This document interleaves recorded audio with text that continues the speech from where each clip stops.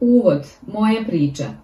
Posljednjeg dana moje druge godine srednje škole, bejsbol, palica me je pogodila u lice. Kako je moj drug punom snagom zamahnuo palicom, tako mu se ona izmakla iz ruku i poletela ka meni dok nije završila svoj let pravo između mojih očiju. Ne sjećam se ničega u vezi sa udarcem. Palica je takvom silom udarila u moje lice da mi je slomila nos i promijenila mu oblik u iskrivljeno U. Zbog udarca se mekano tkivo mog mozga odbilo zidove lobanje. Istog momenta su se pojavili otoci po glavi. U deliću sekunde imao sam slomljen nos, višestruke frakture lobanje i dva razbijena oka. Kada sam otvorio oči, vidio sam ljude kako bulje u mene i pritrčavaju da pomognu. Pogledao sam dole i primetio crvene mrlje na odeći. Jedan od mojih drugara je skinuo košulju i pružio mi je. Upotrebio sam je da zaustavim reku krvi koja mi je potekla iz slomljenog nosa. Šokiran i zbunjen, nisam ni bio svestan koliko sam ozbiljno bio povređen. Nastavnik mi je stavio ruku preko ramena i krenuli smo u dugu šetnju do školske ambulante. Preko polja, niz brdo i nazad u školu. Osjećao sam njegove ruke kako su me hvatale sa strane, držeći me uspravno. Nismo žurili, lagano smo hodali. Niko nije shvatio da je svaki minut važan. Kada smo stigli u ambulantu, medicinska sestra mi je postavila niz pitanja. Koja je godina? 1998. odgovorio sam. To je bilo 2002. godine. Ko je predsjednik SAD-a? Bill Clinton, rekoh. Tačan odgovor je bio George Bush. Kako se zove tvoja mama? Odvlačio sam, prošlo je deset sekundi. Peti, rekoh nehajno, ignorišući činjenicu da mi je trebalo deset sekundi da se setim imena svoje majke. To je posljednje pitanje kojeg se sećam. Moje telo nije bilo u stanju da se nosi sa brzim oticanjem u mozgu i izgubio sam svest pre nego što je stigla hitna pomoć. Nekoliko minuta kasnije odveli su mi iz škole u lokalnu bolnicu. Ubrzo nakon što smo stigli, moje telo je počelo da se gasi. Borio sam se sa osnovnim funkcijama kao što su gutanje i disanje. Imao sam svoj prvi napad. Onda sam potpuno prestao da dišem. Dok su doktori žurili da me opskrbe kiselnikom, također su odlučili da lokalna bolnica nije opremljena da se nosi sa situacijom i naredila da me helikopter prebaci u veću bolnicu u Cincinnatiju. Izneli su me iz hitne službe i nosili prema heliodromu preko puta ulice. Nosila su se tresla na neravnom pločniku dok me jedna sestra gurala, druga ručno pokušavala da unese kiselnik u moje telo. Moja majka, koja je nekoliko minuta ranije stigla u bolnicu, ušla je u helikopter pored mene. Ostao sam bez svesti i nesposoban da dišem samostalno dok mi je držala ruku za vreme leta. Dok je majka letela sa mnom u helikopteru, moj otac je otišao kući da proveri brata i sestru i da im saopšti vest. Gušio se u suzama dok je objašnjavao moje sestri da će te večeri propustiti njenu malu maturu. Nakon što ih je ostavio kod rođaka i prijatelja, odvezao se u Cincinnati da se nađe sa mojom majkom. Kada smo mama i ja sleteli na krov bolnice, tim od dvadesetak lekara i medicinskih sestara dotačao je na heliodrom i odvezao me na intenzivno odeljenje. Do tog trenutka otoci u mozgu postali su toliko jaki da su se posttraumatski napadi ponavljali. Trebalo je popraviti moje slomljene kosti, ali nisam bio u stanju da se podvrgnem operaciji. Nakon još jednog napada, trećeg tog dana, stavljen sam u medicinski indukovanu komu i na veštačko disanje. Moji roditelji nisu bili stranci u ovoj bolnici. Deset godina ranije ušli su u istu zgradu u prizemlju nakon što je moje sestri dijagnostikovana leukemija sa tri godine. Tada sam imao pet godina, brat šest mjeseci. Posle dve i po godine hemoterapije, lumbalnih punkcija i biopsije koštane srži, moja mlađa sestra je napokon izašla iz bolnice srećna, zdrava i bez raka. Sada, nakon deset godina normalnog života, roditelji su se našli na istom mestu s drugim detetom. Dok sam klizio u komu, bolnica je poslala sveštenika i socijalnog radnika da uteše moje roditelje. Bio je to isti sveštenik koji se sa njima sreo deceniju ranije, to veče kada su saznali da sestra ima rak. Kako je dan prolazio u noć, niz aparata me je održavalo u životu. Moji roditelji su nemirno spavali na bolničkom dušeku. U jednom trenutku bi se slušili od umora, a u sljedećem bi bili budni zbog brige. Majka mi je kasnije rekla, bila je to jedna od najgorih noći u mom životu. Moj oporavak Srećom do sljedećeg jutra disanje mi je popravilo se do tačke u kojoj su se lekari osjećali komotno da me puste da dišem samostalno i da izađem iz kome. Kada sam konačno povratio svest, otkrio sam da sam izgubio sposobnost mirisa. Kao test, sestra me je zamolila da dunem nost i da pomirišem kutiju maramica sa mirisom jabuke. Povratio mi se miris, ali na iznenađenje svih, čin duvanja mi je ispuhao vazduh kroz frakture u oku i gurno levo oko da ispadne. Moje oko je ispalo iz očne jabučice, držeći se nesigurno na očnom kapku i optičkom nervu koji mi je pričvrstio oko za mozak. Oftalmolog je čekao da će mi se oko postepeno vratiti na svoje mesto dok se vazduh gubi, ali teško je bilo reći koliko će to trajati. Zakazali su mi operaciju nedelju dana kasnije što bi omogućilo još malo vremena da se izlečim.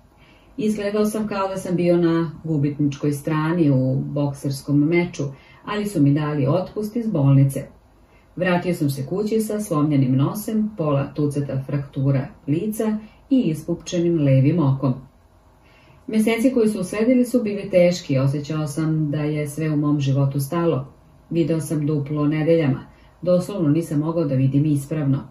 Trebalo je više od mjesec dana, ali se moja očna jabučica na kraju vratila na svoju normalnu lokaciju.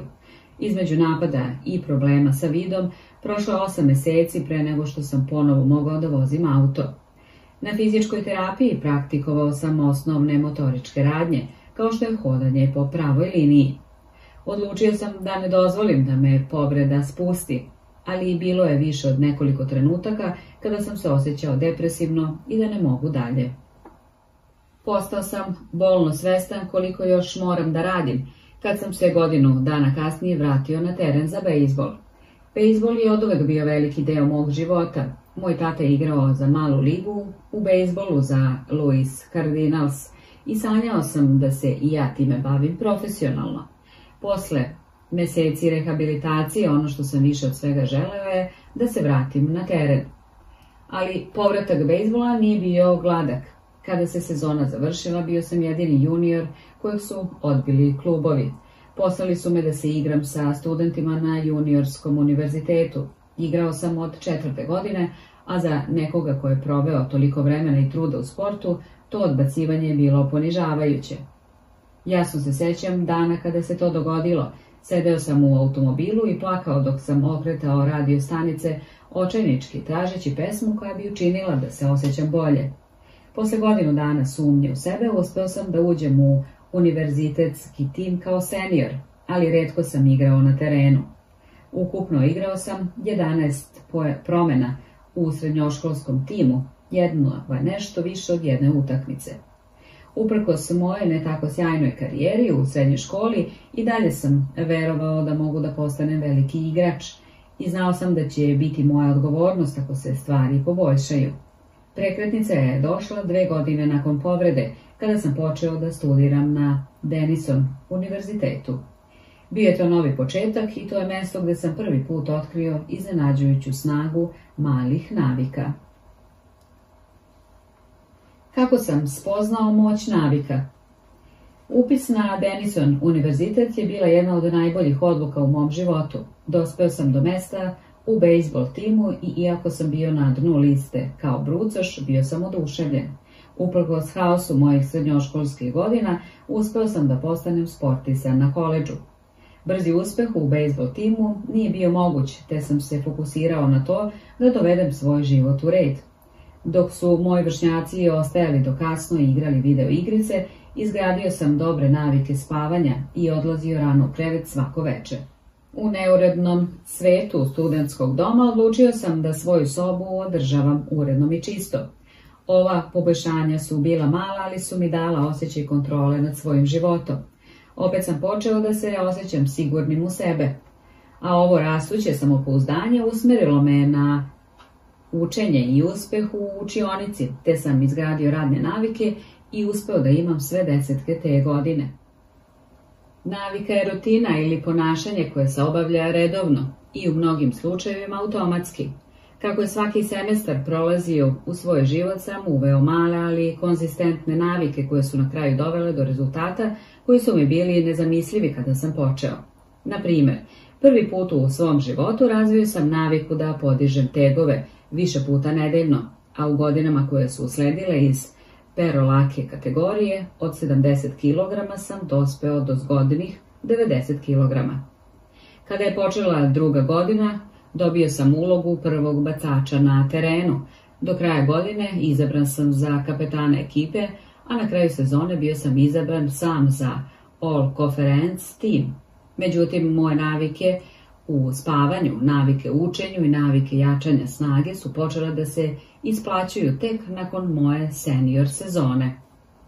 Šest godina nakon što sam pogođen bejsbol palicom u lice, prebačen u bolnicu i stavljen u komu, izabran sam za najboljeg muškog sportistu na Univerzitetu Denison i imenovan za ESPN All America Team, čast koju imaju samo 33 igrača širom zemlje. Do kraja studija postigao sam školske rekorde u osam različitih kategorija. Iste te godine dodeljena mi je najviša akademska počast univerziteta, predsjednička medalja. Nadam se da ćete mi oprostiti ako ovo zvuči kao da se hvalim. Da budem iskren, nije bilo ničeg legendarnog ili istorijskog u vezi sa mojom sportskom karijerom. Nikad nisam igrao kao profesionalac, međutim, osvrćući se na te godine, verujem da sam postigao nešto isto tako redko. Ispunio sam svoj potencijal. Verujem da koncepti u ovoj knjizi mogu da vam pomognu da ispunite svoj. Svi se suočavamo sa izazovima u životu. Ova povreda je bila jedna od mojih iskustvo me naučilo vrlo važnoj lekciji. Promene koje se na prvi pogled čine malim i nevažnim, pretvorit će se u izvanredne rezultate ako ste spremni da ih se držite godinama. Svi se suočavamo sa problemima, ali dugoročno gledano, kvalitet naših života često zavisi od kvaliteta naših navika. Sa istim navikama završit ćete sa istim rezultatima, ali sa boljim navikama sve je moguće. Možda ima ljudi koji mogu ostvariti neverovatan uspeh preko noći. Ne znam ni jednog od njih i sigurno nisam jedan od njih. Na mom putovanju od medicinski indukovane kome do All American akademika nije postojao ni jedan određeni trenutak. Bilo ih je mnogo. To je bila postepena evolucija, duga serija malih pobjeda i sitnih otkrića. Jedini način na koji sam ostvario napredak, jedini izbor koji sam imao, bio je da počnem postepeno. I tu strategiju sam koristio nekoliko godina kasnije, kada sam započeo svoj posao i počeo da radim na ovoj knjizi. Kako i zašto sam napisao ovu knjigu? U novembru 2012. godine sam počeo da objavljujem članke na jamesclair.com. Godinama sam vodio beleške o svojim ličnim eksperimentima sa navikama i konačno sam bio spreman da neke od njih podelim javno. Počeo sam sa objavljivanjem novog članka svakog ponedjeljka i četvrtka. U roku od nekoliko mjeseci ova jednostavna navika pisanja dovela je do mojih prvih hiljadu pretplatnika preko maila, a do kraja 2013. godine taj broj se povećao na više od 30.000 ljudi. U 2014. godini moja mailing lista se proširila na preko 100.000 adresa, što ga je učinilo jednim od najbrže rastućih biltena na internetu. Osjećao sam se kao prevarant kada sam počeo da pišem dve godine ranije, ali sada sam postao poznat kao stručnjak za navike. Nova etiketa koja me je uzbuđivala, ali također činila da se osjećam neprijatno. Nikada se nisam smatrao majstorom za ovu temu. Mislio sam da sam neko koji je eksperimentisao i to prenosio mojim čitaocima. U 2015. godini sam dostigao 200.000 pretplatnika preko mailova i potpisao ugovor o knjizi sa izdavačkom kućom Penguin Random House, kako bih počeo da pišem knjigu koju sada čitate. Kako je moja publika rasla, tako su rasli i moje poslovne prilike. Sve su me više zvali da govorim u vodećim kompanijama, o nauci, formiranje navika, promjeni ponašanja i ličnom razvoju. Odjednom sam postao glavni govornik na konferencijama u Sjedinjenim državama i Europi. U 2016. godini moji članci su počeli da se redovno pojavljaju u velikim magazinima. Neverovatno ono što sam pisao, čitalo je preko 8 miliona ljudi te godine. Treneri u NFL, NBA i MLB počeli su da čitaju moj rad i dele ga sa svojim timovima. Početkom 2017. godine pokrenuo sam Akademiju navika, koja je postala vrhunska trening platforma za organizacije i pojedince zainteresovane za izgradnju boljih navika u životu i poslu.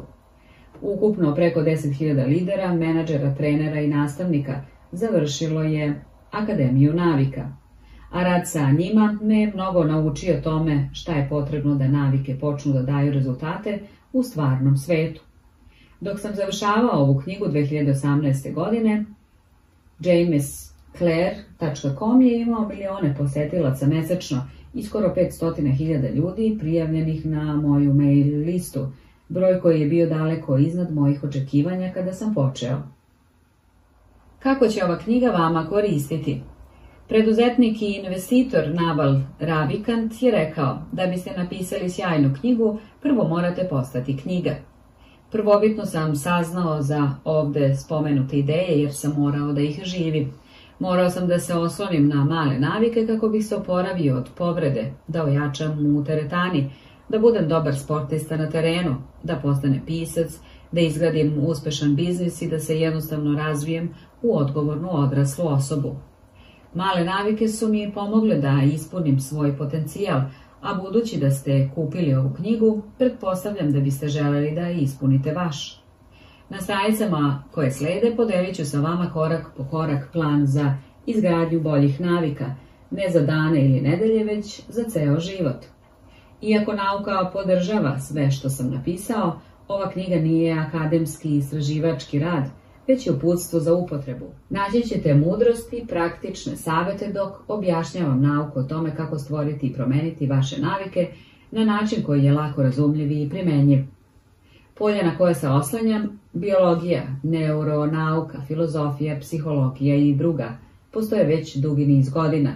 Ono što vam nudim je sinteza najboljih ideja koje su pametni ljudi shvatili odavno, kao i najsnažnije otkriće do koje su naučnici nedavno došli.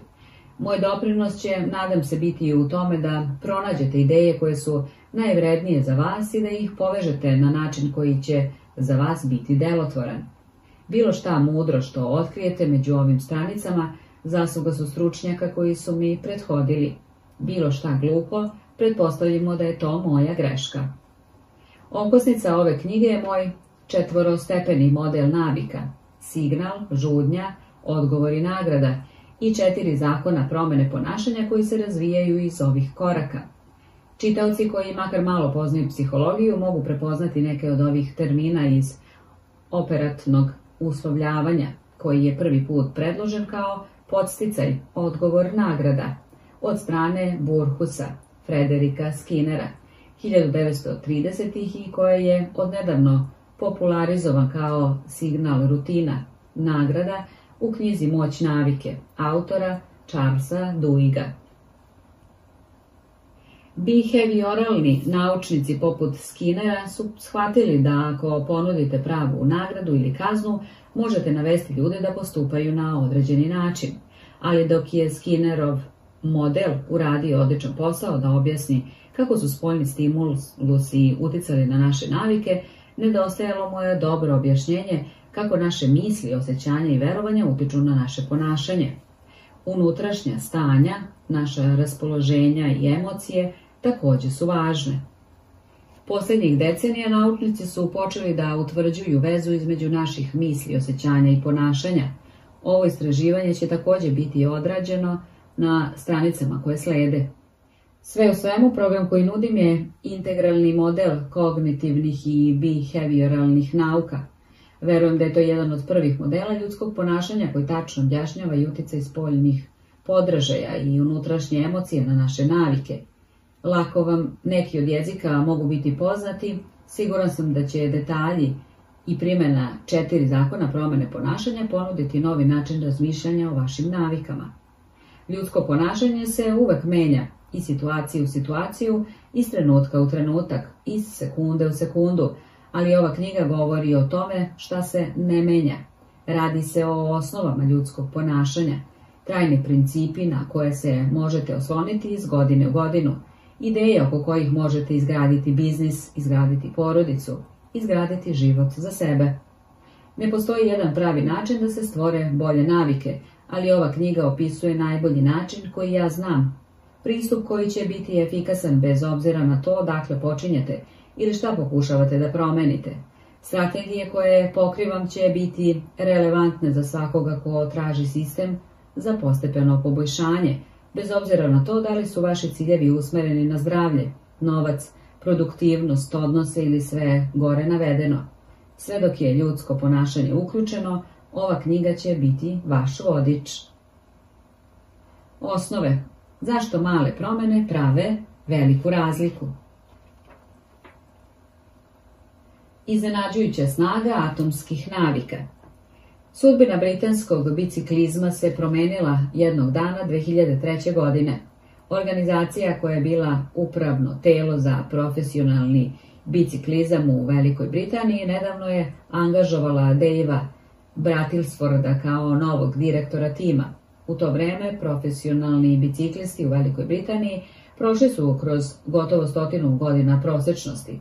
Od 1908. godine britanski biciklisti su osvojili samo jednu zlatnu medalju na olimpijskim igrama, a pogoršali su se i u najvećoj trci biciklizma, Tour de France. Za 110 godina nijedan britanski biciklista nije pobedio na tom događaju. U stvari, rezultati britanskih vozača su bili toliko loši da je jedan od najboljih proizvođača bicikla u Evropi odbio da ih proda timu jer su se plašili da će to ugroziti prodaju ako drugi profesionalci vide da Britanci koriste njihovu opremu. Brailsford je bio angažovan da postavi britanski biciklizam na novu putanju. Ono što ga je razlikovalo od prethodnih trenera bila je njegova nemilosrdna posvećenost strategiji koju je nazvao agregacijom marginalnih dobitaka, što je bila filozofija traženja malog procenta poboljšanja u svemu što radite. Brailsford je rekao, čitav princip je došao od ideje da ako si pokvario sve što možeš da pomisliš, da se tiče vožnje bicikla, a onda da ga poboljšaš za 1%, dobit ćeš značajan porast kada ih sve sabereš. Brailsford i njegovi treneri počeli su sa malim poboljšanjima koje možete očekivati od profesionalnog biciklističkog tima. Redizajnirali su sedišta za bicikle kako bi ih učinili udobnijim i protrljali gume alkoholom radi boljeg prijanjanja. Zatražili su od vozača da nose specijalnu grejanu odeću kako bi održali idealnu mišićnu temperaturu dok su se vozili i koristili senzore za biofeedback kako bi pratili kako je svaki sportista odgovorio na određeni trening. Tim je testirao različite tkanine u vazdušnom tunelu i svoje vanjske vozače prebacio na unutarnju takmičarska odela, što se pokazalo lakšim i aerodinamičnijim. Ali nisu se zaustavili na tome. Brailsford i njegov tim nastavili su da pronalaze 1% poboljšanja u zanemarenim i neočekivanim područjima. Testirali su različite tipove gelova za masažu kako bi vidjeli koji je doveo do najbržeg oporavka mišića. Unajmili su hirurga da svakog vozača nauči kako da na najbolji način opere ruke kako bi smanjili šanse za prehladu.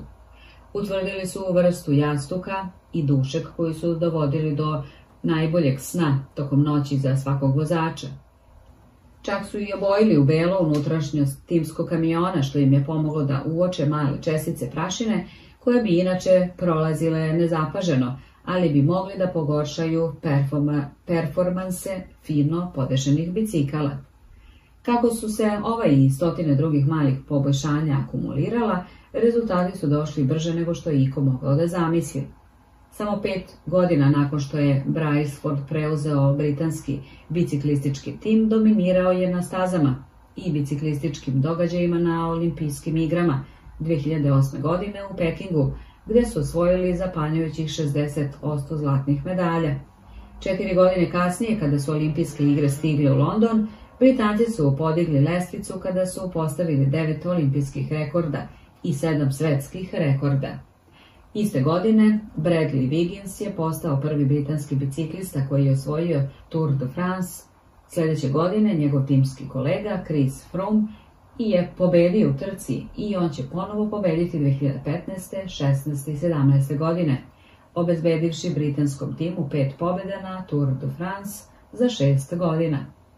Tokom perioda od 10 godina, od 2007. do 17.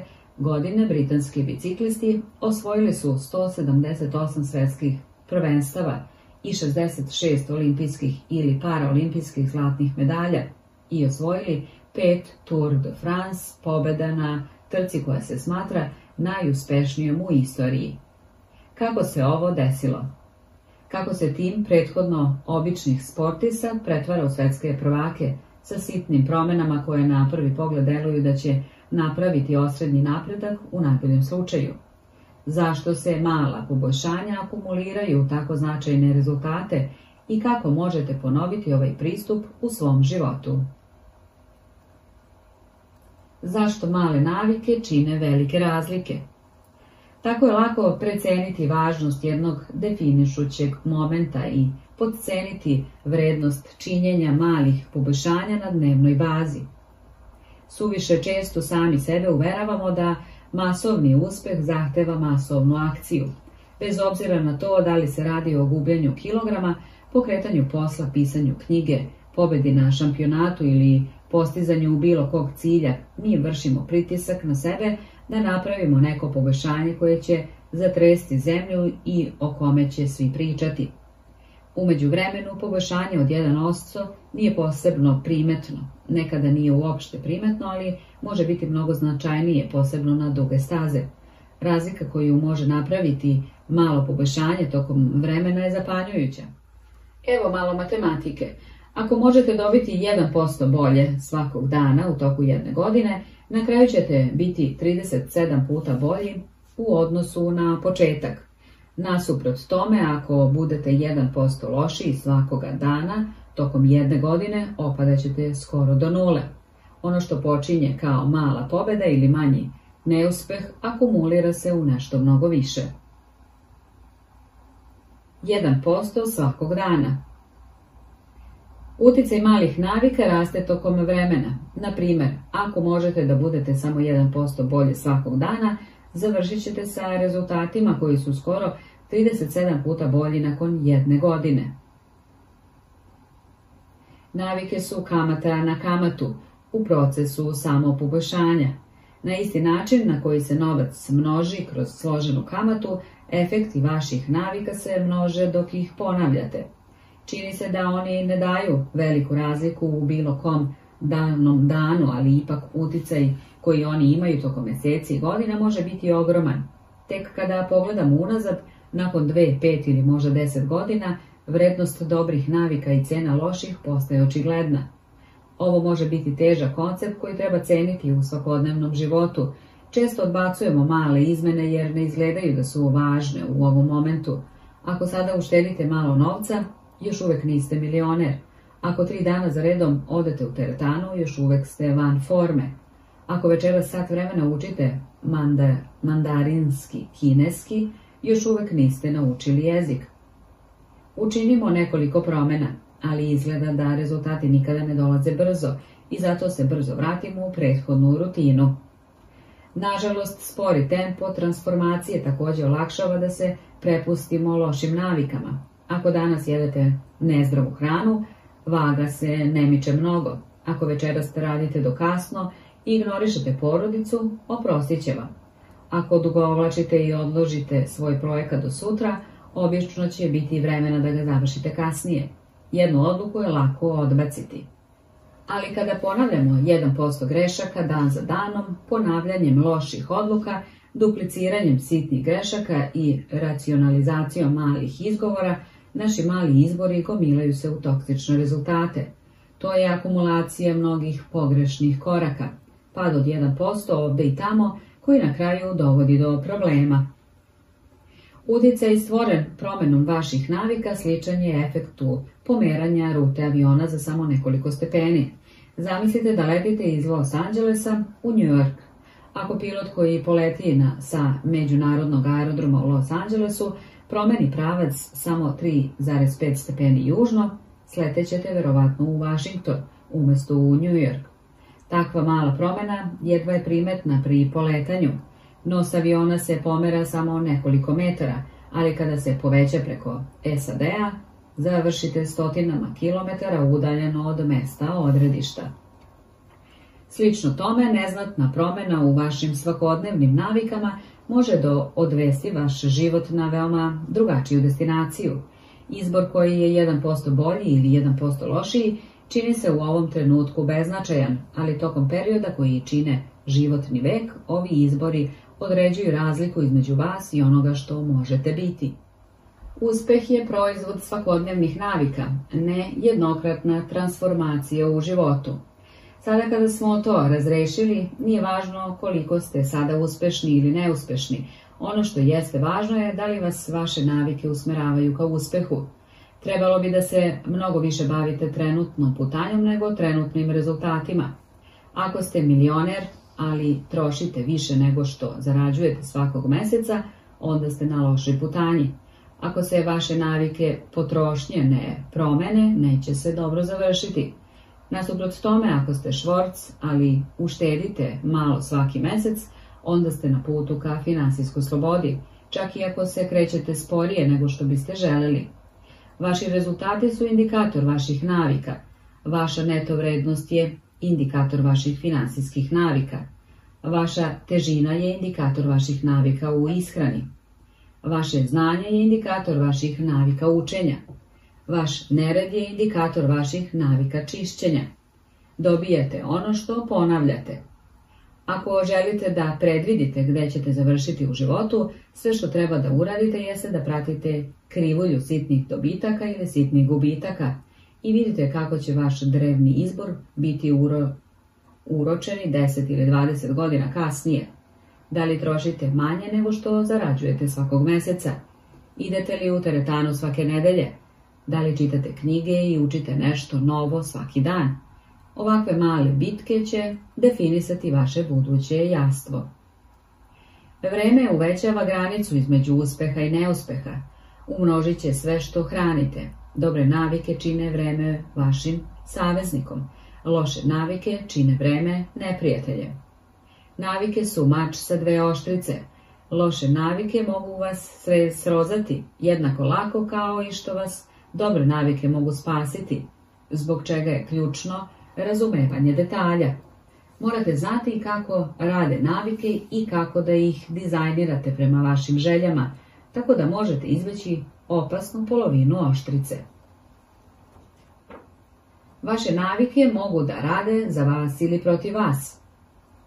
Pozitivni rezultat Povećanje produktivnosti Ostvarivanje jednog dodatnog zadatka je mali podvig u bilo kom danu, ali to je mnogo za celu karijeru. Efekat automatizacije starih zadataka ili savladavanja nove veštine može biti još veći. Što više zadataka možete da obavite bez razmišljanja, to je vaš mozak slobodniji da se fokusira na druge oblasti. Povećanje znanja Učenje jedne nove ideje ne čini vas genijem, ali posvećenost celoživotnom učenju može biti transformativna. Osim toga, svaka knjiga koju čitate ne samo da vas uči nečemu novom, već i otvara različite načine razmišljanja o starim idejama. Kao što Warren Buffett kaže, tako funkcioniše znanje, raste kao kamata na kamatu. Poboljšanje odnosa. Ljudi odražavaju vaše ponašanje. Što više pomažete drugima, više vam drugi žele pomoći. Biti ljubazniji i bolji u svakoj interakciji može rezultirati širokom mrežom jakih veza tokom vremena. Negativni rezultat. Povećanje stresa. Frustracija zbog saobraćajne gužve, težina zbog roditeljskih obaveza, zabrinutost da se spoji kraj sa krajem, naprezanje zbog povišenog krvnog pritiska, Sami po sebi ovi česti uzroci stresa se mogu kontrolisati, ali kada su prisutni godinama, malo stresa se multiplicira u niz zdravstvenih problema. Sve više negativnih misli. Što više smatrate sebe bezvrednim, glupim ili ružnim, to se više uslovljavate da tako tumačite život. Postajete zarobljeni u misalnoj petlji. Isto važi za to kako mislite o drugima.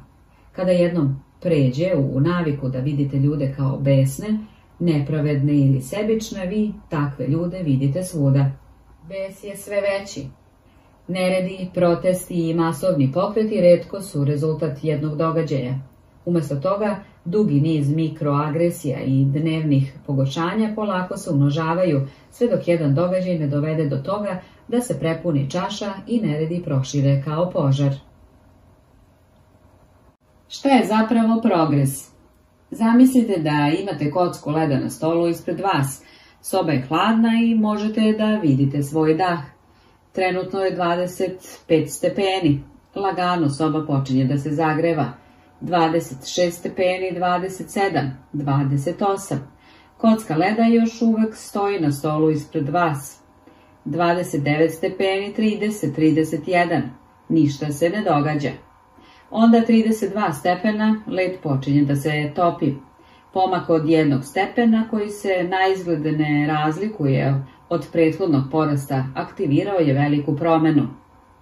Prelomi trenuci su često rezultat mnogih prethodnih akcija koje su izgradile potencijal potreban da se oslobodi velika promena. Ovaj obrazac se pojavljuje svuda. Kancer provodi 80% svog života neotkriven, a zatim preuzima telo u nekoliko meseci. Bambus se jedva može videti prvih pet godina, jer gradi ekstenzivne korenske sisteme pod zemljom pre nego što je eksplodira 30 metara u vis u roku od šest nedelja. Slično tome često se čini da navike ne čine nikakvu razliku dok ne pređete kritični prag i ne odključate novi nivo performansi – U ranim i srednjim fazama svake potrage često postoji dolina razočaranja. Očekujete da ćete napredovati linearno i frustrirajuće je kako se promene bez efekta mogu dešavati u prvim danima, nedeljama, pa čak i mesecima. Delo je kao da se nigde ne pomerate. To je obeleži svakog procesa rasta kamate. Najmoćniji rezultati dolaze kasnije. Ovo je jedan od osnovnih razloga zašto je tako teško izgraditi navike koje traju. Ljudi prave nekoliko manjih promena, ne vide opipljiv rezultat i odlučuju da se zaustave. Mislite, trčim svaki dan mesec dana, pa zašto ne mogu da vidim bilo kakvu promenu u svom telu? Kada ovakva vrsta razmišljanja preuzme komandu, lako je dopustiti da dobre navike skliznu sa scene. Ali, da bi se napravila značajna razlika, Navike treba da traju dovoljno dugo da prođete kroz ovaj plato kojeg ja nazivam plato latentnog potencijala. Ako se borite da izgradite dobru naviku ili prekinete lošu naviku, to nije zato što ste izgubili sposobnost da se poboljšate. To je često zato što još niste prešli plato latentnog potencijala. Žaleći se na to što ne uspevamo da postignemo uspeh uprkos napornom radu, je kao da se žalimo da se kocka leda ne topi kada je zagre, zagrejete od 25 do 31 stepena. Vaš rad nije bio uzaludan, samo se skladišti. Do akcije dolazi na 32 stepena. Kada konačno prođete kroz plato latentnog potencijala, ljudi će to nazvati uspehom preko noći. Spoljni svet vidi samo najdramatičniji događaj umesto svega što mu je prethodilo – ali znate da je to sve ono što ste radili dugo. Kada se činilo da ne pravite nikakav napredak, učinilo taj današnji skok mogućim. To je ljudski ekvivalent geološkog pritiska. Dve tektonske ploče mogu da se taru jedna od drugu milionima godina, a napetost se polako gradi sve vreme. Onda jednog dana ponovo se dodiruju na isti način kao i godinama, ali ovaj put napetost je prevelika. Dolazi do zemljotresa. Promeni su potrebne godine, pre nego što se desi odjednom. Za majstorstvo je potrebno strpljenje.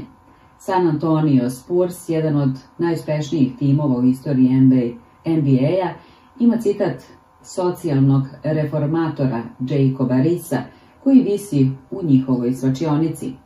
Kad ništa ne pomaže, idem i pogledam kamenoresca koji udara u svoju stenu, može stotinu puta bez ikakvih pukotina.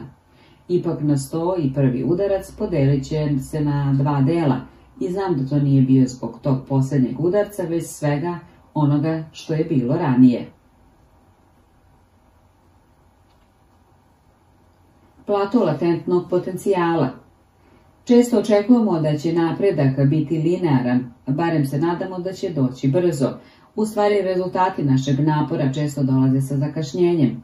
Tek nakon nekoliko meseci ili godina kasnije shvatimo pravu vrednost svega onoga što smo uradili.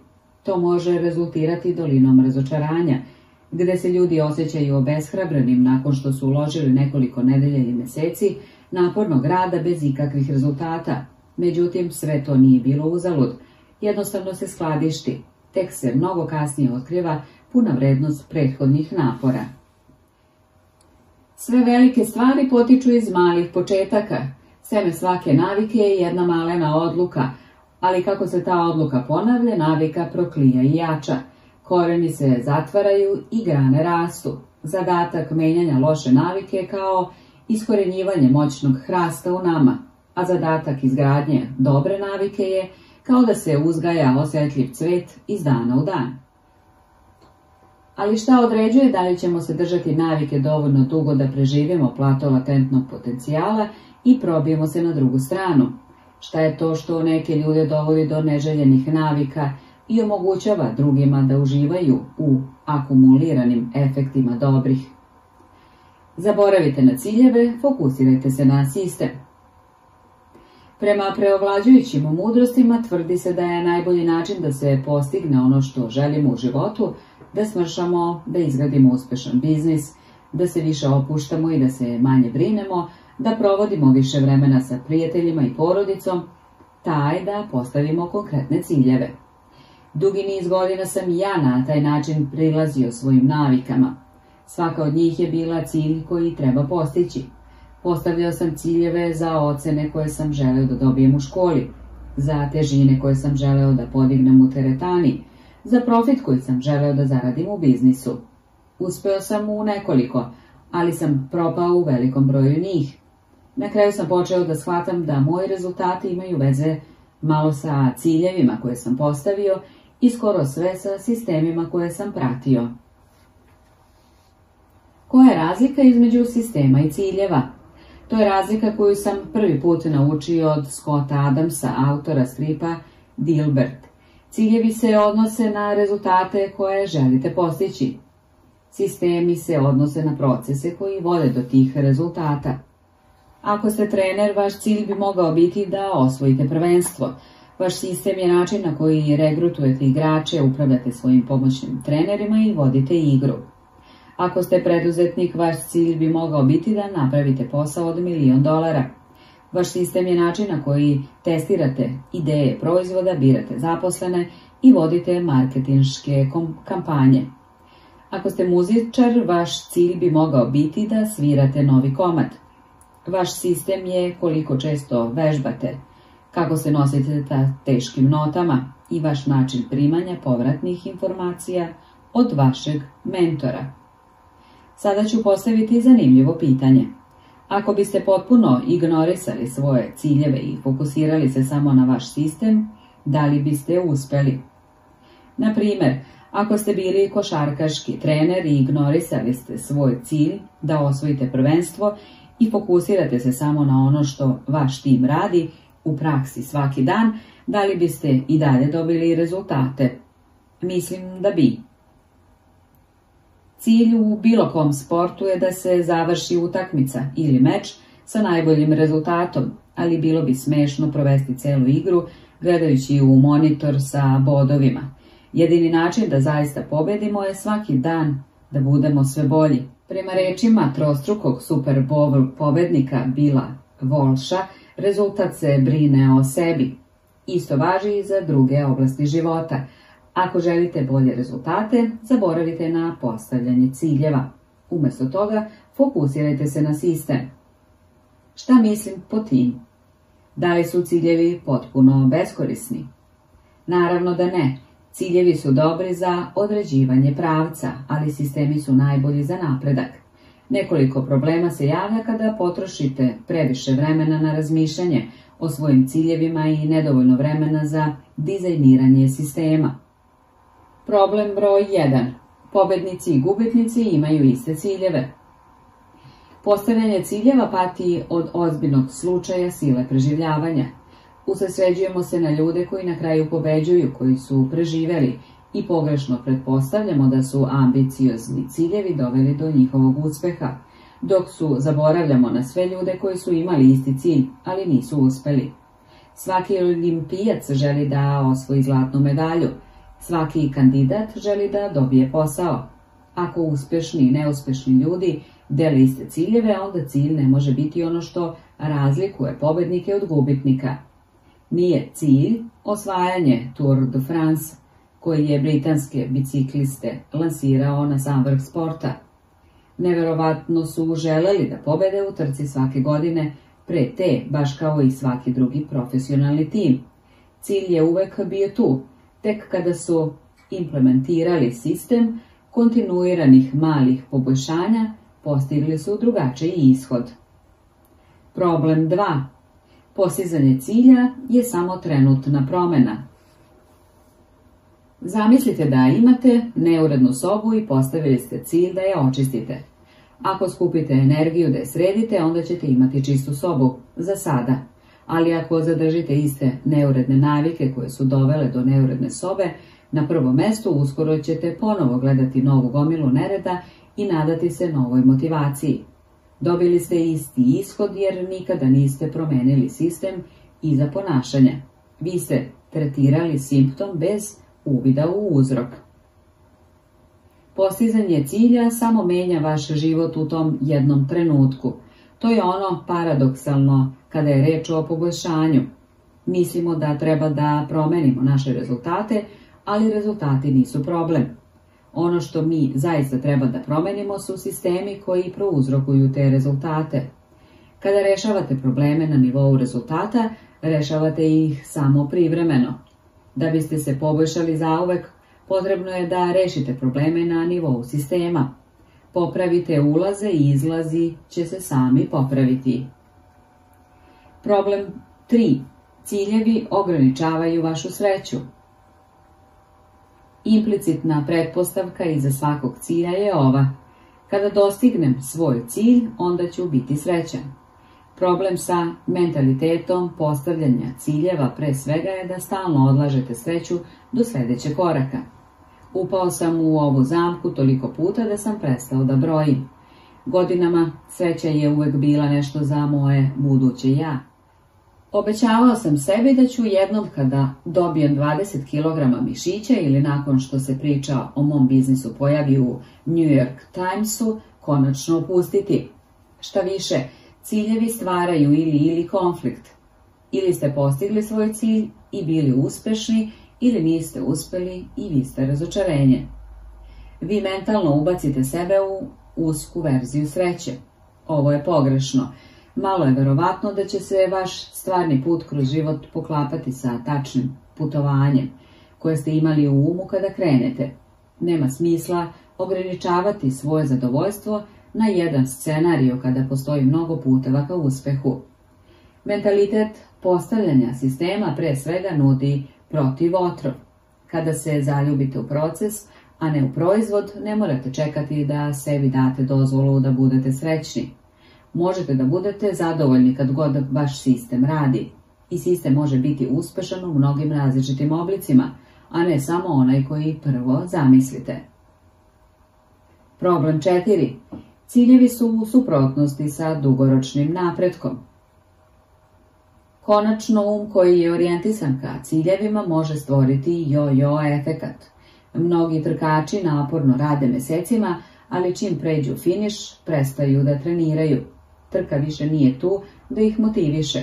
Kada je sav vaš napor, rad fokusira na određeni cilj, šta vam preostaje da vas gurne napred nakon što ga postignete.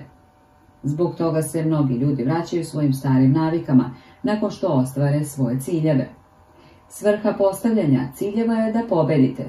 Svrha izgradnje sistema je da nastavite igru. Istinsko dugoročno razmišljanje je bez postavljanja ciljeva. Ne radi se ni o jednom posebnom ostvarenju.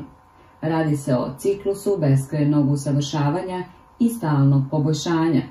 Na kraju krajeva, vaša predanost procesu će odrediti vaš napredak. Sistem atomskih navika Ako imate problema da promenite svoje navike, problem nije u vama. Problem je u vašem sistemu. Loše navike ponavljaju se iznova i iznova, ne zato što ne želite da se promenite, već zato što imate pogrešan sistem za promenu. Ne podižete se na nivo svojih ciljeva, padate do nivoa vaših sistema. Fokusiranje na celokupni sistem, a ne samo na jedan cilj, jedna je od ključnih tema ove knjige. To je također jedno od dubljih značenja iza reči atomska. Do sada ste verovatno shvatili da se atomske navike odnose na male promene, marginalni dobitak, poboljšanje od jednog procenta, ali atomske navike nisu samo bilo koje stare navike koliko god bile male, to su male navike koje su deo većeg sistema, baš kao što su atomi i građevni blokovi molekula, atomske navike su gradivni blokovi izvanrednih rezultata. Navike su kao atomi vaš, naših života, svaki od njih je osnovna jedinica koja doprinosi vašem ukupnom poboljšanju. U početku ove sitne rutine izgledaju beznačajno, ali ubrzo se nadovezuju jedna na drugu i povećavaju dobitke koji se umnožavaju do stepena koji daleko nadmašuje troškove njihovog početnog ulaganja.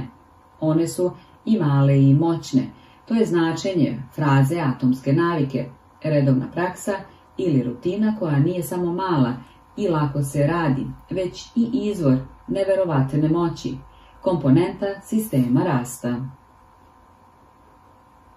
Rezime poglavlja Navike su kamata na kamatu, samo poboljšanja. Biti 1% bolji svakoga dana dugoročno daje dobre rezultate. Navike su mač sa dve oštrice, one mogu da rade za vas ili protiv vas, zato je važno razumevanje detalja. Čini se da male promjene ne čine nikakvu razliku, sve dok ne, ne pređete kritični prag. Najvažniji ishod bilo kojeg procesa dolazi s vremenom. Morate biti strpljivi. Atomska navika je mala navika koja je deo većeg sistema, baš kao što su atomi gradivni blokovi molekula, atomske navike su gradivni blokovi izvanrednih rezultata. Ako želite bolje rezultate, zaboravite na postavljanje ciljeva. Umjesto toga fokusirajte se na sistem.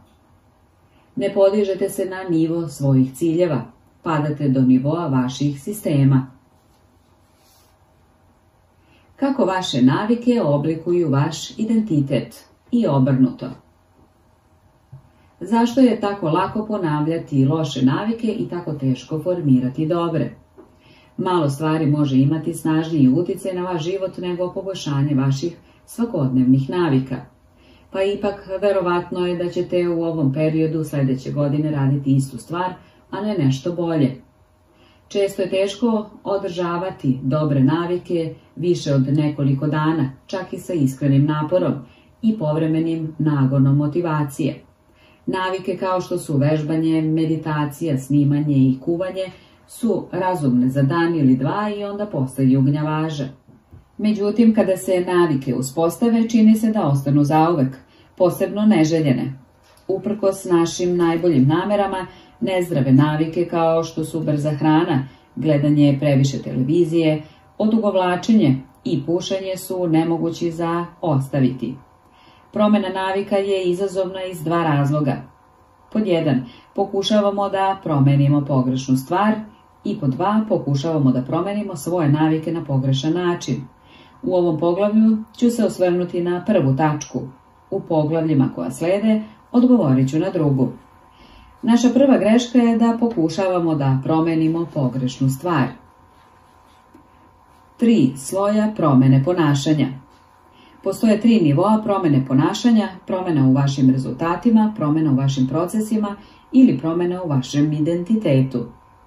Da biste shvatili na šta mislim, smatrajte da postoji tri nivoa na kojima se može desiti promena. Možete ih zamisliti kao slojeve luka. Prvi sloj menja vaše ishode.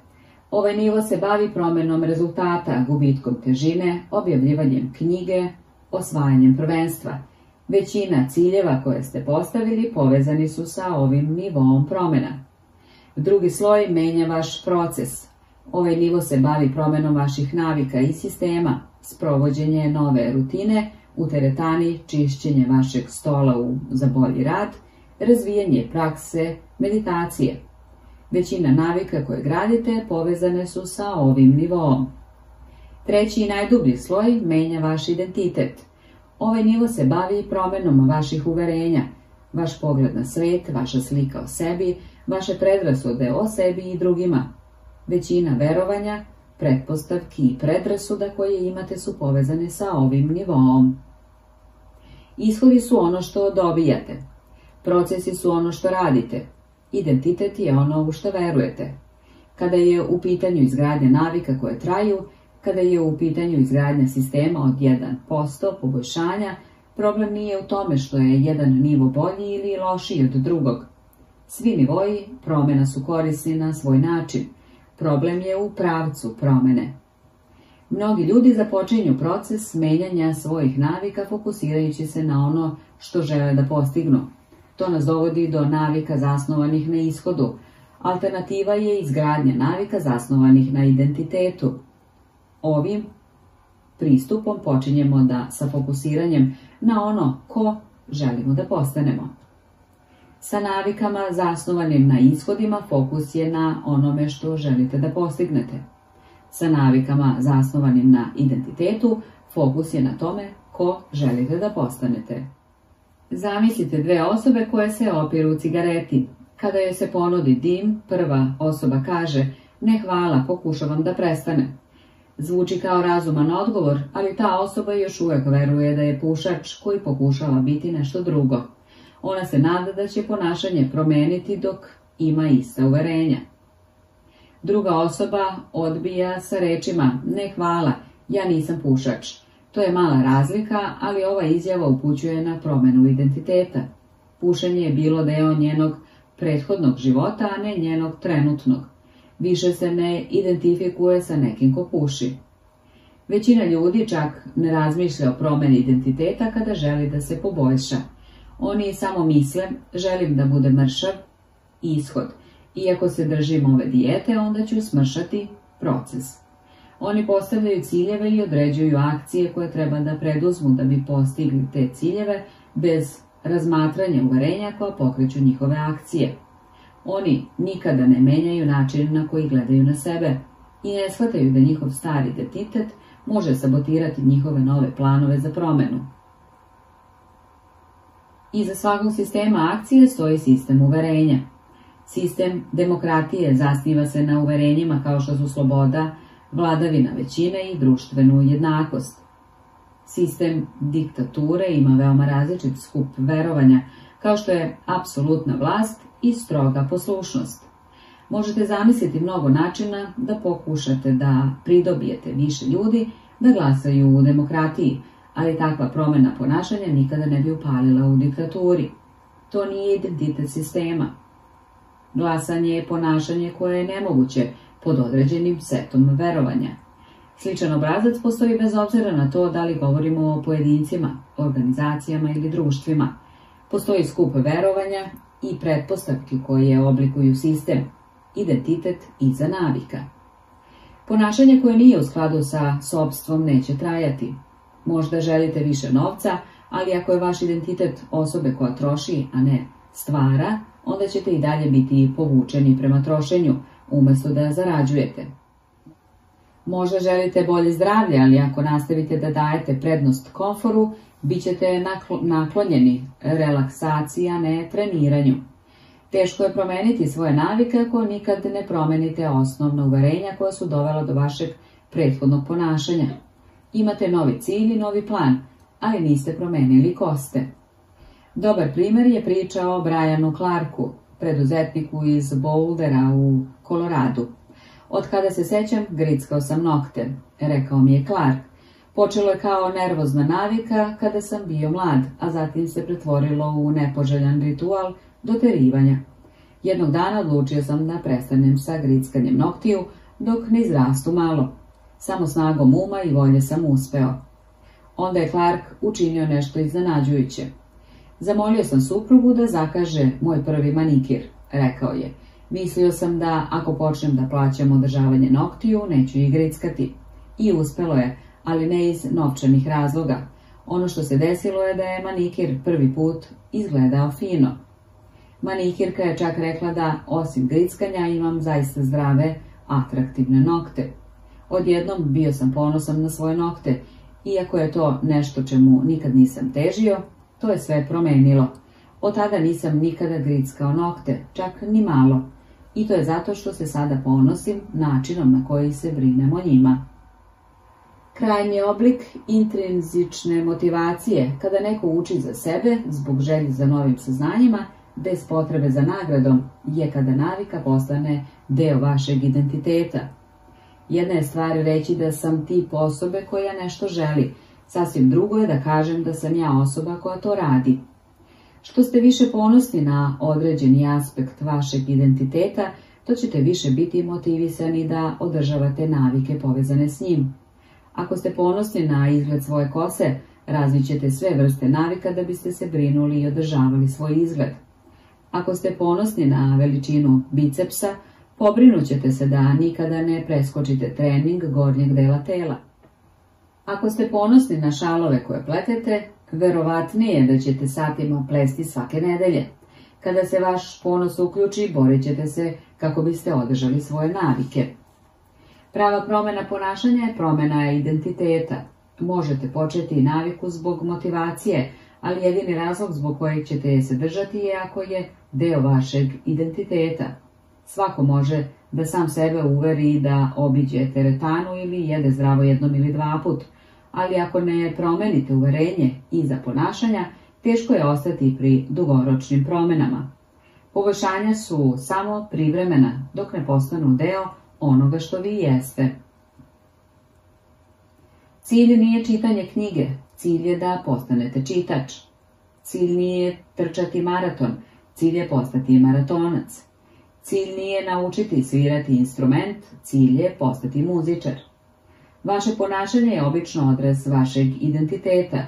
Ono što radite je pokazatelj vrste osobe za koju verujete da vi jeste, bilo svesno ili nesvesno. Istraživanje je pokazalo da kada osoba veruje u određeni aspekt svog identiteta, verovatnije je da će delovati u skladu s tim uverenjem. Na primjer, ljudi koji su identifikovani kao glasači imaju veću verovatnoću da glasaju, od onih koji su jednostavno tvrdili da je glasanje akcija koju žele da izvedu. Slično tome osoba koja uključuje svoje vežbe u svoj identitet ne mora uveriti sebe da trenira.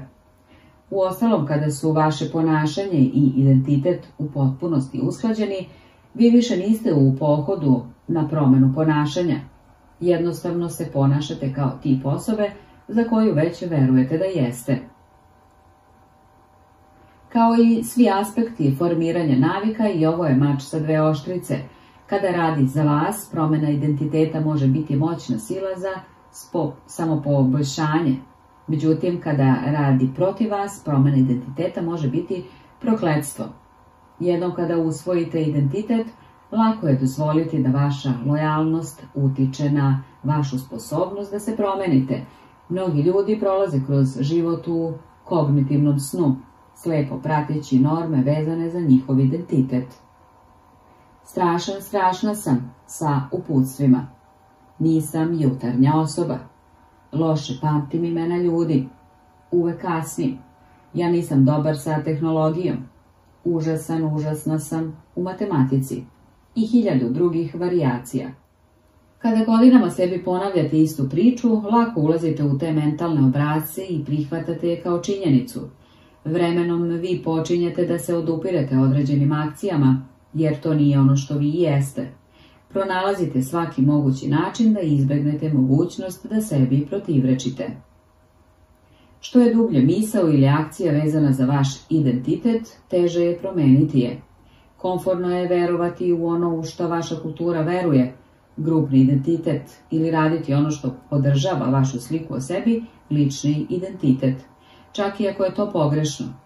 Najveća prepreka pozitivnim promenama na bilo kom nivou, individualnom, timskom, društvenom, je konflikt identiteta. Dobre navike mogu imati racionalan smisao, ali ako su u sukobu sa vašim identitetom, nećete uspjeti da ih ostvarite. Nekada se možete boriti sa svojim navikama jer ste prezauzeti ili previše umorni ili preopterećeni ili iz stotinu drugih razloga. Međutim, dugoročno, pravi razlog zbog kojeg se ne držite navika jeste da vam vaša slika o sebi stoji na putu. Zbog toga se ne možete previše vezati za jednu verziju svog identiteta. Napredak zahteva odučavanje, postati najbolja verzija sebe, zahteva da stalno menjate svoje uverenja i da nadograđujete i proširujete svoj identitet. To nas dovodi do važnog pitanja. Ako vaša uverenja i pogled na svet igraju tako važnu ulogu u vašem ponašanju, odakle uopšte dolaze? Kako se tačno formirao vaš identitet? I kako možete da istaknete nove aspekte vašeg identiteta koji vam služe i postepeno obrišete delove koji vas ometaju. Proces od dva koraka za promenu vašeg identiteta. Vaš identitet dolazi iz vaših navika. Niste rođeni sa unapred određenim verovanjima. Svako uverenje, uključujući i ono sebi, se uči i uslovljava kroz iskustvo. Tačnije, vaše navike su način na koji otelovljujete svoj identitet. Kada namestite krevet svakog jutra, otelovljujete identitet organizovane osobe. Kada pišete svaki dan, otelovljujete identitet kreativne osobe. Kada trenirate svaki dan, otelovljujete identitet sportske osobe. Što više ponavljate neko ponašanje, više pojačavate identitet povezan s tim ponašanjem. U stvari, reč identitet je prvobitno izveden iz latinskih reči asentitas, što znači biti i identidem, što znači ponavljati. Vaš identitet je doslovno vaše biće koje se ponavlja. Kakav god je vaš identitet u ovom trenutku, vi u njega verujete samo zato što imate dokaz o njemu. Ako idete u crkvu svake nedelje 20 godina, imate dokaze da ste religiozni. Ako učite biologiju jedan sat svake noći, imate dokaz da ste student. Ako idete u teretanu, čak i kada pada sneg, imate dokaze da ste posvećeni i kondiciji. Što više dokaza imate za verovanje, to ćete snažnije verovati. Većinu svog ranog života nisam sebe smatrao piscem. Ako biste pitali bilo kog od mojih nastavnika u srednjoj školi ili profesora na koleđu, oni bi vam rekli da sam u najboljem slučaju prosječan pisac. Sigurno ne neko ko se izdvaja. Kada sam počeo karijeru pisca, objavljivao sam novi članak svakog ponedeljka i četvrtka prvih nekoliko godina. Kako su dokazi rasli, tako rastao i moj identitet pisca. Nisam počeo kao pisac, postao sam pisac kroz sobstvene navike. Naravno, vaše navike nisu jedine akcije koje utiču na vaš identitet, ali su zbog njihove učestalosti obično najvažnije. Svako životno iskustvo modifikuje vašu sliku o sebi, ali je malo verovatno da biste sebe smatrali futbalskim igračem zato što ste jednom udarili loptu ili umetnika jer ste nažvrljali sliku. Međutim, dok ponavljate ove akcije, te kupljaju se dokazi i vaša slika o sebi počinje da se menja. Efekat jednokratnih iskustava ima tendenciju da nestaje, dok se efekti navika pojačavaju vremenom, što znači da vaše navike doprinose većini dokaza koji oblikuju vaš identitet. Na taj način, proces izgradnje navika je zapravo proces postajanja onoga što vi jeste. Ovo je postepena evolucija. Mi se ne menjamo tako što smo puknuli prstima i odlučili da budemo neko potpuno nov. Menjamo se postepeno iz dana u dan, iz navike u naviku. Mi neprestano prolazimo kroz mikroevoluciju sobstva. Svaka navika je kao sugestija. Hej, možda je ovo ono što jesam. Ako završite knjigu, možda ste vi tip osobe koja voli da čita. Ako idete u teretanu, onda ste možda osoba koja voli da vežba. Ako vežbate sviranje gitare, možda ste vi tip osobe koja voli muziku. Svaka akcija koju preduzmete je glas za tip osobe koja želite da postanete. Nijedna pojedinačna instanca neće preobraziti vaše uverenja, ali kako se glasovi pojavljuju, tako se javljaju i dokazi vašeg novog identiteta. To je jedan od razloga zašto značajna promjena ne zahteva radikalnu promjenu. Male navike mogu napraviti značajnu razliku pružanjem dokaza o novom identitetu. A ako je promjena smislena, ona je zapravo velika. To je paradoks stvaranja malih poboljšanja. Kada sve ovo zajedno pogledamo, možete vidjeti da su navike put ka promjeni vašeg identiteta. Najpraktičniji način da promenite sebe jeste da promenite ono što radite. Pod jedan, svaki put kada napišete stranicu, vi ste pisac. Dva, svaki put kada vežbate violinu, vi ste muzičar. I tri, svaki put kada započnete trening, vi ste sportista. Svaka navika ne samo da daje rezultate, već vas uči i nečemu daleko važnije, da verujete sebi. Počinjete da verujete da zaista možete da postignete te stvari. Kada se glasovi povećaju i dokazi počnu da se menjaju, priča koju sami sebi pričate također počinje da se menja. Naravno, dešava se i obrnuto. Svaki put kada odaberete da izvedete lošu naviku, to je glas za taj identitet. Dobro ves je da ne morate biti savršeni. Na svim izborima bit će glasova sa obe strane. Ne treba vam jednoglasan izbor da biste pobedili, samo vam treba većina. Nije bitno ako date nekoliko glasova lošem ponašanju ili neproduktivnoj navici. Vaš cilj je jednostavno osvojiti većinu vremena. Novi identiteti zahtevaju nove dokaze. Ako nastavite da dajete iste glasove koje ste uvek dodali, dobijat ćete iste rezultate koje ste uvek imali. Ako se ništa ne promeni, ništa se neće promeniti. To je jednostavan proces u dva koraka. Prvi, odlučite kakva osoba želite da budete i drugi, dokažite to sebi sa malim pobedama. Prvo odlučite ko želite da budete. Ovo važi na bilo kom nivou, kao pojedinac, kao tim, kao zajednica, kao nacija. Zašta želite da se zauzmete? Koji su vaši principi i vrednosti? Ko želite da postanete? Ovo su velika pitanja i mnogi ljudi nisu sigurni odakle da počnu, ali znaju kakve rezultate žele. Da dobiju trbušnjake ili da se osjećaju manje uznemireno ili da udvostruče svoju platu. To je u redu. Počnite odavde i radite unazad od rezultata koje želite do tipa osobe koja bi mogla te rezultate da ima. Zapitajte se, koji je to tip osobe koja bi mogla da izgubi 20 kg? Ko je tip osobe koja može naučiti novi jezik? Ko je tip osobe koja može pokrenuti uspešan start-up? Na primjer, ko je tip osobe koja bi mogla napisati knjigu? To je verovatno neko ko je dosadan i pouzdan. Sada se vaš fokus pomera sa pisanja knjige na osnovu ishoda, na to da budete tip osobe koja je konzistentna i pouzdana, zasnovana na identitetu. Ovaj proces može dovesti do uverenja kao što su ja sam tip učitelja koji se zauzima za svoje učenike. Ja sam tip doktora koji se posvećuje svakom pacijentu i saosjeća se njim.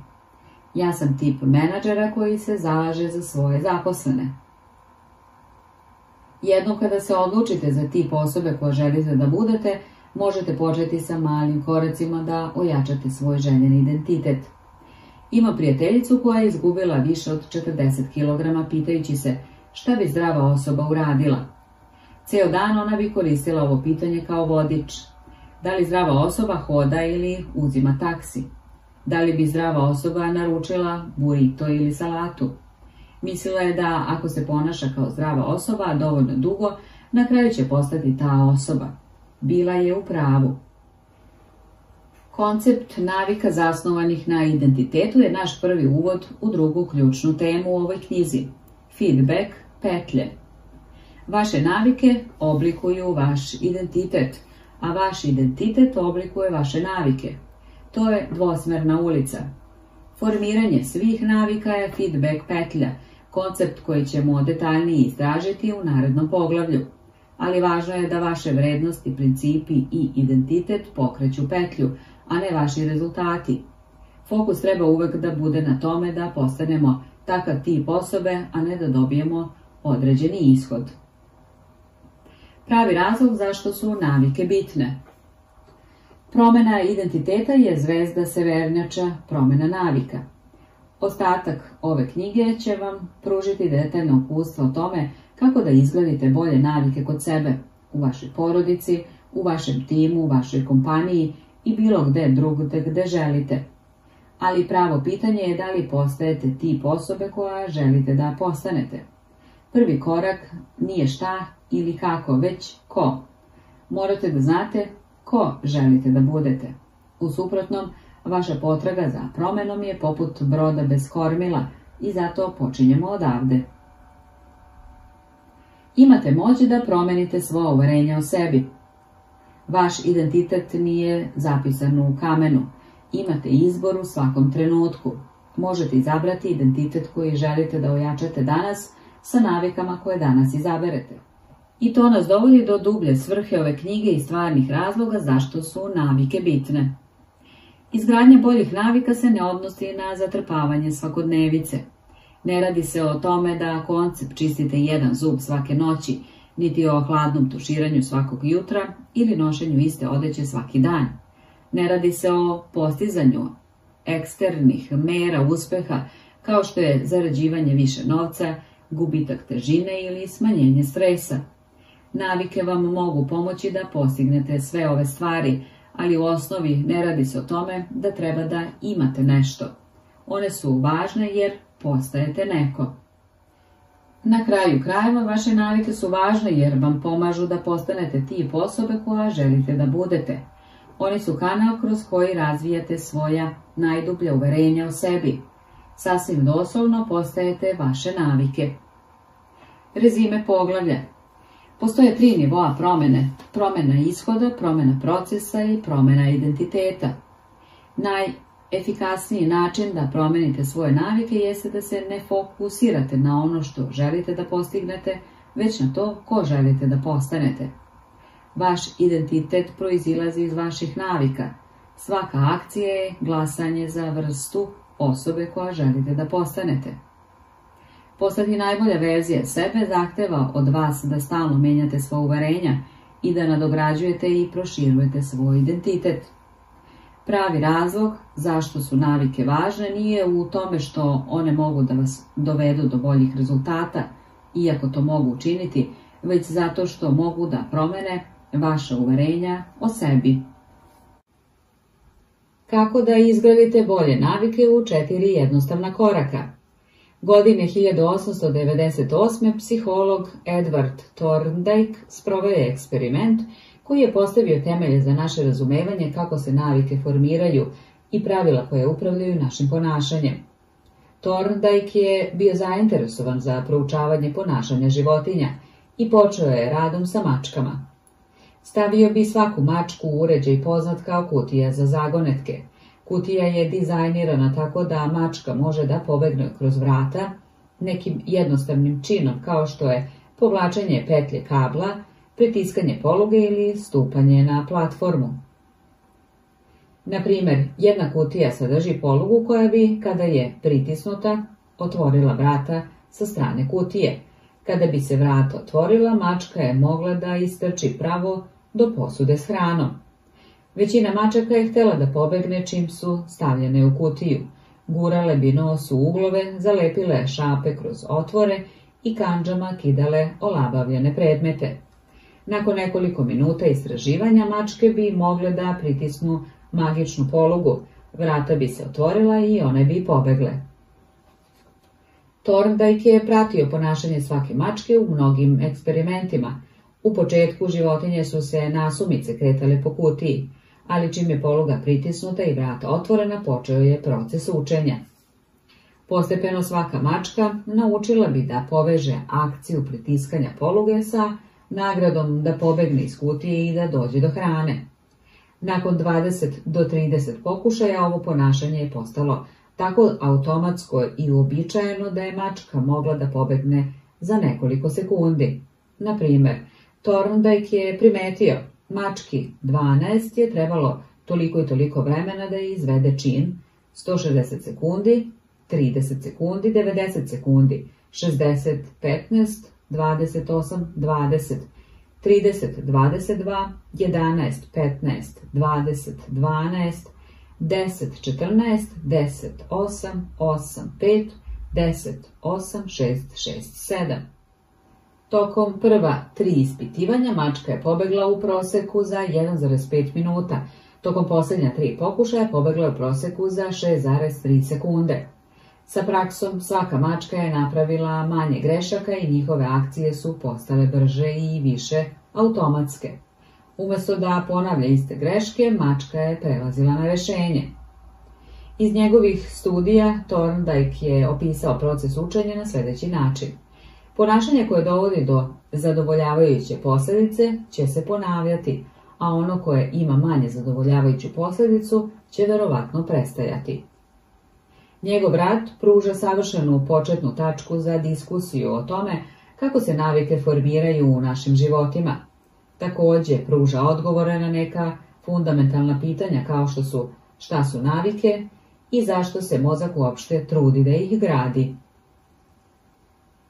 Zašto vaš mozak gradi navike? Navika je ponašanje koje se ponavlja dovoljno puta da bi postalo automatsko. Proces formiranja navika počinje pokušajima i greškama. Kad god naiđete na novu situaciju u životu, vaš mozak mora da donese odluku. Kako da odgovorim na ovo? Prvi put kada nađete na problem, niste sigurni kako da ga rešite. Kao Torndajkova mačka, samo pokušavate da vidite kako stvari funkcionišu. Neurološka aktivnost u mozgu je visoka tokom ovog perioda. Pažljivo analizirate situaciju i donosite svesne odluke o tome kako da postupite. Obrađujete tonu novih informacija i pokušavate sve to da osmislite. Mozak je zauzet učenjem najefikasnijeg načina delovanja. Povremeno, kao mačka koja pritiska polugu, najđete na rešenje.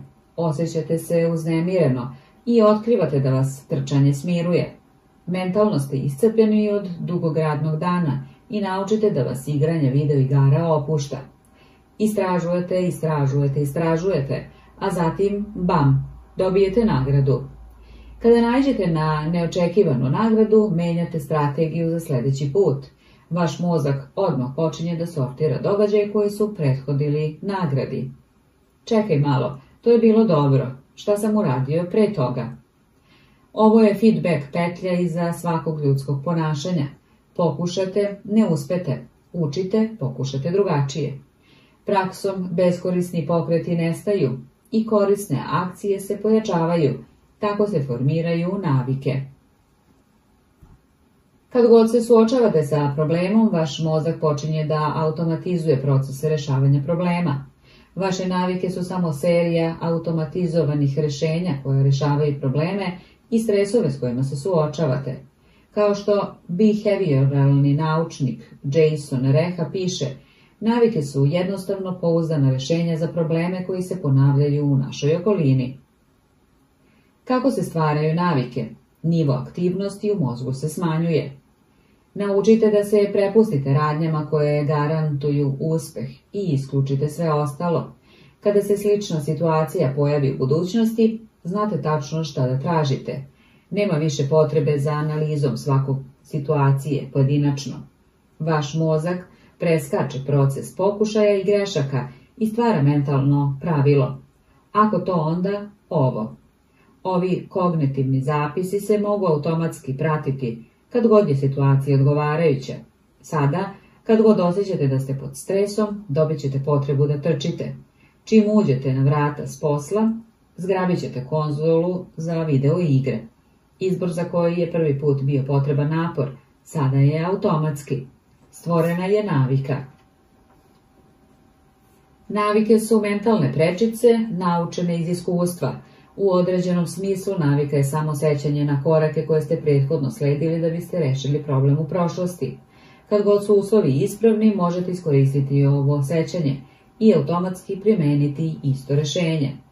Osnovni razlog zbog kog mozak pamti prošlost je da bolje predvidi šta će raditi u budućnosti. Formiranje navika je neverovatno korisno jer je svesni um usko, grlo mozga. Može da obrati pažnju samo na jedan problem. Kao rezultat toga vaš mozak uvek radi na očuvanju vaše svesne pažnje za bilo koji zadatak koji je najbitniji. Kad god je to moguće, svesni um voli da prebaci zadatke nesvesnom umu da ih uradi automatski. Upravo to se dešava kada se formira navika. Navike smanjuju kognitivno opterećenje i oslobađaju mentalne sposobnosti, tako da možete posvetiti pažnju drugim zadacima. Uprkos njihovoj efikasnosti, neki ljudi se i dalje pitaju o prednostima navika. Argument glasi ovako, da li će navike učiniti moj život dosadnim? Ne želim da se uvlačim u životni stil u kome ne uživam. Zar toliko rutine ne oduzima živost i spontanost života? Teško. Takva pitanja postavljaju lažnu dihotomiju. Ona vas nateraju da mislite da morate birati između izgradnje navika i postizanja slobode. U stvari, ova dva se međusobno dopunjuju. Navike ne ograničavaju slobodu, one je stvaraju. U stvari, ljudi koji nemaju svoje navike često su oni sa najmanje slobode. Bez dobrih finansijskih navika uvek ćete se boriti za sledeći dinar. Bez dobrih zdravstvenih navika uvek će vam se činiti da nema dovoljno energije. Bez dobrih navika u učenju osjećat ćete se kao da ste uvek na ivici. Ako ste uvek primorani da donosite odluke o jednostavnim zadacima, kada treba da radim, gde da pišem, kada plaćam račune, onda imate manje vremena za slobodu. Jedino ako olakšate osnovne životne obaveze, možete stvoriti mentalni prostor potreban za slobodno razmišljanje i kreativnost. Nasuprot tome, kada su vaše navike birane i osnove života obrađene i izvršene, vaš um je slobodan da se fokusira na nove izazove i ovlada sledećim nizom problema. Izgradnja navika u sadašnjosti vam omogućava da učinite više od onoga što želite u budućnosti. Nauka iza navike Proces izgradnje navike može se podeliti u četiri jednostavna koraka – signal, žudnja, odgovori i nagrada. Ako ih podelimo na ove osnovne delove, moći ćemo da razumemo šta su navike, kako funkcionišu i kako da ih poboljšamo. Sve navike se odvijaju kroz četiri faze istog reda, signal žudnja, odgovor i nagrada. Ovaj obrazac od četiri koraka je kičma svake navike, a vaš mozak svaki put prolazi kroz ove korake u istom redosledu. Prvo postoji signal. Signal izaziva vaš mozak da pokrene ponašanje. To su male informacije koje predviđaju nagradu. Naši preistorijski preci obraćali su pažnju na signale koji su signalizirali lokaciju primarnih nagrada, kao što su hrana, voda i seks. Danas provodimo većinu vremena učeći signale koji predviđaju sekundarne nagrade poput novca i slave, moći i statusa, pohvale i odobravanja, ljubavi i prijateljstva ili osjećaja ličnog zadovoljstva. Naravno, ove aktivnosti takođe posredno poboljšavaju naše izglede za opstanak i reprodukciju, što je dublji motiv iza svega što radimo. Vaš um kontinuirano analizira vaše unutrašnje i spoljašnje okruženje za naznake gde se nalaze nagrade. Pošto je signal prvi indikator da smo blizu nagrade, to naravno vodi ka žudnji.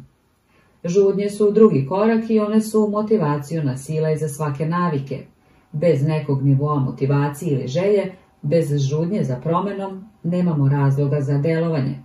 Ono što čim žudite nije sama navika, već promena stanja koju ona pruža. Ne žudite za pušenjem cigarete, već žudite za osjećajem olakšanja koje pruža. Vi niste motivisani pranjem zuba, već osjećajem čistih usta. Ne želite da uključite televizor, želite da se zabavite. Svaka žudnja je povezana sa željom da se promeni vaše unutrašnje stanje. Ovo je važna stvar koju ćemo kasnije detaljno analizirati.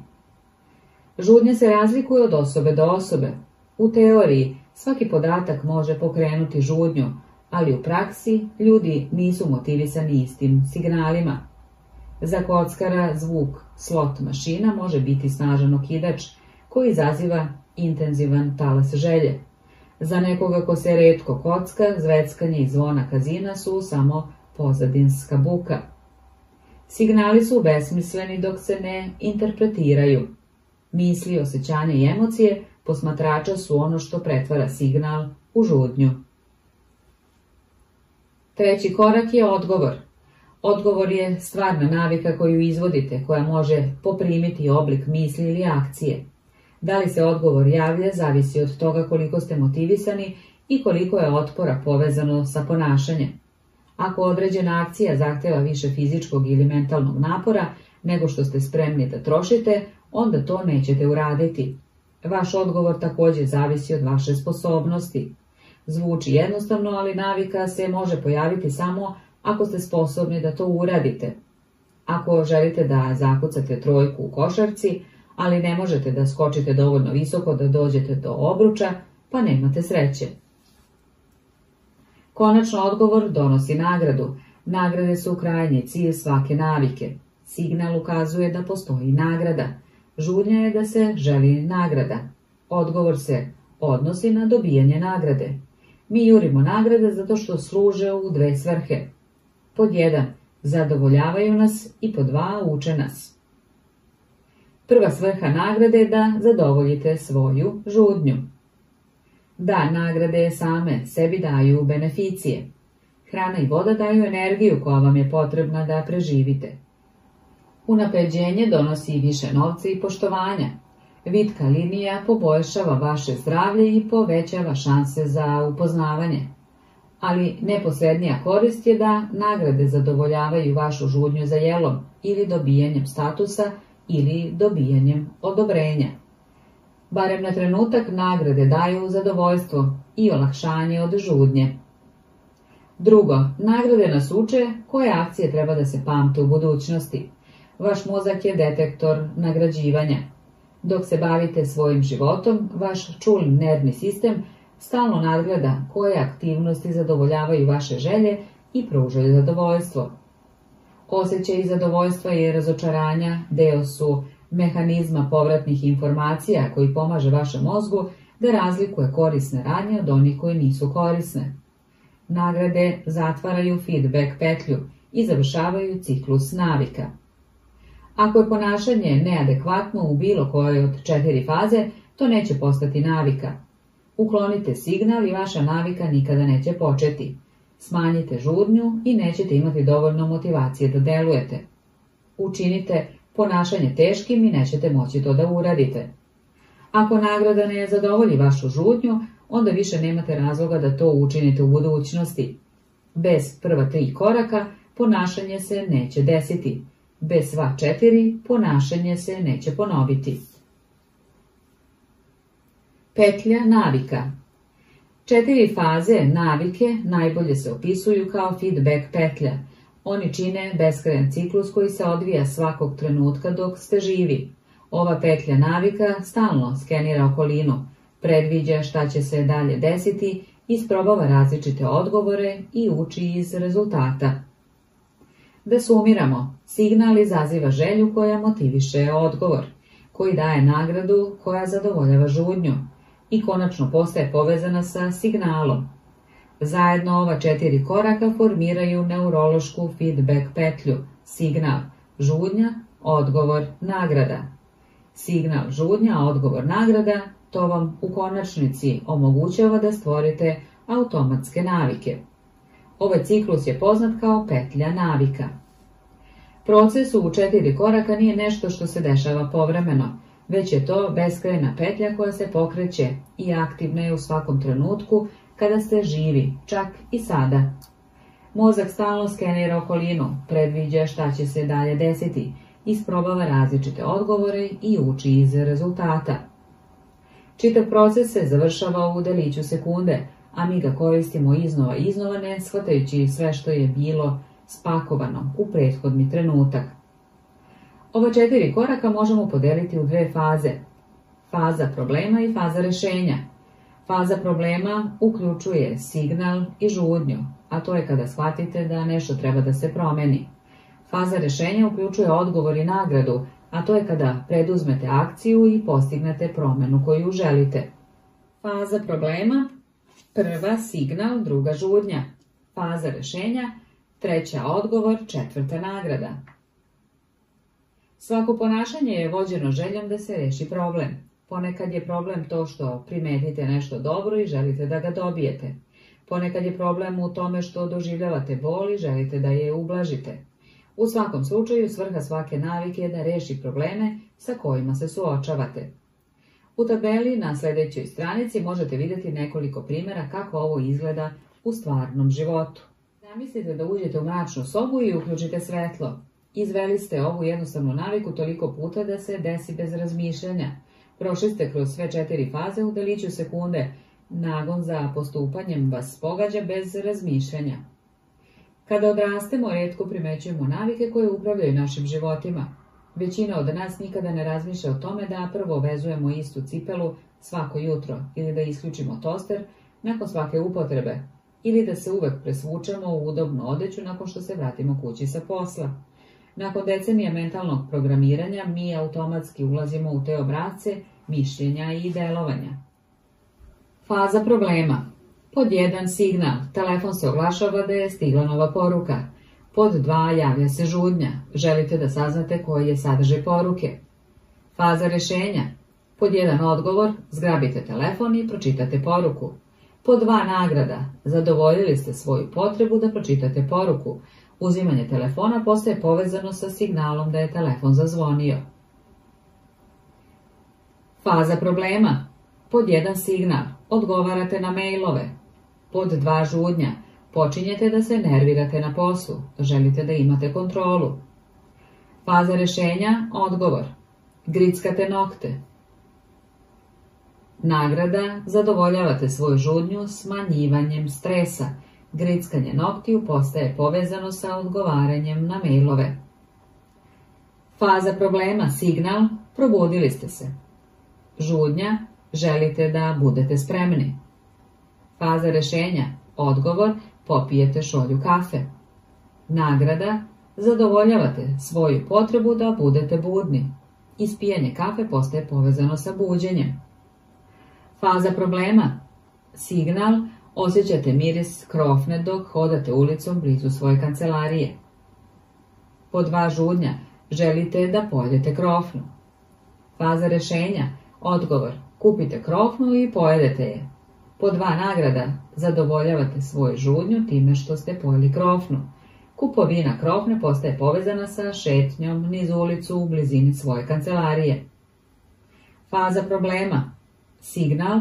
Ne išli ste na problem u projektu na poslu. Po dva žudnja. Osjećate se zaglavljeno i želite da se oslobodite frustracije. Faza rešenja. Pod jedan odgovor Izvadite telefon i proverite društvene mreže. Po dva nagrada zadovoljavate svoju potrebu da vam bude lakše. Proveravanje društvenih mreža postaje povezano sa osjećajem da ste zaglavljeni na poslu. Faza problema. Pod jedan signal. Ušli ste u mračnu prostoriju. Dva žudnja. Želite da možete da vidite. Faza rešenja. Odgovor. Upalite svetlo. Nagrada, zadovoljavate svoju potrebu da vidite. Uključivanje svetla postaje povezano sa mračnom prostorijom. Četiri zakona promene ponašanja. U narednim poglavljima uviđat ćemo kako četiri faze, signal, žudnja, odgovor i nagrada, utiču na skoro sve što radimo svaki dan, ali pre nego što to uradimo moramo da transformišemo ova četiri koraka u praktičan okvir koji možemo koristiti za dizajniranje dobrih navika i eliminisanje loših. Ja govorim o ovom okviru kao četiri zakona o promjeni ponašanja i on pruža jednostavan skup pravila za stvaranje dobrih navika i prekidanje loših. Svaki zakon možete smatrati polugom koja utiče na ljudsko ponašanje. Kada su poluge u ispravnom položaju, stvaranje dobrih navika je bez napora. Kada su na pogrešnim pozicijama, to je gotovo nemoguće. Kako da stvorite dobre navike? Prvi zakon signal. Neka bude očigledno. Drugi zakon žudnja. Neka bude privlačno. Treći zakon odgovor. Neka bude lako. Četvrti zakon nagrada. Neka bude zadovoljavajuće. Možemo da preokrenemo ove zakone da bismo naučili kako da prekinemo loše navike. Kako da prekinete loše navike? Inverzija prvog zakona signal neka bude nevidljivo. Inverzija drugog zakona žudnja neka bude neprivlačno. Inverzija trećeg zakona odgovor neka bude teško. Inverzija četvrtog zakona nagrada neka bude nezadovoljavajuće. Bilo bi neodgovorno da tvrdim da su ova četiri zakona detaljni okvir za promjenu bilo kog ljudskog ponašanja, ali mislim da su veoma blizu toga. Kao što ćete uskoro vidjeti, četiri zakona promjene ponašanja odnose se na skoro svako polje, od sporta do politike, umetnosti do medicine, komedije do menadžmenta. Ovi zakoni se mogu koristiti bez obzira na izazov sa kojim se suočavate. Nema potrebe za potpuno različitim strategijama za svaku naviku. Kad god želite da promijenite svoje ponašanje, možete se jednostavno zapitati. Pod 1. Kako mogu to učiniti očiglednim? Pod 2. Kako može da bude atraktivno? Pod 3. Kako mogu da olakšam? I pod 4. Kako mogu da budem zadovoljan, zadovoljna? Ako ste se ikada zapitali zašto ja ne radim ono što kažem da ću uraditi, zašto ne izgubim težinu ili ne prestanem da pušim ili ne uštedim za penziju i počnem ili počnem privatni biznis. Zašto kažem da je nešto važno, ali nikada nemam vremena za to? Odgovori na ta pitanja mogu se naći negde u ova četiri zakona. Ključ za stvaranje dobrih navika i razbijanje loših je razumevanje ovih osnovnih zakona i kako ih promeniti u skladu sa vašim odlikama. Svaki cilj je osuđen na propast ako se suprotstavi ljudskoj prirodi. Vaše navike oblikuju sistemi u vašem životu. U poglavljima koja slede mi ćemo raspravljati o ovim zakonima jedan po jedan i pokazati kako ih možete koristiti za stvaranje sistema u kojem se navike pojavljuju prirodno i loše, navike nestaju. Rezime poglavlja Navika je ponašanje koje se ponavlja dovoljno puta da postane automatsko. Konačna svrha navika je rješavanje životnih problema sa što manje energije i truda. Svaka navika se može podeliti u feedback petlju koja uključuje četiri koraka, signal žudnja, odgovor i nagrada. Četiri zakona o promjeni ponašanja su jednostavan skup pravila koje možemo koristiti za izgradnju boljih navika. Oni su pod jedan neka bude očigledno, pod dva neka bude privlačno, tri neka bude lako i četiri neka bude zadovoljavajuće. Prvi zakon neka bude očigledno. Čovjek koji nije izgledao dobro. Psiholog Gary Klein bio je jednom ispričao priču o ženi koja je prisustvovala porodičnom okupljanju. Provela je godine radeći kao bolničar i po dolasku na događaj pogledala je jedanput njenog svekra i veoma se zabrinula. Ne sviđa mi se kako izgledaš, reče ona. Njen svekar koji se osjećao savršeno dobro u šali odgovorio, pa ni meni se ne sviđa kako ti izgledaš. Ne, insistirala je, sada moraš da odeš u bolnicu.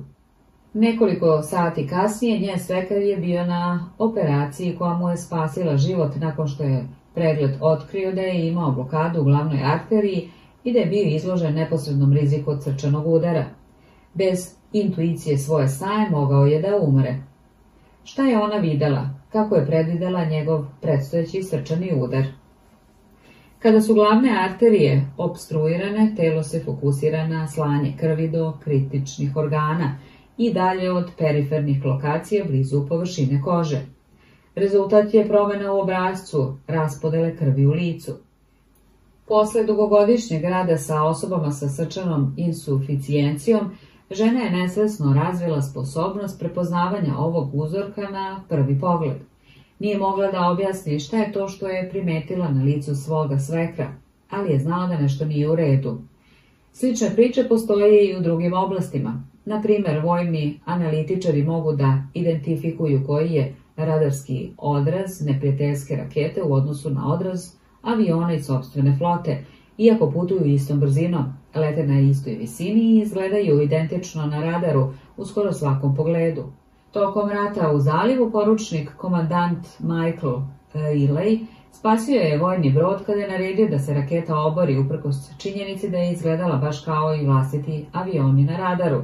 Doneo ispravnu odluku, ali čak ni njegovi nadređeni nisu mogli da objasne kako je to učinio. Kustosi muzeja poznati su po tome što razlikuju autentično umetničko delo i stručno proizvedeni falsifikat, iako vam ne mogu tačno reći koji su ih detalji odali. Iskusni radiolozi mogu pregledati skeniranje mozga i predvideti područje u kojem će se razviti moždani udar pre nego što se očigledni signali vide neobučenoj osobi. Čuo sam čak i da su frizeri primetili da li je klijentica trudna samo na osnovu osjećaja njene kose pod prstima. Ljudski mozak je mašina za predviđanje, neprekidno pregleda vaše okruženje, analizira informacije na koje naiđe. Uvek kada nešto iskusite kao bolničar koji vidi lice pacijenta sa srčanim udarom ili vojni analitičar koji vidi raketu na radarskom ekranu, vaš mozak počinje da primećuje šta je važno, sortirajući detalje i naglašavajući relevantne signale i katalogizujući te informacije za buduću upotrebu. Uz dovoljno prakse možete se upoznati sa signalima koji predviđaju određene ishode, a da ne razmišljate svesno o tome. Automatski vaš mozak kodira lekcije naučene kroz iskustvo. Ne možemo uvek da objasnimo šta je to što učimo, ali učenje se odvija celim putem, a vaša sposobnost da primetite relevantne signale u datoj situaciji je osnova za svaku naviku koju imate. Podcenjujemo koliko naši mozgovi i tela mogu da funkcionišu bez razmišljanja. Ne govorite vašoj kosi da raste, da vam srce pumpa, da vam pluća dišu ili da se vaša želudac vari. A ipak vaše telo sve ovo i više od toga radi na autopilotu. Vi ste mnogo više od svog svesnog sebe. Razmislite o gladi. Kako znate kada ste gladni? Ne morate obavezno da vidite kolačić na stolu da biste shvatili da je vreme za jelo. Apetit i glad se upravljaju nesvesno. Vaše telo ima različite feedback petlje koje vas postepeno upozoravaju kada je vreme da ponovo jedete i da pratite šta se dešava oko vas i unutar vas. Žudnje mogu nastati zahvaljujući hormonima i hemikalijama koje cirkulišu kroz vaše telo. Iznenada gladni ste iako niste sasvim sigurni šta vas je navelo na to. Ovo je jedan od najneverovatnijih uvida u naše navike. Ne morate da budete svesni početka navike. Možete primetiti priliku i preduzeti akciju bez posvećivanja svesne pažnje tome. To je ono što navike čini korisnim. To je ono što ih čini i opasnim. Kako se navike formiraju, vaše akcije postaju automatske i dešavaju se pod upravom nesvesnog uma. Upadate u stare obrazce pre nego što shvatite šta se dešava. Ako vam neko to ne ukaže, možda nećete primetiti da pokrivate usta rukom kad god se smejete, da se izvinjavate pre nego što postavite pitanje, ili da imate naviku da završavate tuđe iskaze. I što više ponavljate ove obrazce, manja je verovatnoća da ćete doći do pitanja o tome šta radite i zašto to radite. Jednu sam čuo za prodavca koji je dobio instrukcije da iseče prazne poklon kartice nakon što su kupci iskoristili saldo na kartici. Jednog dana službenik je unovčio poklon karticu nekoliko klijenata u nizu koji su obavili kupovinu. Kada je sljedeća osoba došla na red, službenik je obrisao kreditnu karticu mušterije, podigao makaze, a onda je presekao na pola, u potpunosti na autopilotu, pre nego što je pogledao zapanjenog klijenta i shvatio šta se upravo dogodilo. Druga žena na koju sam naišao u svom istraživanju je nekadašnja vaspitačica u predškolskom, koja je prešla na posao u korporaciju. Iako je sada radila sa odraslima, njene stare navike bi se probijele i stalno je pitala saradnike da li su oprali ruke nakon odlaska u kupatilo. Pronašao sam i priču o čoveku koji je godinama radio kao spasilac i povremeno bi viknuo hodaj, kad god bi video dete kako trči. Vremenom signali koji izazivaju vaš naše navike postaju tako česti da su u suštini nevidljivi. Poslastice na kuhinskom pultu, daljinski upravljač pored kauča, telefon u džepu. Naši odgovori na ove signale su tako duboko kodirani da se može osjećati kao da nagon za delovanje dolazi nijotkuda. Iz tog razloga moramo početi svesni proces promene ponašanja. Pre nego što možemo efikasno izgraditi nove navike, moramo se upatiti u koštac sa našim trenutnim. Ovo može biti izazovnije nego što zvuči, jer jednom kada je navika čvrsto ukorenjena u vašem životu, ona je uglavnom nesvesna i automatska. Ako navika ostane bez svesnog nadzora, ne možete očekivati da ćete je poboljšati. Kao što je psiholog Carl Jung rekao, dok ne osvestite podsvesno, ono će upravljati vašim životom, a vi ćete ga zvati sudbinom. Rezultati navika Japanski železnički sistem se smatra jednim od najboljih na svetu. Ako se ikada nađete u vožnji vozom u Tokiju, primetit ćete da kondukteri imaju neobičnu naviku. Kako svaki mašinovođa upravlja vozom, oni sprovode ritual ukazivanja na različite objekte i uzvikujući. Kada voz prilazi semaforu, mašinovođa će pokazati na njega i reći svetlo je zeleno. Dok voz ulazi i izlazi iz svake stanice, mašinovođa će pokazati na brzinomer i izreći tačnu brzinu. Kada dođe vreme da krene, operator će pokazati na raspored i navesti vreme. Na platformi drugi zaposleni obavljaju slične akcije. Pre nego što svaki voz ode, članovi osoblja će pokazati duž ivice platforme i izjaviti sve je čisto. Svaki detalj je identifikovan, istaknut i izrečen naglas. Ovaj proces poznat kao pokazivanje i vikanje je sigurnosni sistem osmišljen da umanji greške. Izgleda glupo, ali radi neverovatno dobro. Pokazivanje i vikanje smanjuje greške do 85% i smanjuje nesreće za 30%. Sistem metroa MTA u Njujorku usvojio je modifikovanu verziju koja obuhvata samo pokazivanje i u roku od dve godine implementacije incidenti pogrešno preusmerenih koloseka u podzemnoj železnici opali su 57%. Pokazivanje i vikanje je toliko delotvorno jer podiže nivo svesnosti od nesvesne navike do svesnijeg nivoa. Zato što vozači moraju da koriste svoje oči, ruke, usta i uši, verovatnije je da će primetiti probleme pre nego što nešto krene naopako. Moja žena radi nešto slično. Kad god se pripremamo da krenemo na put, ona naglas nabraja najvažnije stavke u svojoj listi pakovanja. Imam ključeve, imam novčanik, imam naočare, imam svog muža.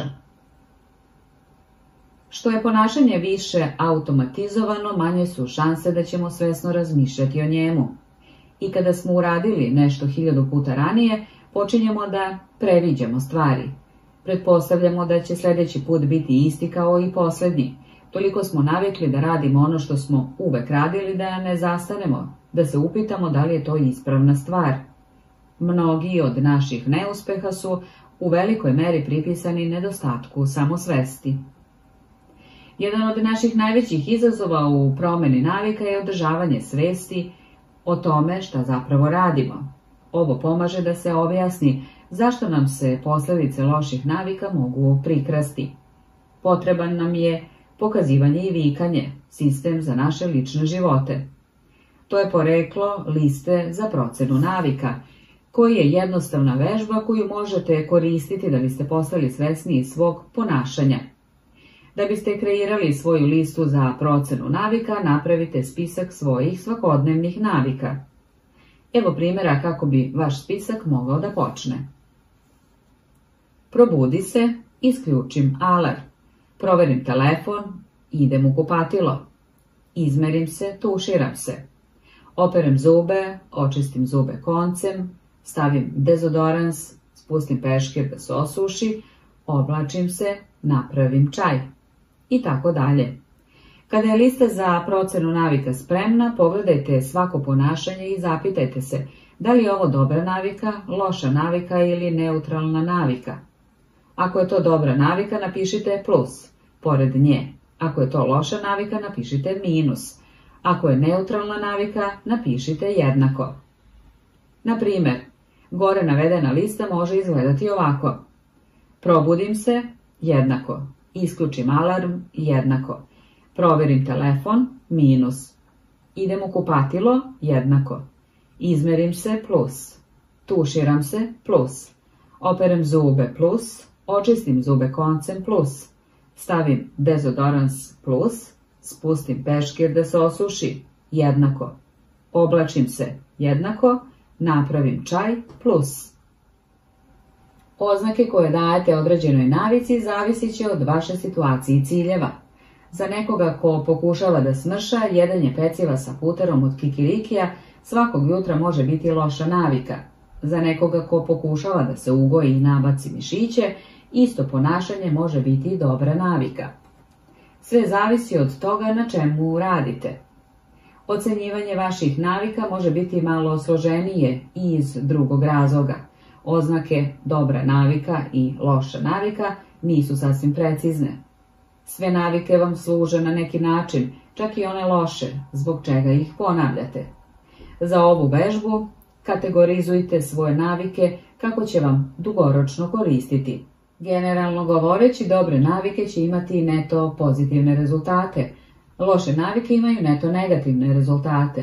Pušenje cigarete može smanjiti stres upravo sada, tako vam služi, ali to nije zdravo dugoročno ponašanje. Ako još uvijek imate problem da odredite kako da ocenite određenu naviku, evo pitanja koje volim da koristim. Da li mi ovo ponašanje pomaže da postanem tip osobe koju, koja želim da budem? Da li ova navika glasa za ili protiv mog željenog identiteta? Navike koje jačaju vaš željeni identitet su obično dobre. Navike koje su u sukobu sa željenim identitetom su obično loše. Kada kreirate svoju listu za procenu navika, nema potrebe da promenite ništa na početku. Cilj je da jednostavno primetite šta se zapravo dešava. Posmatrite svoje misli i postupke bez prosuđivanja ili unutrašnje kritike. Ne krivite sebe za svoje greške. Nemojte se hvaliti za svoje uspehe. Ako pojedete štanglu čokolade svakog jutra, potvrdite to gotovo kao da gledate nekog drugog. O, kako je zanimljivo što tako nešto rade. Ako jedete celu čokoladu, samo primetite da jedete više kalorija nego što bi trebalo.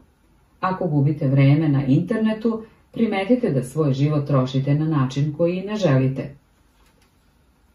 Prvi korak ka promjeni loših navika je da ih potražite. Ako se osjećate kao da vam je potrebna dodatna pomoć, možete pokušati da pokažete i vičete u svom životu. Izgovorite glasno akciju koju razmišljate da preduzmete i kakav će biti ishod. Ako želite da smanjite unos nezdrave hrane, a primetite da ste dohvatili još jedan kolač, recite naglas idem da pojedem ovaj kolač, ali mi ne treba. Konzumiranje će uzrokovati da dobijem na težini i oštetim svoje zdravlje. Kada čujete svoje loše navike izgovorene naglas, učinit će posljedice takvog delovanja stvarnijim. To dodaje težinu akcije, umjesto da dopustite sebi da bezumno skliznete u staru rutinu. Ovaj pristup je koristan čak i ako jednostavno pokušavate da zapamtite zadatak na svojoj listi zadataka, samo izgovarajući glasno Sutra moram da idem u poštu posle ručka, povećava šanse da ćete to zaista i uraditi. Sebe dovodite u situaciju da pridajete značaj potrebi za tom akcijom i to može napraviti veliku razliku. Proces promjena ponašanja uvek počinje sa svesnošću.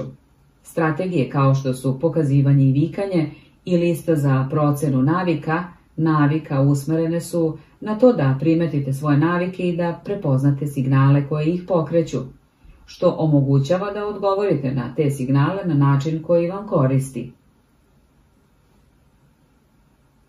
Rezime poglavlja.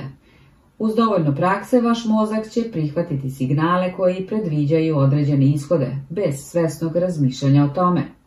Kada naše navike postanu automatske, prestajemo da obraćamo pažnju na ono što radimo. Proces promene ponašanja uvek počinje sa svesnošću. Morate biti svesni svojih navika pre nego što možete da ih promenite.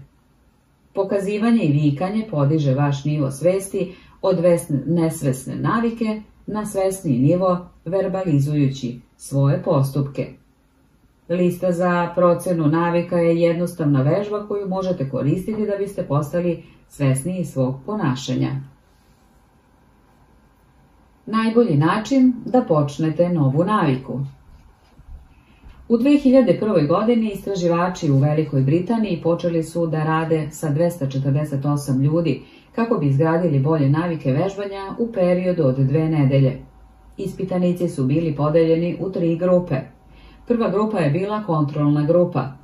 Od njih se jednostavno tražilo da prate koliko su često vežbali. Druga grupa je bila motivisana grupa. Od njih se tražilo ne samo da prate svoje treninge, već i da pročitaju neke materijale o prednostima vežbanja. Istraživači su također objasnili grupi kako bi vežbanje moglo da smanji rizik od srčanih oboljenja i da poboljša zdravlje srca. Konačno postojala je i treća grupa. Ovi ispitanici su dobili istu prezentaciju kao i druga grupa, što je osiguralo da imaju jednak nivo motivacije. Međutim, od njih je također traženo da formulišu plan kada i gde će se vežbati tokom sljedeće nedelje. Naime, svaki član treće grupe ispunio je sljedeću izjavu. Tokom naredne sedmice ja ću učestvovati u najmanje 20 minuta snažnog vežbanja na dan, u vreme, u mesto. U prvoj i drugoj grupi 35 do 38% ljudi je vežbalo barem jednom sedmično. Interesantno je da motivaciona prezentacija data drugoj grupi nije imala značajnog utjecaja na ponašanje. Međutim, 91% treće grupe je vežbalo barem jednom sedmično, više nego dvostruko od normalne stope. Rečenica koju oni popunjavaju je ono što istraživači nazivaju implementacijom namere, što je zapravo plan koji ste napravili unapred o tome kada i gde da delujete to jest kako nameravate da primenite određenu naviku. Signali koji mogu izazvati naviku dolaze u širokom rasponu oblika, osjećaj da telefon vibrira u džepu, miris čokoladnih kolača, zvuk sirena hitne pomoći, ali dva najčešća signala su vreme i lokacija. Implementacija namere oslanja se na oba ova signala, Generalno govoreći format za kreiranje implementacije namere je kada se pojavi situacija X, uradit ću odgovor Y. Stotine studija su pokazale da je implementacija namere efikasna za ostajanje pri svojim ciljevima, bilo da se radi o zapisivanju tačnog vremena i datuma kada ćete dobiti vakcinu protiv gripa ili beleženje vremena vaše kolonoskopije. Ona povećava izgleda da će se ljudi držati navika kao što su recikliranje, učenje, rano spavanje i prestanak pušenja. Istraživači su čak utvrdili da odziv birača raste kada su ljudi prisiljeni da kreiraju namere za sprovođenje, tako što će odgovoriti na pitanja kao što su kojim putem ćete otići na biračko mesto, u koje vreme planirate da idete, koji će vas autobus dovesti tamo, Drugi uspešni vladini programi naveli su građane da naprave jasan plan za plaćanje poreza na vreme ili davanje uputstva o tome kada i gde da plate saobraćajne kazne. Poenta je jasna. Ljudi koji prave specifičan plan kada i gde će obaviti novu naviku, verovatnije će isprovesti u delo. Previše ljudi se trudi da promeni svoje navike bez ovih osnovnih detalja. Mi sami sebi kažemo, hranit ću se zdravije, ili pisat ću više, ali nikada ne kažemo kada i gde će se te navike desiti.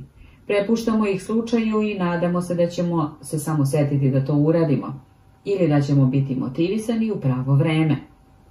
Implementacija namere briše zamagljene pojmove poput želim da radim više ili želim da budem produktivnija ili treba da glasam i pretvara ih u konkretan plan akcije.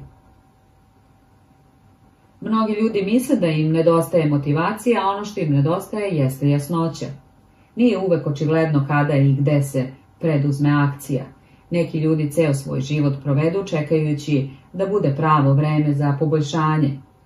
Kada je implementacija namere postavljena, ne morate čekati inspiraciju za delovanje. Da li danas pišem poglavlje ili ne? Da li da meditiram ujutro ili popodne? Kada se dogodi trenutak akcije, nema potrebe da se donosi odluka, jednostavno sledite svoj unapred određeni plan. Jednostavan način da primenite ovu strategiju na vaše navike jeste da popunite ovu rečenicu. Ja ću ponašanje u vreme u mesto. Meditacija, meditirat ću jedan minut u sedam ujutru u kuhinji. Studiranje, učit ću španski 20 minuta u 18 sati u mojoj spavaćoj sobi. Vežba, vežbat ću jedan sat u 17 sati u mojoj obližnjoj teretani. Brak, spremit ću svom partneru šolju čaja u 8 ujutru u kuhinji. Ako niste sigurni kada da počnete sa formiranjem navika, pokušajte prvi dan u sedmici, mesecu ili godini. Ljudi imaju veću verovatnoću da preduzmu akciju u to vreme jer je nada obično veća. Ako imamo nadu, imamo razlog da preduzmemo akciju. Sveži početak deluje motivišuće. Postoji još jedna korist od implementacije namere. Biti specifičan u vezi sa onim što želite i kako ćete postići vam pomaže da kažete ne stvarima koje ometaju napredak, odvraćaju vašu pažnju i vuku vas sa kursa. Često kažemo da malim zahtevima, jer nismo dovoljno jasni o tome šta treba da radimo umesto toga. Kada su vaši snovi nejasni, lako je racionalizirati mali izuzetke celog dana i nikada se ne približiti specifičnim stvarima koje trebate da učinite da biste uspeli. Dajte svojim navikama vreme i prostor za život u svetu. Cilj je da vreme i mesto budu toliko očigledni da uz dovoljno ponavljanja dobijete potrebu da uradite pravu stvar u pravo vreme, čak i ako ne možete reći zašto. Kao što je pisac Jason Zweig napomenuo, očigledno nikada nećete vežbati, a da o tome svesno mislite. Ali kao pas koji balavi na zvono za večeru, možda ćete se postati nestrpljivi u periodu kada obično vežbate. Postoji mnogo načina da se implementacija namere koristi u vašem životu i radu. Moj omiljeni pristup je onaj koji sam naučio od profesora Stanforda Fogga i to je strategija koju nazivam slaganje navika. Slaganje navika je jednostavni plan za remont vaših navika.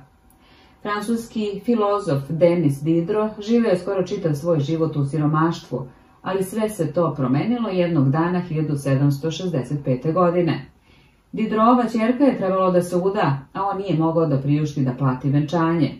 Uprkos nedostatku bogatstva, Didro je bio poznat po svojoj ulozi sa suosnivača i pisca enciklopedije, jedne od najsveubuhvatnijih enciklopedija tog vremena. Kada je Katarina Velika, carica Rusije, čula za Didrove finansijske nevolje, sažalila se na njega. Obožavala je knjige i veoma uživala u njegovoj enciklopediji. Ponudila je da kupi Didrovu ličnu biblioteku za 1000 funti, više od 150.000 dolara danas. Odjednom Didro je imao novca, svojim novim bogatstvom ne samo da je platio venčanje, već je i sebi nabavio crveni ogrtač. Didrov crveni ogrtač je bio predivan, tako lep u stvari da je odmah primetio da odskače kada je bio okružen svojim uobičajenim stvarima. On je napisao da između njegove elegantne odore i ostatka stvari nema više koordinacije, nema više jedinstva, nema više lepote. Didro je uskoro osjetio potrebu da poboljša svoju imovinu. Zamenio je svoj tepih jednim iz Damaska. Svoj dom je ukrasio skupim skulpturama. Kupio je ogledalo koje je stavio iznad kamina i bolji kuhinski sto. Odbacio je svoju staru fotelju i nabavio kožnu. Poput pada domina, jedna kupovina je dovela do sledeće. Didrovo ponašanje nije neuobičajeno. U stvari, tendencija da jedna kupovina vodi druge ima ime. Didrov efekat. Didrov efekat kaže da dobijanje novih stvari često stvara spiralu potrošnje koja dovodi do dodatnih kupovina. Možete primetiti i ovaj obrazac svuda. Kupujete haljinu i morate da nabavite nove cipele i minđuše. Kupujete kauč i odjednom preispitujete raspored čitave dnevne sobe. Kupujete igračku za svoje dete i uskoro ćete kupiti sve dodatke koji idu uz njega. To je lančana reakcija kupovine. Mnoga ljudska ponašanja prate ovaj ciklus. Često odlučujete šta ćete uraditi na osnovu onoga što ste upravo završili. Odlazak u kupatilo dovodi do pranja i sušanja vaših ruku, što vas podsjeća da morate da stavite prljavi peškir u veš za pranje, pa ćete dodati deterđent za vešu u popis za kupovinu i tako dalje. Nijedno ponašanje se ne dešava u izolaciji. Svaka akcija postaje znak koji pokreće sljedeće ponašanje. Zašto je ovo bitno? Kada je u pitanju izgradnja novih navika možete koristiti povezanost ponašanja u svoju korist. Jedan od najboljih načina da izgradite novu naviku jeste da identifikujete trenutnu naviku koju već radite svaki dan, a zatim postavite novo ponašanje na vrh. To se zove slaganje navika. Slaganje navika je poseban oblik implementacije namere. Umjesto uparivanja vaše nove navike sa određenim vremenom i lokacijom, uparite je sa trenutnom navikom. Ovaj metod koji je kreirao BG Fog kao deo svog programa Tiny Habits mikro navike može se koristiti za dizajniranje očiglednog signala za skoro svaku naviku. Formula za slaganje navika je nakon, pa u zagradi trenutna navika, ja ću, u zagradi nova navika. Na primjer, meditacija, nakon što svakog jutra sipam kafu, meditirat ću jedan minut. Vežba, nakon što izujem cipele za posao, odmah ću se presvući u odeću za trening. Zahvalnost. Kada sednem da večeram, reći ću jednu stvar koju sam zahvalan ili zahvalna za to što se danas dogodilo. Brak. Nakon što uđem u krevet noću, poljubit ću partnera. Bezbednost.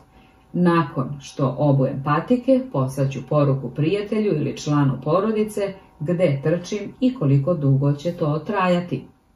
Poenta je da povežete svoje željeno ponašanje sa nečim što već radite svaki dan. Jednom kada ovladate ovom osnovnom strukturom, možete početi da stvarate veće lance tako što ćete povezati male navike zajedno. Slaganje navika Prva navika, navika 1, signal žudnja, odgovor nagrada koja nastavlja, vezuje se sa drugom navikom, signal žudnja, odgovor nagrada, koja nastavlja, povezuje se sa trećom navikom, signal žudnja, odgovor nagrada i povezuje se sa četvrtom navikom, signal žudnja, odgovor navika i tako dalje.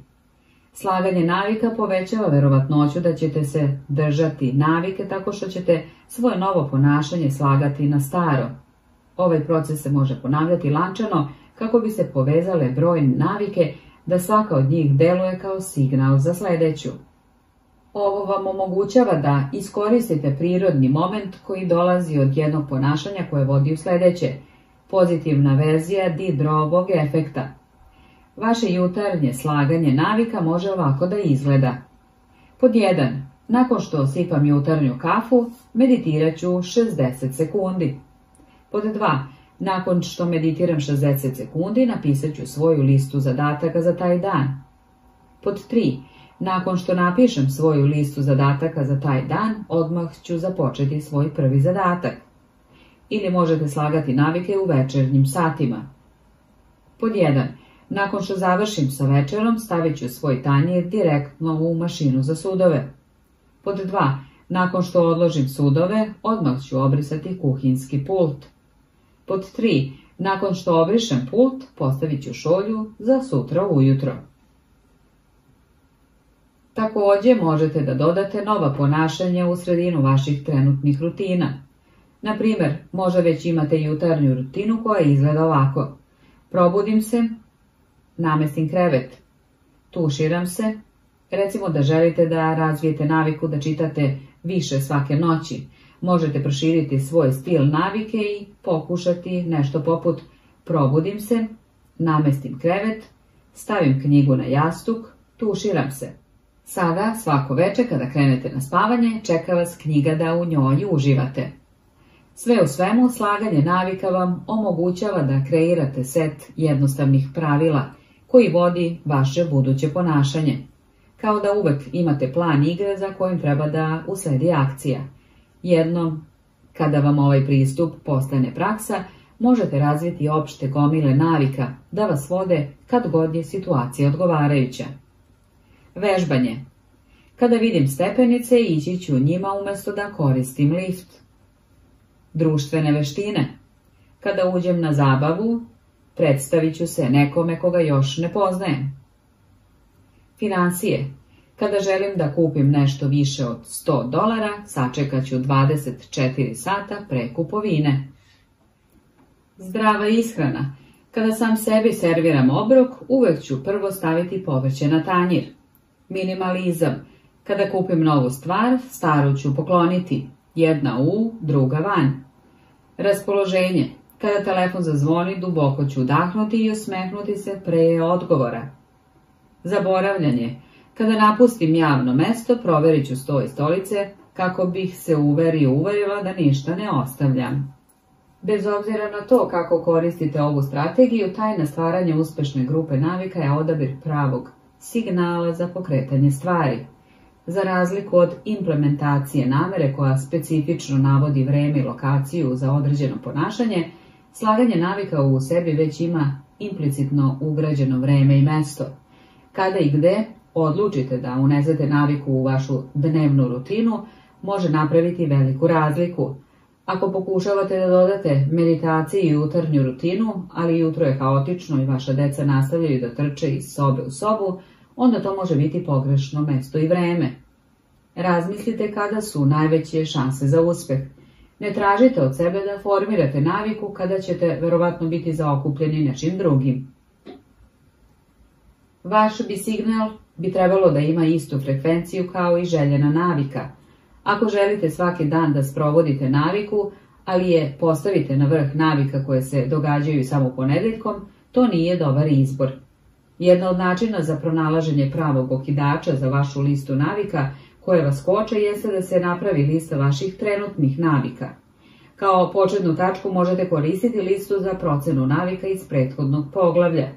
Alternativno možete napraviti listu sa dve kolone. U prvoj zapišite navike koje svakodnevno radite. Na primjer, ustajem iz kreveta, tuširam se, perem zube, oblačim se, kuvam kafu, doručkujem, vodim decu u školu, počinjem radni dan, ručam, završavam radni dan, preslačim se u udobnu odeću, večeram, gasim svetlo i idem na spavanje. Vaša lista može da bude mnogo duža, ali jasna vam je ideja. U drugoj koloni napišite sve stvari koje vam se dešavaju svaki dan zagarantovano. Na primjer, sunce izlazi, dobijete tekstualnu poruku, završava se pesma koju slušate, sunce zalazi. Naoružani ovim dvema listama možete početi da tražite najbolje mesto za unošenje nove navike u vaš životni stil. Slaganje navika najbolje funkcioniše kada je signal vrlo specifičan i odmah delotvoran. Mnogi ljudi biraju signale koji su previše nejasni i ja sam napravio ovu grešku. Kada sam želeo da pokrenem naviku da radim sklekove, moja navika je bila kada napravim pauzu za ručak, uradit ću 10 sklekova. Na prvi pogled ovo je zvučalo razumno, ali uskoro sam shvatio da okidač nije jasan. Da li bih uradio svoje sklekove pre nego što bih pojeo ručak? Nakon što sam pojeo ručak, gde da ih uradim? Posle nekoliko nedosadnih dana promenio sam svoju naviku. Kada zatvorim laptop za ručak, uradit ću deset sklekova pored stola. Navike kao što su čitati više ili bolje jesti su dostojni poduhvati, ali ti ciljevi ne pružaju instrukcije o tome kako i kada treba delovati. Budite konkretni i jasni. Nakon što zatvorim vrata, nakon što operem zube, nakon što sednem za sto. Preciznost je važna. Što je vaša nova navika čvršće vezana za određeni signal, to su veće šanse da ćete delati kada dođe vreme. Prvi zakon o promjeni ponašanja je da bude očigledno.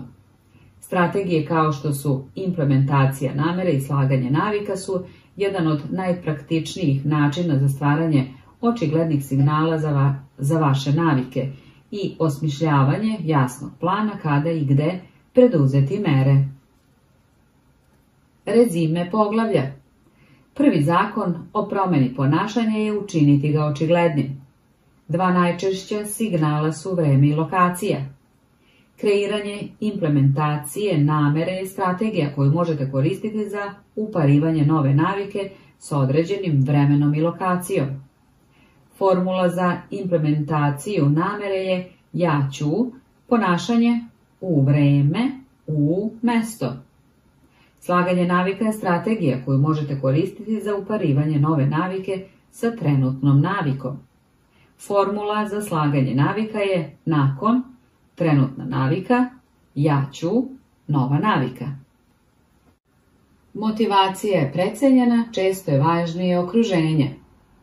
Ann Thorndike, lekar opšte prakse u bolnici Massachusetts u Bostonu, imala je ludu ideju. Verovala je da može da poboljša navike u ishrani hiljada bolničkog osoblja i posetilaca bez promene njihove volje ili motivacije ni na jedan način. U stvari, nije uopšte planirala da razgovara sa njima. Thorndike i njene kolege osmislile su šestomesečnu studiju kojom bi se promenila arhitektura izbora bolničke kafeterije. Počele su tako što su menjali raspored pića u prostoriji.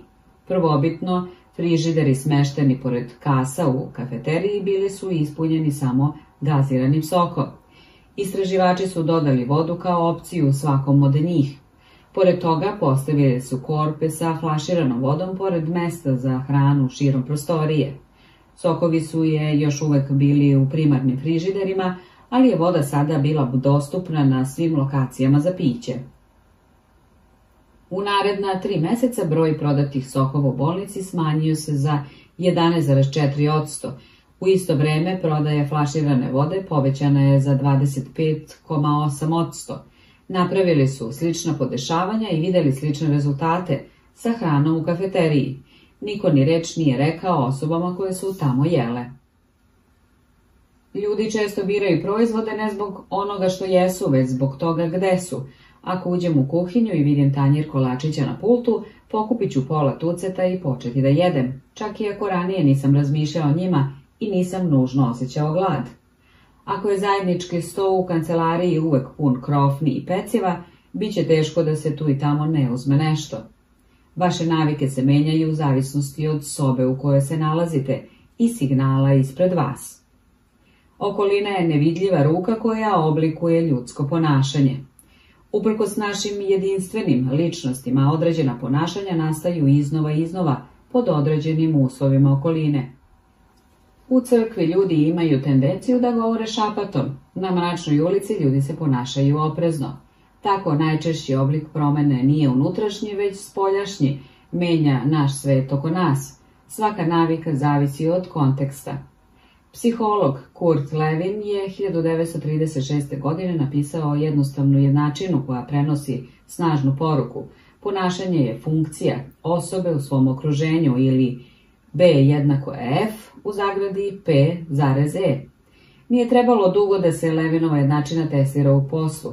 Godine 1952. ekonomista Hawkins Stern opisao je fenomen koji je nazvao impulsivna kupovina pod sugestijom, koji se pokreće kada kupac prvi put vidi proizvod i vizualizuje potrebu za njim.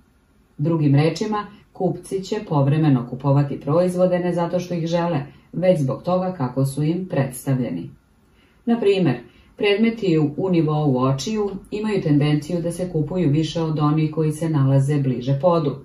Iz tog razloga naći ćete skupe brendove na lako dostupnim lokacijama, na policama prodavnica, jer one donose najviše profita, dok su jeftinije alternative skrivene na teže dostupnim mestima.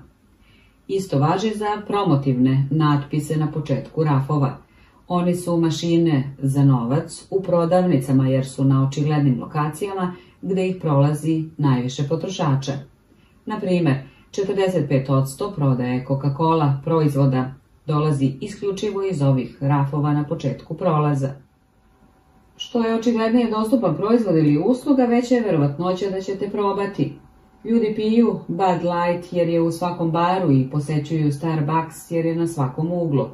Mi volimo da mislimo da imamo kontrolu. Ako izaberemo vodu umjesto gaziranog soka, pretpostavljamo da je to zato što smo to želeli.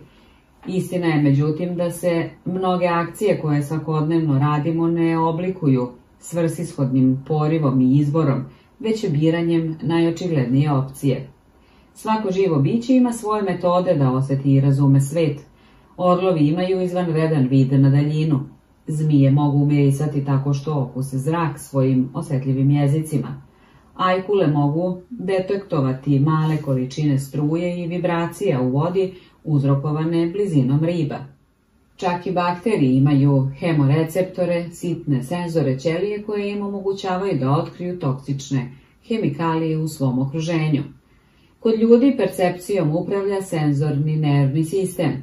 Mi doživljavamo svet kroz vid, zvuk, miris, dodir i ukus, ali imamo i druge načine da osjetimo podražaje. Neki su svesni, ali mnogi su nesvesni. Na primjer, možete primetiti kada temperatura padne pre oluje ili kada se bol u crevima pojača tokom bolova u stomaku ili kada izgubite ravnotežu dok hodate po kamenitom tlu. Receptori u vašem telu uzimaju širok spektar internih stimulansa, kao što je količina soli u vašoj krvi i potreba da se pije kada ožedni. Međutim, najmoćnije od svih ljudskih senzornih sposobnosti je vid. Ljudsko telo ima oko 11 miliona senzornih receptora. Oko 10 miliona njih je posvećeno vidu. Neki stručnjaci procenjuju da se polovina resursa mozga koristi za vid. S obzirom na to da smo više zavisni od vida nego od bilo kog drugog čula, ne treba da nas iznenađuje da su vizualni signali najveći katalizatori našeg ponašanja. Iz tog razloga mala promjena u onome što vidite može dovesti do velike promjene u onome što radite. Kao rezultat toga možete zamisliti koliko je važno živjeti i raditi u okruženjima koja su puna produktivnih znakova i lišena neproduktivnih. Srećom, tu su dobre vesti. Ne morate biti žrtva svog okruženja, možete biti i njegov arhitekta. Kako da kreirate svoje okruženje za uspjeh? Tokom energetske krize i embarga na naftu 1970-ih, holandski istraživači su počeli da obraćaju pažnju na potrošnju energije u zemlji. U jednom predgrađu u blizini Amsterdama otkrili su da su neki stanovnici koristili 30% manje energije od svojih suseda, uprkos tome što su kuće slične veličine i da odbijaju struju po istoj ceni. Ispostavilo se da su kuće u ovom kvartu bile gotovo identične, osim jedne karakteristike, lokacije električnog brojila. Neki su imali jedan u podrumu, drugi su imali električni brojač gore u glavnom hodniku. Kao što možete pretpostaviti u kućama sa broj, brojilima, u glavnom hodniku potrošeno je manje struje. Kada je njihovo korištenje energije bilo očigledno i lako za praćenje, ljudi su promenili svoje ponašanje. Svaka navika inicirana je signalom i mi smo skloniji da primetimo one koji se ističu. Nažalost, okruženje u kojima živimo i radimo često olakšavaju da ne radimo određene akcije, jer ne postoji očigledan signal za pokretanje ponašanja. Lako je ne svirati gitaru kada je skrivena u ormaru. Lako je ne čitati knjigu kada je polica za knjige u uglu sobe za goste. Lako je ne uzimati svoje vitamine kada ih ne vidite u ostavi. Kada su signali koji izazivaju naviku suptilni ili skriveni, lako ih je ignorisati. Poređenje radi stvaranje očiglednih vizualnih signala može privući vašu pažnju prema željenoj navici. Početkom 90. godina osobi zaduženo za čišćenje na aerodromu Schiphol u Amsterdamu instaliralo je malu nalepnicu koja je izgledala poput muve blizu centra svakog pisoara. Očigledno kada su muškarci došli do pisoara, ciljali su na ono što su smatrali da je buba. Nalepnice su poboljšale svoj cilj i značajno smanjile izlivanje oko pisoara. Dalje analiza je utvrdila da su nalepnice smanjile troškove čišćenja toaleta za 8 od 100 godišnje. Iskusio sam moć očiglednih signala u svom životu. Kupovao sam jabuke u prodavnici, stavljao ih u fioku u dnu frižidera i zaboravljao na njih. Do momenta kada bih ih se setio, jabuke bi istrulile. Nikad ih nisam video, tako da ih nikada nisam ni pojeo. Na kraju sam poslušao svoj savjet i redizajnirao svoju okolinu. Kupio sam veliku činiju i postavio je na sredinu kuhinskog pulta. Sljedeći put, kad sam kupio jabuke, stavio sam ih tamo na otvoreno, gdje sam mogao da ih vidim. Skoro kao magija počeo sam da jedem nekoliko jabuka svakog dana, jednostavno zato što su bile očigledne, a ne van vidokruga.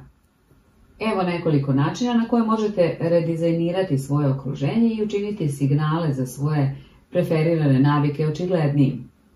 Ako želite da se sjetite da uzimate lekove svake noći, stavite kutiju tableta neposredno pored slavine u kupatilu. Ako želite da češće vežbate gitaru, postavite gitaru u sredini dnevne sobe. Ako želite da zapamtite da pošaljete više beleške i zahvalnosti, držite pribor za pisanje na stolu. Ako želite da pijete više vode, popunite nekoliko boca vode svakog jutra i postavite ih na uobičajene lokacije u stanu. Ako želite da učinite naviku velikim delom vašeg života, napravite signal velikim delom vaše sredine. Najupornija ponašanja imaju više signala. Razmotrite koliko je različitih načina na koje bi pušač mogao da bude podstaknut da izvadi cigaretu, vožnja u automobilu, viđenje prijatelja kako puši, osjećaj stresa na poslu i tako dalje. Ista strategija se može koristiti za dobre navike. Postavljanjem okidača u vašem okruženju povećavate šanse da ćete razmišljati o svojoj navici tokom celog dana. Uverite se da je najbolji izbor najočigledniji. Donošenje bolje odluke je lako i prirodno kada su signali za dobre navike ispred vas. Dizajn životne sredine je moćan ne samo zato što utiče na to kako reagujemo u svijetu oko nas, već i zato što to redko radimo. Većina ljudi živi u svetu koji su drugi stvorili za njih, ali možete podesiti prostore u kojima živite i radite kako biste povećali izlaganje pozitivnim signalima i smanjili izloženost negativnim. Dizajn okruženja vam omogućava da povratite kontrolu i da postanete arhitekta svog života. Budite dizajner svog sveta, a ne samo konzument. Kontekst je u signalu. Signali koji pokreću naviku mogu početi veoma specifično, ali vremenom se vaše navike ne povezuju sa jednim okidačem, već sa celokupnim kontekstom koji okružuje ponašanje. Na primjer, mnogi ljudi piju više u socijalnim situacijama nego što bi ikada pili sami. Okidač je redko jedan signal, već cela situacija. Gledati prijatelje kako poručuju piće, čuti muziku u baru, gledati točilicu za pivo. Mi mentalno pripisujemo naše navike lokacijama u kojima se javljaju. Dom, kancelarija, teretana. Svaka lokacija razvija vezu sa određenim navikama i rutinama. Uspostavljate poseban odnos sa predmetima na vašem stolu, predmetima na kuhinskom pultu, stvarima u vašoj spavaćoj sobi. Naše ponašanje nije definisano objektima u okruženju, već našim odnosom prema njima. U stvari, ovo je koristan način razmišljanja o uticaju okruženja na naše ponašanje. Prestanite da razmišljate o svojoj okolini kao ispunjenoj objektima. Počnite razmišljati o tome kao ispunjenim odnosima. Razmislite o tome kako stupate u interakciju sa prostorima oko vas. Za jednu osobu njen kauč je mesto gdje čita sat vremena svake noći. Za nekog drugog kauč je mesto gdje gleda televiziju i pojede činiju sladoloda nakon posla. Različiti ljudi mogu imati različita sećanja i stoga različite navike, povezane s istim mestom. Dobre vesti. Možete se istrenirati da povežete određenu naviku sa određenim kontekstom. U jednom studiju naučnici su uputili osobe koje pate od insomnije da idu u krevet samo kada su umorni. Ako nisu mogli zaspati, rečeno im je da sede u drugoj sobi dok ne postanu pospani. Tokom vremena subjekti su počeli da povezuju kontekst njihovog kreveta sa akcijom spavanja i postalo je lakše zaspati kada bi, kada bi legli. Njihovi mozgovi su shvatili da je spavanje, ne gledanje vesti na njihovim telefonima, ne gledanje televizije, ne gledanje u sat, bila jedina akcija koja treba da se dešava u toj sobi. Moć konteksta otkriva i važnu strategiju. Navike se lakše mogu promeniti u novoj sredini. Pomaže da pobegnete od suptilnih pokretača i signala koji vas guraju prema vašim trenutnim navikama. Idite na novo mesto, drugačiju kafanu, klupu parku, ugao svoje sobe koju redko koristite i tamo stvorite svoju novu rutinu. Lakše je povezati novu naviku sa novim kontekstom nego izgraditi novu naviku u odnosu na konkurentske signale. Može vam biti teško da idete u krevet ranije ako gledate televiziju u sobi svake noći. Može biti teško da učite u dnevnoj sobi bez ometanja ako je to mesto gde uvek igrate video igre. Ali kada izađete iz svog normalnog okruženja, ostavite svoje behavioralne predrasude iza sebe. Ne borite se sa starim signalima iz okoline, čime dozvoljavate da se nove navike formiraju bez prekida. Želite da mislite kreativnije? Pređite u veću sobu, na krovnu terasu ili u zgradu sa skupom arhitekturom. Odvojite se od prostora u kojem obavljate svoj svakodnevni posao, koji je također povezan sa vašim trenutnim misaonim obrazcima. Pokušavate da jedete zdravije, Verovatno je da kupujete na autopilotu u svom uobičajenom supermarketu. Idite u novu prodavnicu. Možda ćete lakše izbeći nezdravu hranu kada vaš mozak ne zna automatski gde se nalazi među rafovima. Kada ne možete da dođete do potpuno novog okruženja, redefinišite ili promenite raspored u trenutno. Kreirajte poseban prostor za rad, učenje, vežbanje, zabavu i kuvanje. Mantra koju smatram korisnom je jedan prostor, jedna upotreba. Kada sam počeo karijeru kao preduzetnik, često sam radio na kauču ili na kuhinskom stolu. Uveče bilo mi je teško da prestanem da radim. Nije bilo jasne podele između kraja radnog vremena i početka ličnog vremena. Da li je kuhinja bila moja kancelarija ili prostor gde sam jeo? Da li je kauč gde sam se opustio ili gde sam poslao mailove? Sve se događalo na istom mestu. Nekoliko godina kasnije konačno sam mogao da priuštim da se preselim u kuću sa zasebnom prostorijom za moju kancelariju. Iznenada posao je bio nešto što se desilo ovde, a lični život je bio nešto što se dešava tamo. Bilo mi je lakše da isključim profesionalnu stranu mozga kada je postojala jasna linija razdvajanja između radnog i kućnog života. Svaka soba je imala jednu primarnu upotrebu. Kuhinja je bila za kuvanje. Kancelarija je bila za rad. Kada god je to moguće, izbjegavajte mešanje konteksta jedne navike sa drugom. Kada počnete da mešate kontekst, počet ćete da mešate navike, a one najlakše će obično pobediti. To je jedan od razloga zašto je svestranost moderne tehnologije i snaga i slabost. Telefon možete koristiti za sve vrste zadataka, što ga čini snažnim uređajem. Ali kada telefon možete koristiti za gotovo sve, postaje teško povezati ga sa jednim zadatkom. Želite da budete produktivni, ali ste također uslovljeni da proverite društvene mreže, mailove igrate igre svaki put kada otvorite telefon. To je zbrka signala. Možda mislite, ne razumeš, živim u Njujorku, moje stanje veličine pametnog telefona, treba mi svaka soba da odigram više uloga. Ako je vaš prostor ograničen, podelite svoju sobu na zone aktivnosti, stolicu za čitanje, sto za pisanje, sto za jelo. Isto možete uraditi i sa svojim digitalnim prostorima. Poznajem pisca koji koristi kompjuter samo za pisanje, njegov tablet samo za čitanje, a njegov telefon samo za društvene medije i pisanje poruka. Svaka navika bi trebalo da ima svoj dom. Ako možete da se držite ove strategije, svaki kontekst će biti povezan sa određenom navikom i načinom razmišljanja. Navike napreduju pod ne pod predvidljivim okolnostima poput ovih. Fokus se automatski pojavljuje kada sedite za radnim stolom. Opuštanje je lakše kada se nalazite u prostoru predviđenom za tu svrhu. Spavanje dolazi brzo kada je to jedina stvar koja se dešava u vašoj spavaćoj sobi. Ako želite ponašanja koja su stabilna i predvidljiva, potrebno vam je okruženje koje je stabilno i predvidljivo. Stabilno okruženje u kojem sve ima svoje mesto i svrhu je okruženje u kojem navike mogu lako da se formiraju. Rezime poglavlje. Male promjene u kontekstu mogu dovesti do velikih promjena u ponašanju tokom vremena. Svaku naviku inicira signal. Više ćemo primećivati signale koji se ističu. Učinite da signali koji iniciraju dobre navike budu uočljivi u vašem okruženju. Postepeno se vaše navike ne povezuju sa jednim okidačem, već sa celokupnim kontekstom koji okružuje ponašanje.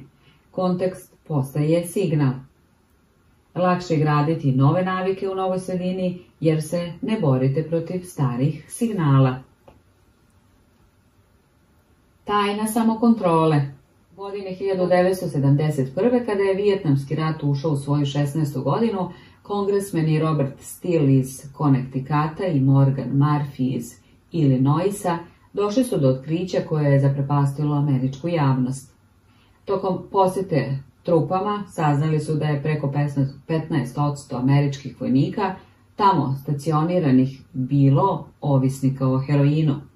Kasnije istraživanje je pokazalo da je 35% pripadnika službe u Vijetnamu probalo heroin, a čak 20% je bilo ovisnik.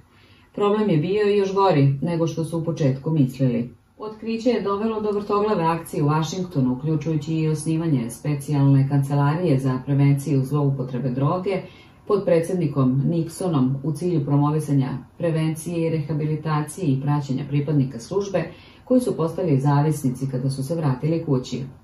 Lee Robbins je bio jedan od zaduženih istraživača.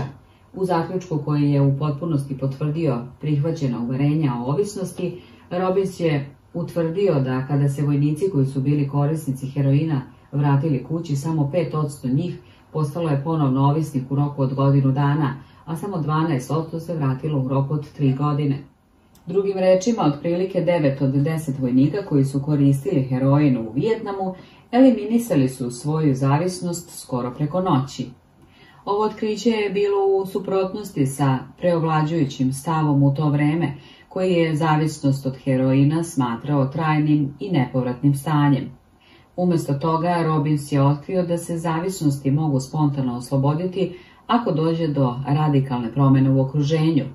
U Vijetnamu su vojnici provodili ceo dan okruženi signalima koji su izazvali upotrebu heroina. Bilo je lako dostupan, bili su pod stalnim ratnim stresom, gradili su prijateljstva s drugim vojnicima koji su bili i koristili heroin, a bili su hiljadama kilometara daleko od kuće. Međutim, kada se vojnik vratio u Sjedinjene države, našao se u okruženju bez tih okidača. Kada se kontekst promenio, tako je i navika nestala. Uporedite ovu situaciju sa situacijom tipičnog korisnika droge. Neko ko je ovisnik kod kuće ili sa prijateljima odlazi u kliniku da se očisti, koja je lišena svih poticaja u okolini koja aktiviraju njihovu naviku, a zatim se vraća u svoje staro susjedstvo sa svim svojim prethodnim signalima, koji su ga zapravo navodili na drogu. Nije ni čudo da će statistika biti drugačija u odnosu na onu studiju u Vijetnamu. Tipično 90% korisnika heroina postaju ovisnici kada se vrate kući sa rehabilitacije. Studije u Vijetnamu bile su u suprotnosti sa mnogim našim kulturnim uverenjima o lošim navikama jer su istakle da je konvencionalno udruživanje nezdravog ponašanja moralna slabost. Ako imate prekomernu težinu, pušite ili ste zavisnik, celog života vam je govoreno da je to zato što vam nedostaje samokontrola. Možda čak i da ste loša osoba. Ideja da će malo discipline rešiti sve naše probleme duboko je usađena u našu kulturu. Međutim, najnovije istraživanja pokazuju nešto drugačije – kada naučnici analiziraju ljude koji na izgled imaju visok nivo samokontrole, primećuju da ti pojedinci nisu toliko različiti od onih koji se bore.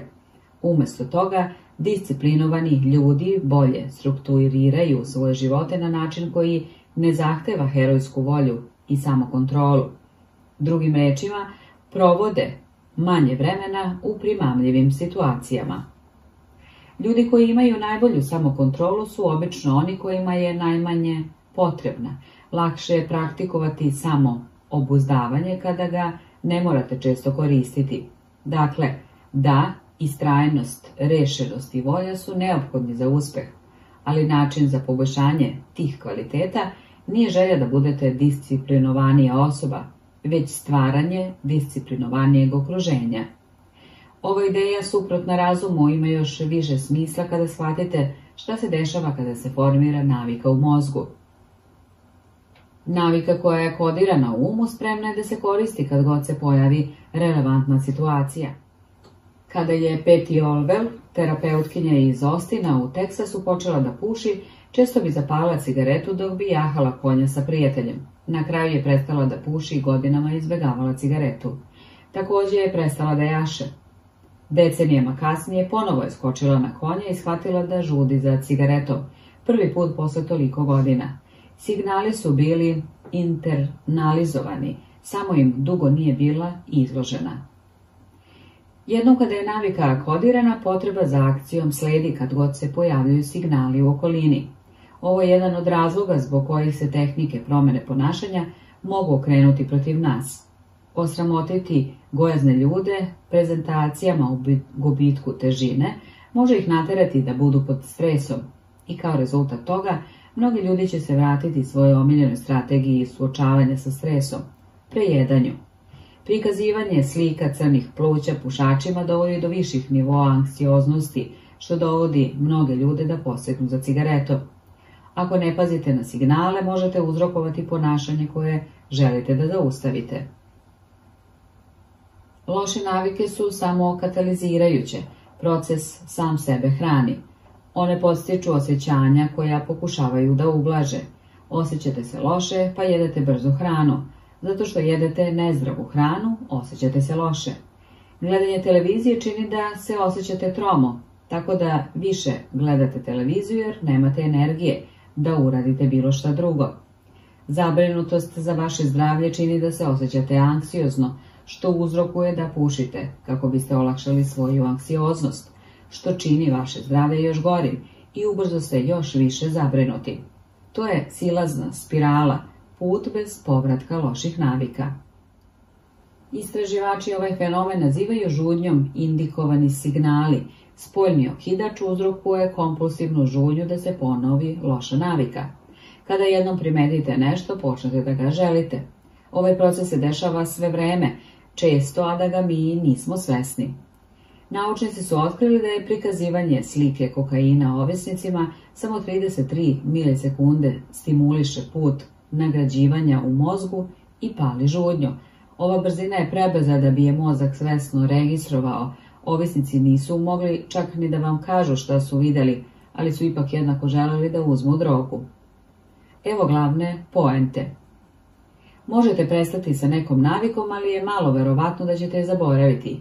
Jednom kada su mentalne brazde, navike urezane u vaš mozak, gotovo ih je nemoguće potpuno ukloniti, čak i ako neko vreme ne budu upotrebljavane. A to znači da je jednostavno odupiranje iskušenju neefikasna strategija. Teško je održati zen stav u životu ispunjenom prekidima. Potrebno je previše energije. Kratkoročno možete izabrati da nadmašite iskušenje. Dugoročno gledano postajemo proizvod okruženja u kojem živimo.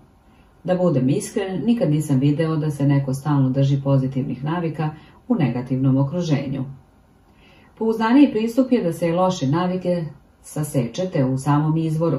Jedan od najpraktičnijih načina da se eliminiše loša navika je smanjiti izloženost signalu koji je uzrokuje. Ako vam se čini da ne obavljate nikakav posao, ostavite telefon u drugoj sobi nekoliko sati. Ako se neprekidno osjećate kao da niste dovoljno dobri, prestanite da pratite profile na društvenim mrežama koji vam izazivaju ljubomoru i zavist. Ako gubite previše vremena gledajući televiziju, iznesite televizor iz spavaće sobe. Ako trošite previše novca na uređenje, nemojte čitati recenzije najnovije tehnike. Ako igrate previše video igara, isključite konzolu i stavite je u ormar nakon svake upotrebe. Ova praksa je inverzija prvog zakona o promjeni ponašanja. Umjesto da učinite da signali budu očigledni, možete ih učiniti nevidljivim. Često sam iznenađen koliko jednostavne promjene mogu da budu efikasne. Uklonite jedan signal i često čitava navika nestaje. Samo kontrola je kratkoročna strategija, a ne dugoročna. Možda ćete moći da se oduprete iskušenju jednom ili dva put, ali je malo verovatno da ćete moći svaki put da nadladate svoje želje. Umjesto sazivanja nove doze volje kad god želite da uradite pravu stvar, bolje da svoju energiju usmerite na optimizovanje vašeg okruženja.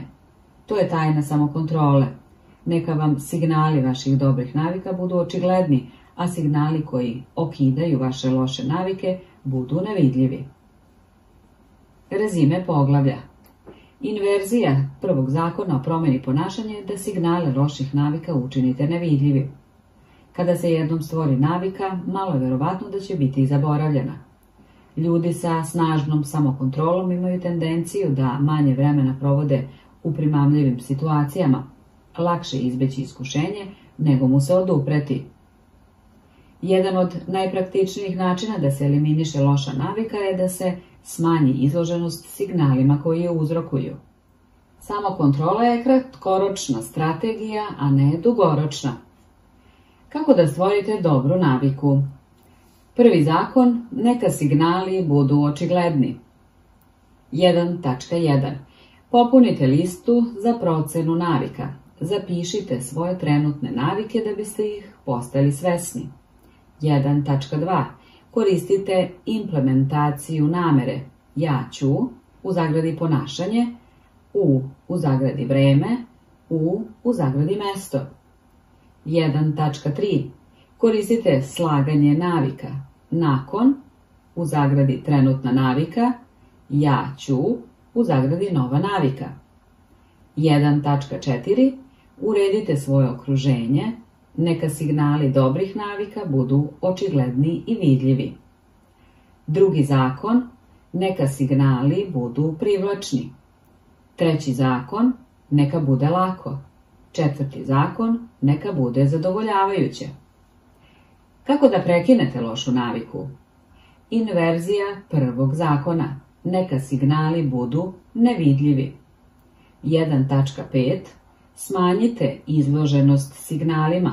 Uklonite ih iz svog okruženja. Inverzija drugog zakona. Učinite signale neprivlačnim. Inverzija trećeg zakona. Neka bude teško. Inverzija četvrtog zakona neka bude nezadovoljavajuće. Drugi zakon neka bude privlačno. Kako da navika bude neodoljiva? Godine 1940. holandski naučnik Niko Tinbergen izveo je niz eksperimenata koji su transformisali naše razumevanje onoga što nas motiviše. Tinbergen, koji je na kraju dobio Nobelovu nagradu za svoj rad, često istraživao srebrnaste galebove sivo-bele ptice koje obično lete duž morskih obala Severne Amerike. Odrasli srebrnasti galebovi imaju malu crvenu tačku na kljunu, a Timbergen je primetio da tek rođeni ptici čip kljucaju baš to mesto kad god žele hranu. Za početak jednog eksperimenta on je stvorio kolekciju lažnih kartonskih kljunova, samo glavu bez tela. Kada su roditelji odleteli, on je otišao do gnezda i ponudio ove lutke ptićima – Kljun je bio očigledan lažnjak, a on je pretpostavio da će ih ptići odbaciti. Međutim, kada su sitni galebovi ugledali crvenu mrlju na kljunu od kartona, kljucali su je kao da je vezana za njihovu majku. Imali su jasnu sklonost prema crvenim pegama, kao da su genetski programirani pri rođenju. Uskoro je Tinbergen otkrio da što je veća crvena mrlja, brže kljucaju. Na kraju je stvorio kljun sa tri velike crvene tačke na njemu. Kada ga je stavio preko gnezda, bebe su poludele od užitka. Kljucali su na male crvene mrlje kao da je to najveći kljun koji su ikada vidjeli. Tinbergen i njegove kolege otkrili su slično ponašanje kod drugih životinja. Na primjer, guska je ptica koja pravi gnezdo na tlu. Povremeno dok se majka kreće po gnezdu, jedno od jaja se otkotrlja i ugnezdi na travi u blizini. Kad god se to dogodi, guska se dogega do jajeta i pomoću kljuna i vrata ga odgura do gnezda. Tinbergen je otkrio da će guska vratiti u gnezdo bilo koji okrugli predmet, kao što je bilijarska kugla ili sijelica. Što je objekat veći, to je veći njihov odgovor. Jedna guska je čak napravila veliki napor da odgura loptu za odbojku gnezdo i sedne na vrh. Poput beba galebova koji se automatski kljucaju crvene tačke, guska je sledila instinktivno pravilo.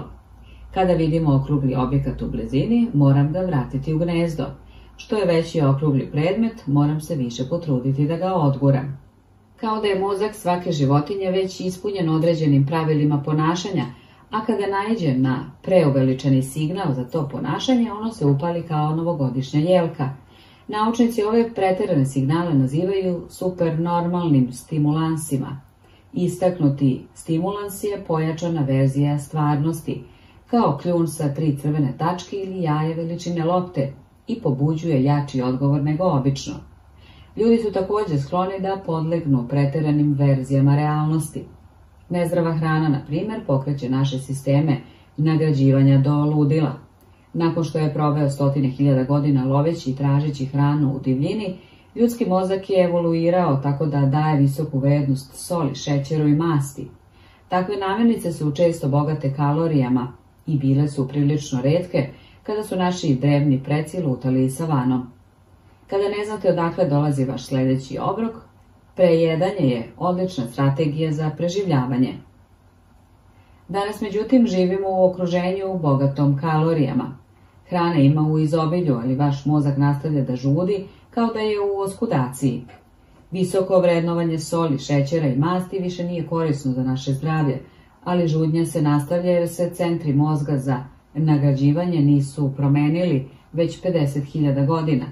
Moderna prehrambena industrija osanja se na protezanje naših paleolitskih instikata izvan njihove evolutivne svrhe.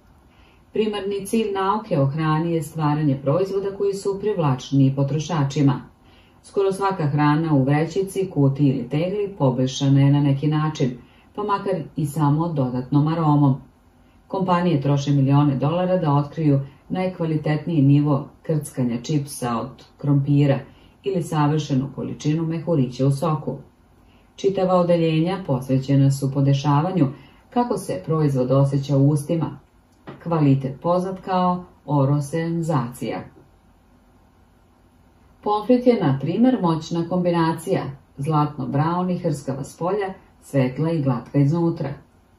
Ostala obrađena hrana poboljšava dinamički kontrast, koji se odnosi na predmete sa kombinacijom senzacija, kao što su hrskavi i kremasti. Zamislite mekoću topljenog sira na vrhu hrskave pizza kore ili krckanje oreo keksa u kombinaciji sa njegovim glatkim punjenjem. Kod prirodnih, neprerađenih namirnica vi često ponavljate iste senzacije. Kakvog je ukusa taj 17. zaloga i kelja. Nakon nekoliko minuta vaš mozak gubi interes i vi počinjete da osjećate sitost.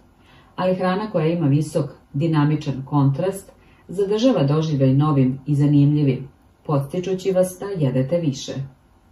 Konačno, takve strategije omogućavaju naučnicima koji se bave hranom da pronađu tačku blaženstva za svaki proizvod, preciznu kombinaciju soli, šećera i masti koja uzbuđuje vaš mozak i tera vas da se vratite po još. Rezultat je naravno da se prejedate jer su namenice koje su podložne hiperpalataciji privlačnije ljudskom mozgu. Kao što je Stefan Gajnet, neuronaučnik koji se specijalizovao za ponašanje u ishrani i gojaznost, rekao, postali smo previše dobri u samo podsticajima. Moderna prehrambena industrija i navike prejedanja koje je proizvela samo jedan od primjera drugog zakona promjeni ponašanja. Učinite ih atraktivnim. Što je prilika privlačnija, to je veća verovatnoća da će postati navika. Pogledajte oko sebe. Društvo je ispunjeno veoma razvijenim verzijama stvarnosti koje su privlačnije od sveta u kojem su evoluirali naši preci. U prodavnicama se nalaze lutke sa preuveličanim bokovima i grudima da bi prodala odeću.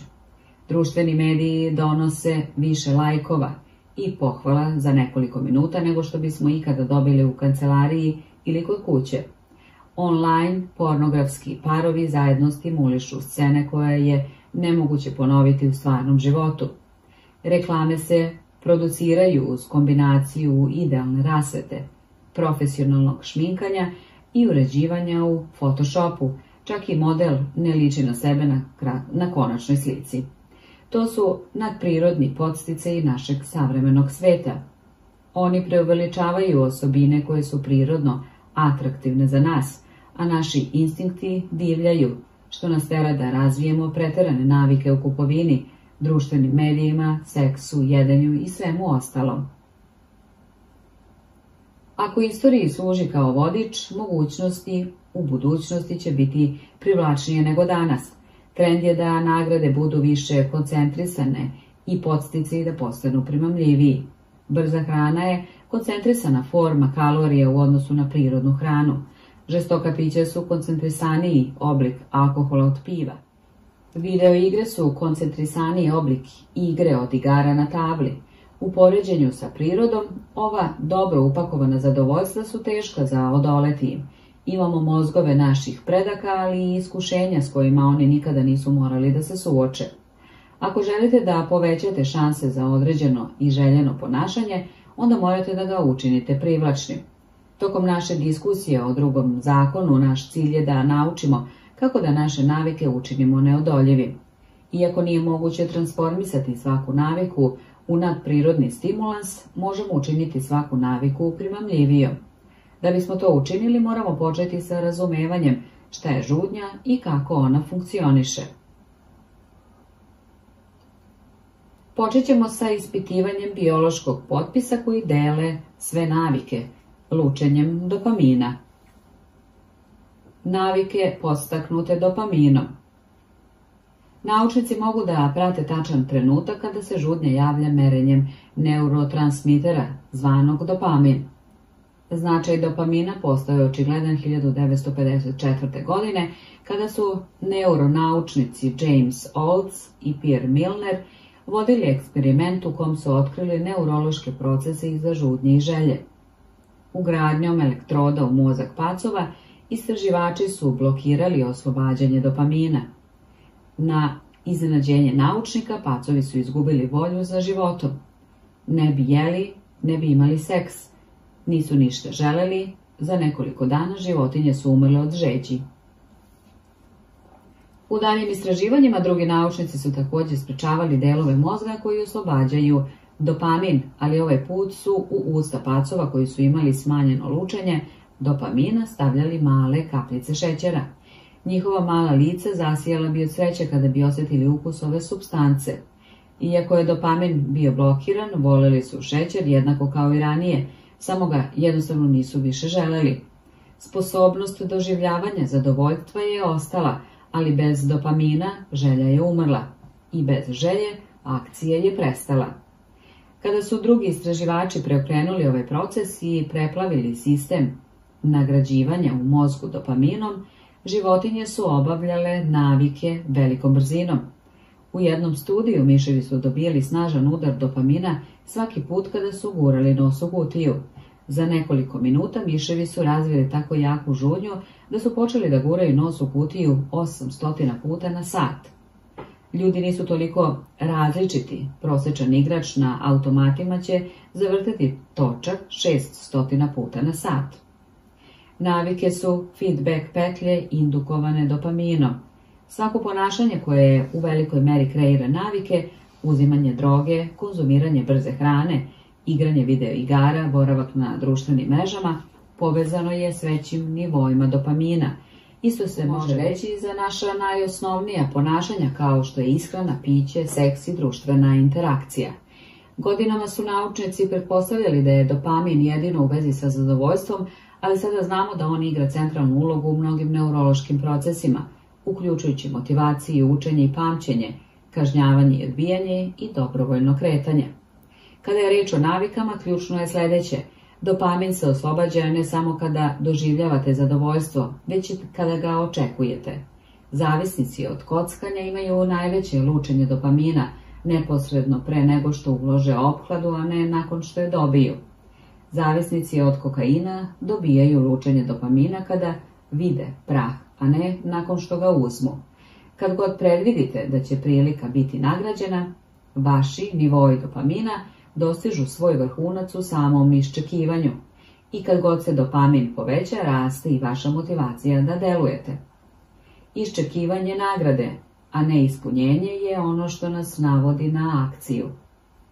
Interesantno je da sistem nagrađivanja koji se aktivira u mozgu kada primite nagradu jeste isti sistem koji se aktivira kada očekujete nagradu. To je jedan od razloga zašto se očekivanje iskustva često može biti najbolji osjećaj od njegovog postizanja. Kao dete, razmišljanje o božićnom jutru može biti bolje od otvaranja poklona. Kao odrasla osoba, sanjarenje o nadolazećem odmoru može biti prijatnije nego biti na odmoru.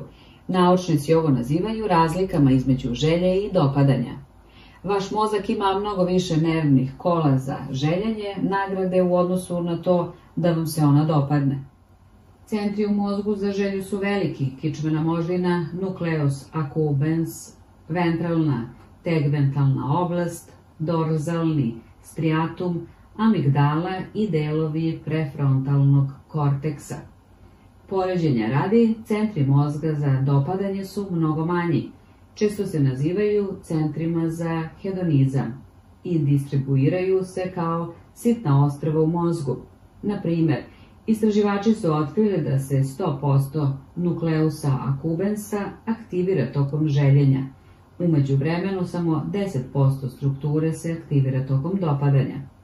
Činjenica da mozak dodeljuje toliko dragocenog prostora regionima koji su odgovorni za žudnju i želju dodatno dokazuje ključnu ulogu koju ovi procesi imaju. Želja je motor koji pokreće ponašanje. Svaka akcija se preduzima zbog iščekivanja koje joj prethodi. To je žudnja koja vodi do odgovora. Ovi uvidi otkrivaju značaj drugog zakona o promjeni ponašanja. Moramo da učinimo naše navike atraktivnim jer je očekivanje nagrađivanja iskustvo koje nas motiviše da delujemo na prvo mestu.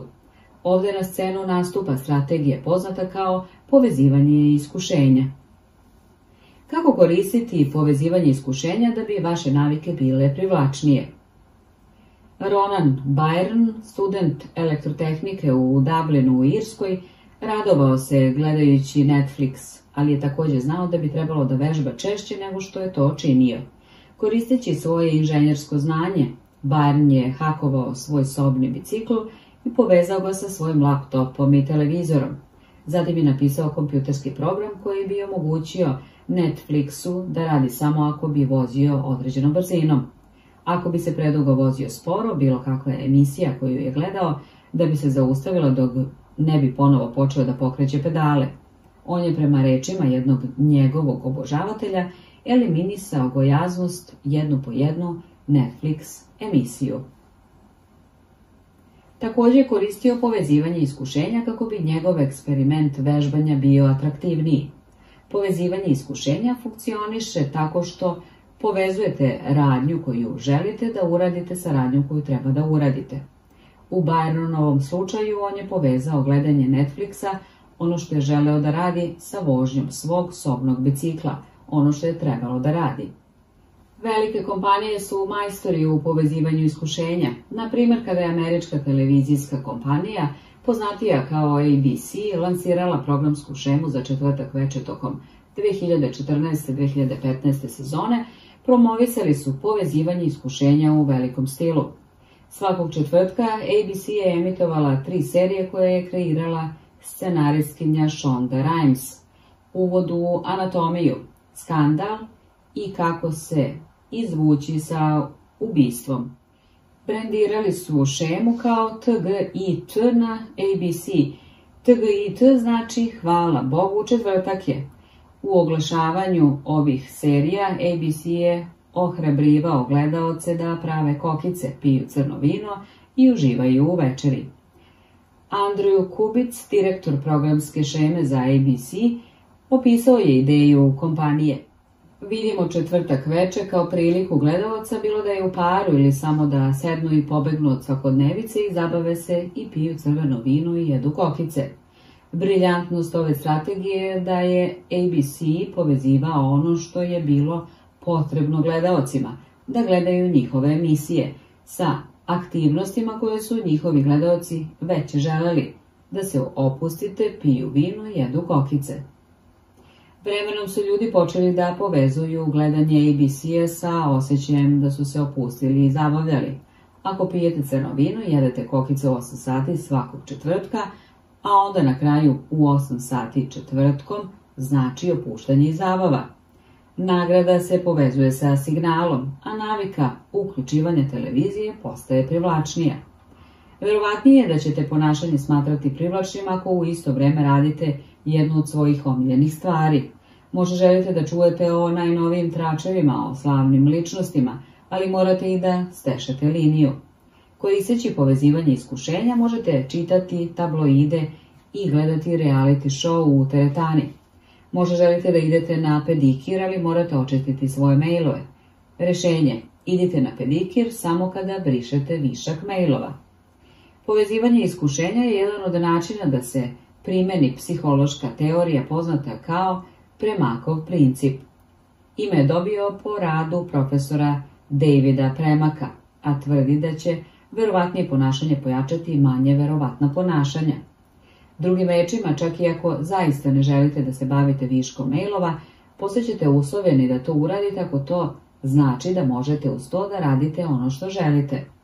Čak možete kombinovati povezivanje iskušenja sa strategijom za slaganje navika koju smo opisali u petom poglavlju da biste kreirali skup pravila koje će voditi vaše ponašanje. Formula za slaganje navika i povezivanje iskušenja je pod 1. Nakon, trenutna navika, ja ću, navika koja mi je potrebna. I pod 2. Nakon, navika koja mi je potrebna, ja ću, navika koju želim. Ako želite da pročitate vesti, ali morate da izrazite više zahvalnosti, pod 1. Nakon što popijem jutarnju kafu, reći ću jednu stvar koja se juče dogodila, a za koju sam zahvalna u zagradi potreba. Pod 2. Nakon što kažem jednu stvar za koju sam zahvalna, pročitat ću vesti u zagradi želja. Ako želite da gledate sport, a morate da obavite prodajne pozive, pod 1. Nakon što se vratim sa pauze za ručak, pozvaću tri potencijalna klijenta. U zagradi potrebno. Pod 2. Nakon što pozovem tri potencijalna klijenta, proverit ću sportske vesti. U zagradi želim. Ako želite da proverite Facebook, a morate više da vežbate, pod 1. Nakon što izvadim telefon, uradit ću 10 čučnjeva. U zagradi potreba.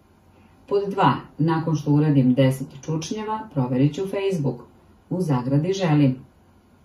Nadam se da ćete na kraju verovatno jedva čekati da pozovete tri klijenta ili da uradite 10 čučnjeva, jer to znači da možete da pročitate najnovije spotske vesti ili proverite Facebook. Raditi ono što treba da uradite znači da ćete uraditi ono što želite. Počeli smo ovo poglavlje raspravljajući o nadprirodnim stimulansima koji su pojačane verzije stvarnosti koje povećavaju našu želju za akcijom. Povezivanje iskušenja je jedan od načina za stvaranje povećane verzije, bilo koje navike povezivanjem s nečim što već želite. Kreiranje istinski nedovoljne navike je težak zadatak, ali ova jednostavna strategija se može primeniti kako bi se skoro svaka navika učinila privlačnijom nego i što je inače. Rezime poglavlja. Drugi zakon o promjeni ponašanja je da signale činite što privlačnijim. Što je prilika privlačnija, to je veća verovatnoća da će se formirati navika. Navike su deo feedback petlje u lučenju dopamina. Kako raste nivo dopamina, tako se i naša motivacija povećava. Iščekivanje nagrade, a ne njeno ispunjenje, nas natera da preduzmemo akciju, što je veće očekivanje, to je veće lučenje dopamina. Povezivanje iskušenja je jedan od načina da vaše navike budu privlačnije. Strategija je da uparite akciju koju želite da uradite sa akcijom koju treba da uradite. Uloga porodice i prijatelja u oblikovanju vaših navika. Godine 1965. Mađar Laslo Polgar napisao je niz čudnih pisama ženi pod imenom Klara. Laslo je čvrsto verovao u naporan rad, zapravo to je jedino u što je verovao. Potpuno je odbacio ideju urođenog talenta. Tvrdio je da bi namernom praksom i razvojem dobrih navika dete moglo da postane genije u bilo kojoj oblasti. Njegova mantra je bila genije se ne rađa, već se gradi, obučava i obrazuje. Laslo je verovao u ovu ideju tako snažno da je hteo da je testira sa svojom decom. I pisao je Klari zato što mu je bila potrebna, žena spremna da bude deo njegovog plana. Klara je bila učiteljica i iako možda nije bila nepopustljiva kao Laslo, ona je također verovala da bi pravilnim instrukcijama svako mogao da unapredi svoje veštine. Laslo je odlučio da će šah biti pogodno polje za eksperiment i predstavio je plan da vaspitava svoju decu da postanu šahovski čarobnjaci. Deca su bila školovana kod kuće, što je u to vreme bila redkost u Mađarskoj. Kuća će biti ispunjena šahovskim knjigama i slikama poznatih šahista. Deca bi stalno igrala jedna protiv drugih i takmičila se u najboljim turnirima koja su postojala. Porodica bi predantno vodila sistem dosijeja o istoriji turnira svakog takmičara sa kojim su se deca suočila. Njihovi životi bili su posvećeni šahu. Laslo se uspešno udvarao Klarija, za nekoliko godina Polgarovi su bili roditelji tri mlade devojke, Suzan, Sofija i Judith. Suzan, najstarija, počela je da igra šah kada je imala četiri godine. Za šest meseci je pobeđivala odrasle. Sofija, srednje dete, bila je još bolja. Sa 14 godina bila je svetska prvakinja, a nekoliko godina kasnije postala je velemajstor. Judith, najmlađa, bila je najbolja od svih. Sa pet godina mogla je da pobedi svog oca. Sa 12 godina je bila najmlađi igrač ikada uvršten među prvih 100 šahista na svetu. Sa 15 godina i 4 meseca postala je najmlađi velemajstor svih vremena, mlađi od prethodnog rekordera Bobija Fischera. 27 godina bila je svetska prvakinja u šahu u ženskoj konkurenciji. Detinstvo se stara Polgar bilo je atipično u najmanju ruku, pa ipak ako ih pitate o tome, one tvrde da je njihov stil života bio atraktivan, čak i prijatan. U intervjuima sestre govore o svom detinstvu kao o zabavnom, a ne o napornom. Volele su da igraju šah, nisu mogle da se zadovolje. Jednom Laslo je navodno našao Sofiju kako igra šah u kupatilu u sred noći. Ohrabrivši je da se vrati na spavanje, rekao je Sofija, ostavi figure na miru. Na to je odgovorila, tata, one mene neće da ostave na miru. Sestre Polgar odrastale su u kulturi koja je prvenstveno odredila prioritet šaha, hvalila ih je zbog toga, nagrađivala ih je za to. U njihovom svetu obsesija šahom je bila normalna i kao što ćemo vidjeti one navike koje su u našoj kulturi normalne, spadaju u najatraktivnije ponašanje. Zavodljiva sila društvenih normi Ljudi žive u grupama, želimo da se uklopimo, da se vežemo za druge i da su zaslužimo poštovanje i odobravanje naših vršnjaka. Takve sklonosti su neophodne za naš opstanak. Veći deo naše evolutivne istorije, naši preci su živeli u plemenima. Biti odvojen od plemena ili još gore biti izbačen, bila je smrtna kazna. Usamljeni vuk umire, ali čopor preživi. U međuvremenu oni koji su sarađivali i povezivali se sa drugima uživali su povećanu sigurnost, mogućnosti za parenje i pristup resursima. Kao što je Charles Darwin primetio, u dugoj istoriji čovečanstva oni koji su naučili da sarađuju i najefikasnije improvizuju, pobedili su. Ova drevna prednost ima snažan utjecaj na naše moderno ponašanje. Mi ne biramo naše najranije navike, mi ih imitiramo. Pratimo scenario koji su nam predali naši prijatelji i porodica, naša crkva ili škola, naša lokalna zajednica i društvo u celini. Svaka od ovih kultura i grupa dolazi sa svojih sobstvenih, sobstvenim setom očekivanja i standarda, kada i da li se venčavamo, koliko dece da imamo, koje praznike da slavimo, koliko novca da potrošimo na rođendansku zabavu deteta.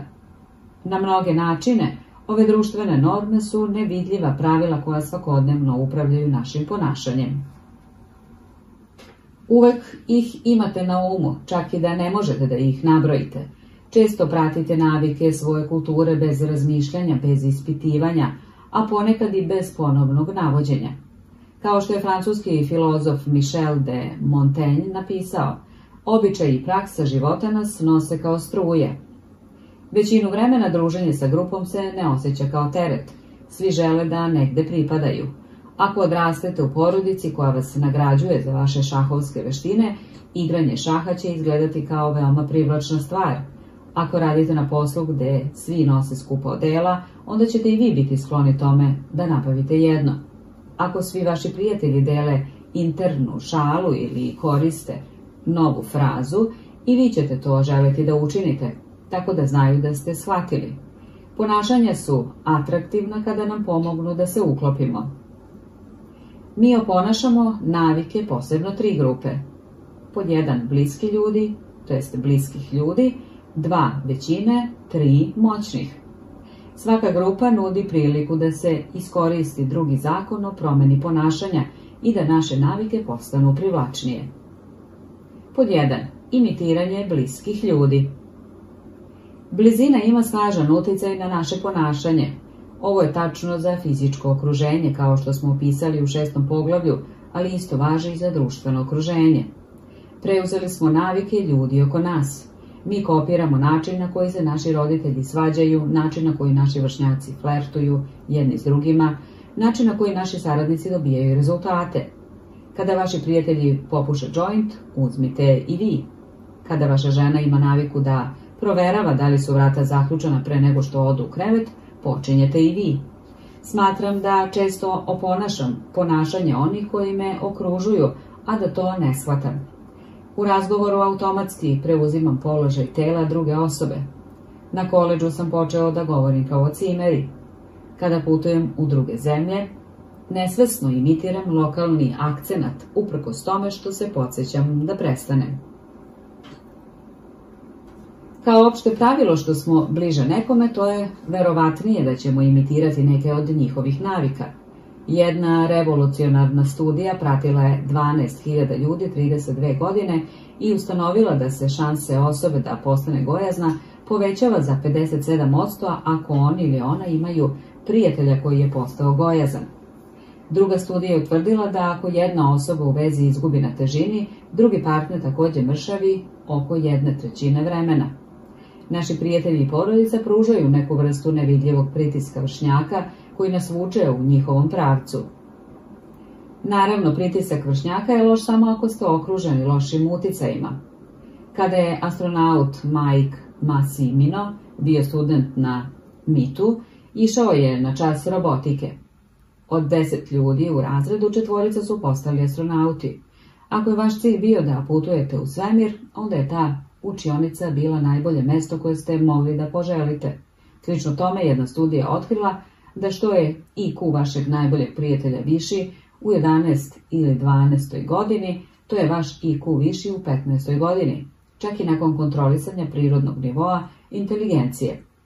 Upijamo kvalitete i prakse onih oko nas. Jedna od najefikasnijih stvari koju možete da uradite da biste izgradili bolje navike jeste da se pridružite kulturi u kojoj je vaše željeno ponašanje normalno ponašanje. Nove navike izgledaju dostižne kada vidite da ih drugi rade svaki dan.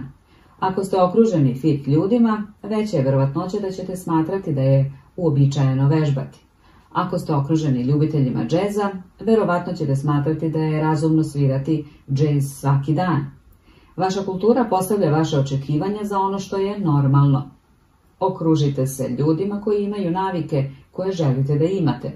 Razvijat ćete se zajedno. Da bi vaše navike bile još privlačnije, možete otići korak dalje.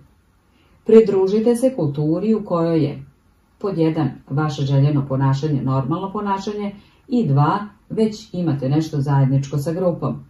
Steve Kamb, preduzetnik u New Yorku, vodi kompaniju koja se zove Nerd Fitness, koja pomaže štreberima, neprilagođenim i mutantima da smršaju, postanu jaki i postanu zdravi.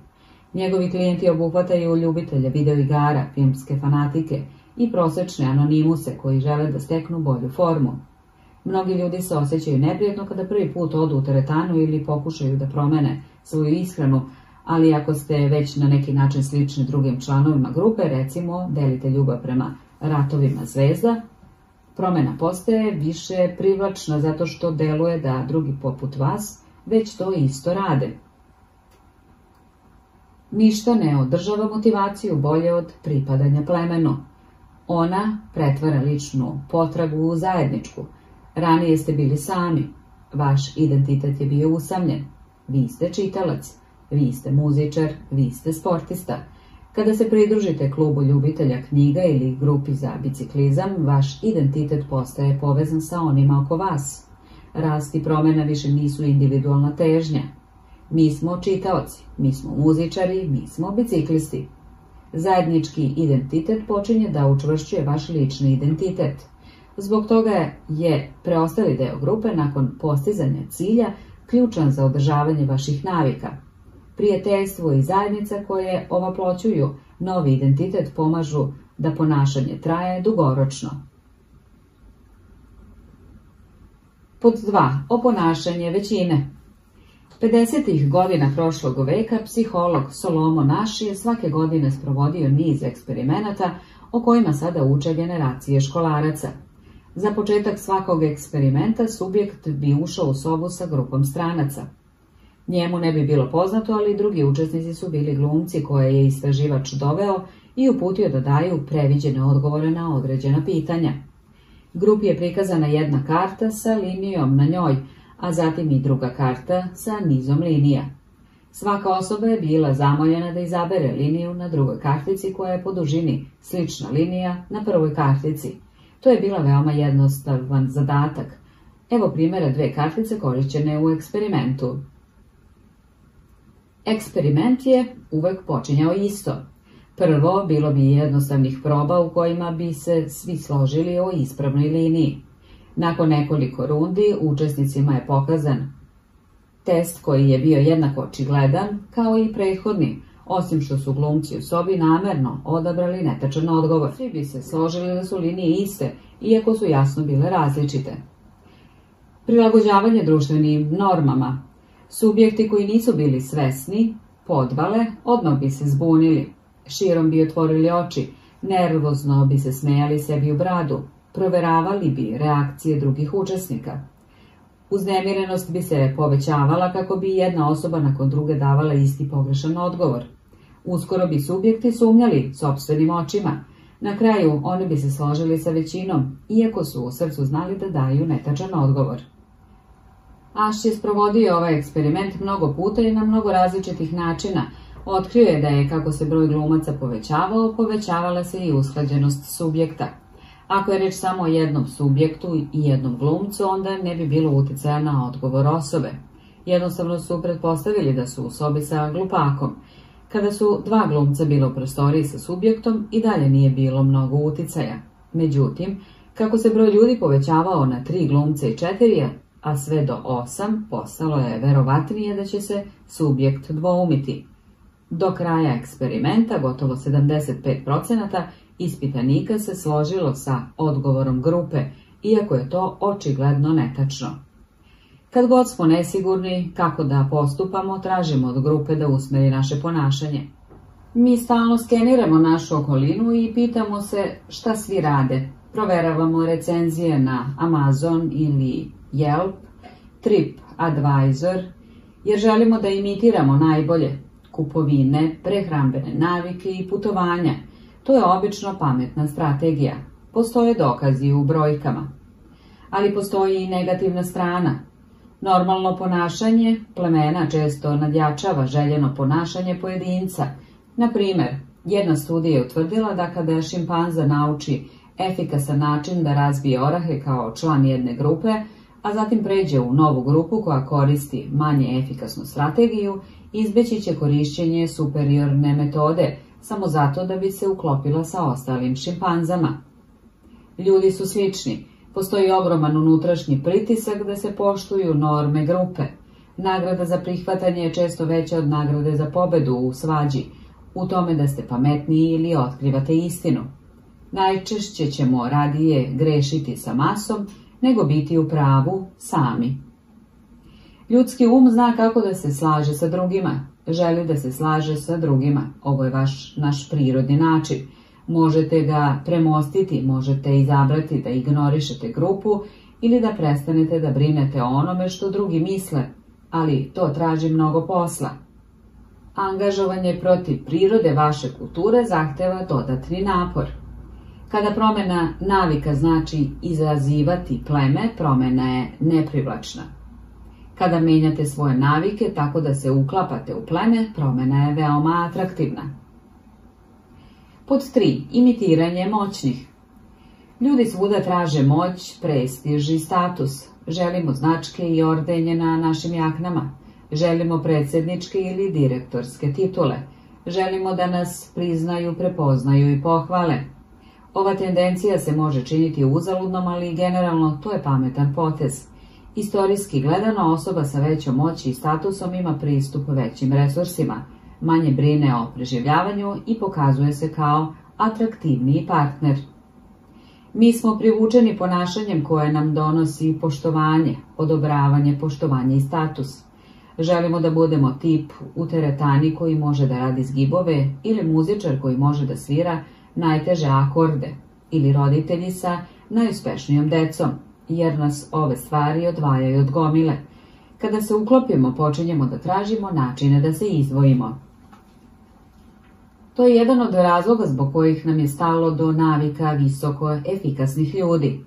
Pokušavamo da kopiramo ponašanje uspješnih ljudi zato što sami želimo uspeh. Mnoge naše svakodnevne navike su imitacije osoba kojima se divimo. Replicirate marketinške strategije najuspješnijih firmi u vašoj industriji. Pravite po receptu omiljenog pekara.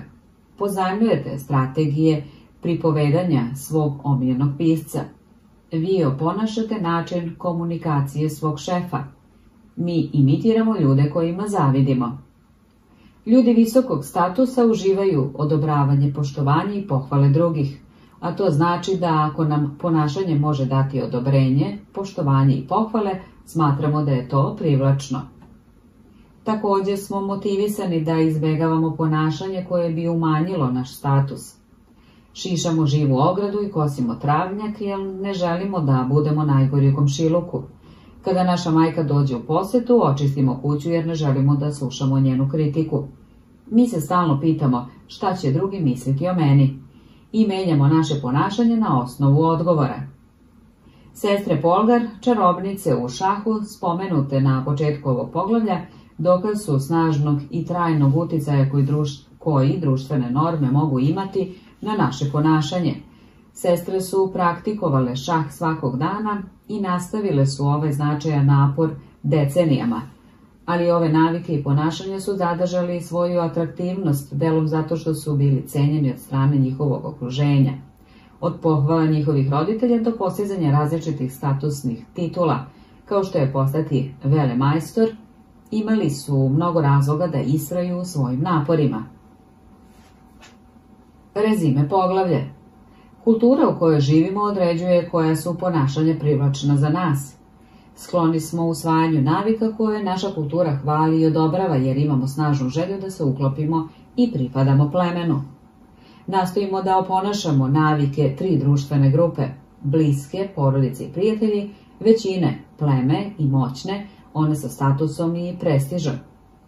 Jedna od najefikasnijih stvari koju možete da uradite da biste izgradili bolje navike jeste da se pridružite kulturi gdje je pod jedan vaše željeno ponašanje normalno ponašanje i dva već imate nešto zajedničko sa grupom.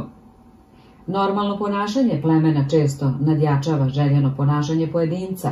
Najčešće ćemo radije grešiti sa masom nego biti i u pravu, sami. Ako nas ponašanje dovede do odobrenja, poštovanja i pohvale, smatramo ga privlačnim. Kako da pronađete i popravite uzroke vaših loših navika? Krajem 2012. godine sedeo sam u starom stanu samo nekoliko blokova od najpoznatije Istanbulske ulice Istiklal Kadesi. Bio sam usred četvorodnevnog izleta u Turskoj i moj vodič Mike odmarao se u pohabanoj fotelji udaljenoj nekoliko metara. Mike nije bio pravi vodič, on je bio samo čovjek iz Mejna koji je pet godina žive u Turskoj, ali je ponudio da mi pokaže okolinu dok sam bio u posjedi zemlji. I ja sam pristao. U toj posebnoj noći bio sam pozvan na večeru s njim i nekoliko njegovih prijatelja. Bilo nas je sedmorica, a ja sam bio jedini koji u jednom trenutku nije pušio, barem jednu kutiju cigareta dnevno. Pitao sam jednog od Turčina kako je počeo. Prijatelji, rekao je, uvek počinje sa tvojim prijateljima. Jedan prijatelj puši, onda probaš i ti. Ono što je zaista fascinantno je to što je polovina ljudi u sobi uspjela da prestane da puši. U tom trenutku Mike je prestao da puši i zakleo se da je prekinuo naviku zbog knjige Lak način da prestanete sa pušenjem, autora Alana Kara. Oslobađa vas mentalnog tereta pušenja, rekao je on. Poručuje vam, prestanite da lažete sebe. Znate da zapravo ne želite da pušite. Znate da zaista ne uživate u ovome. Pomaže vam da osjećate da više niste žrtva. Počinješ da shvataš da ne moraš da pušiš. Nikad nisam probao cigaretu, ali sam kasnije iz radoznalosti pogledao knjigu. Autor koristi zanimljivu strategiju koja pomaže pušačima da eliminišu svoje potrebe. On sistematski preinačava svaki signal povezan sa pušenjem i daje mu novo značenje. On govori stvari kao što su Mislite da nešto ostavljate, ali ne ostavljate ništa zato što cigarete ne rade ništa za vas. Mislite da je pušenje nešto što treba da uradite da biste bili društveni, ali nije. Možete biti društveni bez pušenja. Mislite da pušenje predstavlja olakšavanje stresa, ali nije. Pušenje ne ublažava vaše živce, uništava ih. Iznova i iznova ponavlja ove fraze i druge slične njima. Shvatite to jasno u svom umu, kaže on. Ne gubite ništa i činite čudesne pozitivne dobitke, ne samo u zdravlju, energiji i novcu, već i u samopouzdanju, samopoštovanju, slobodi i što je najvažnije, u dužini i kvalitetu vašeg budućeg života.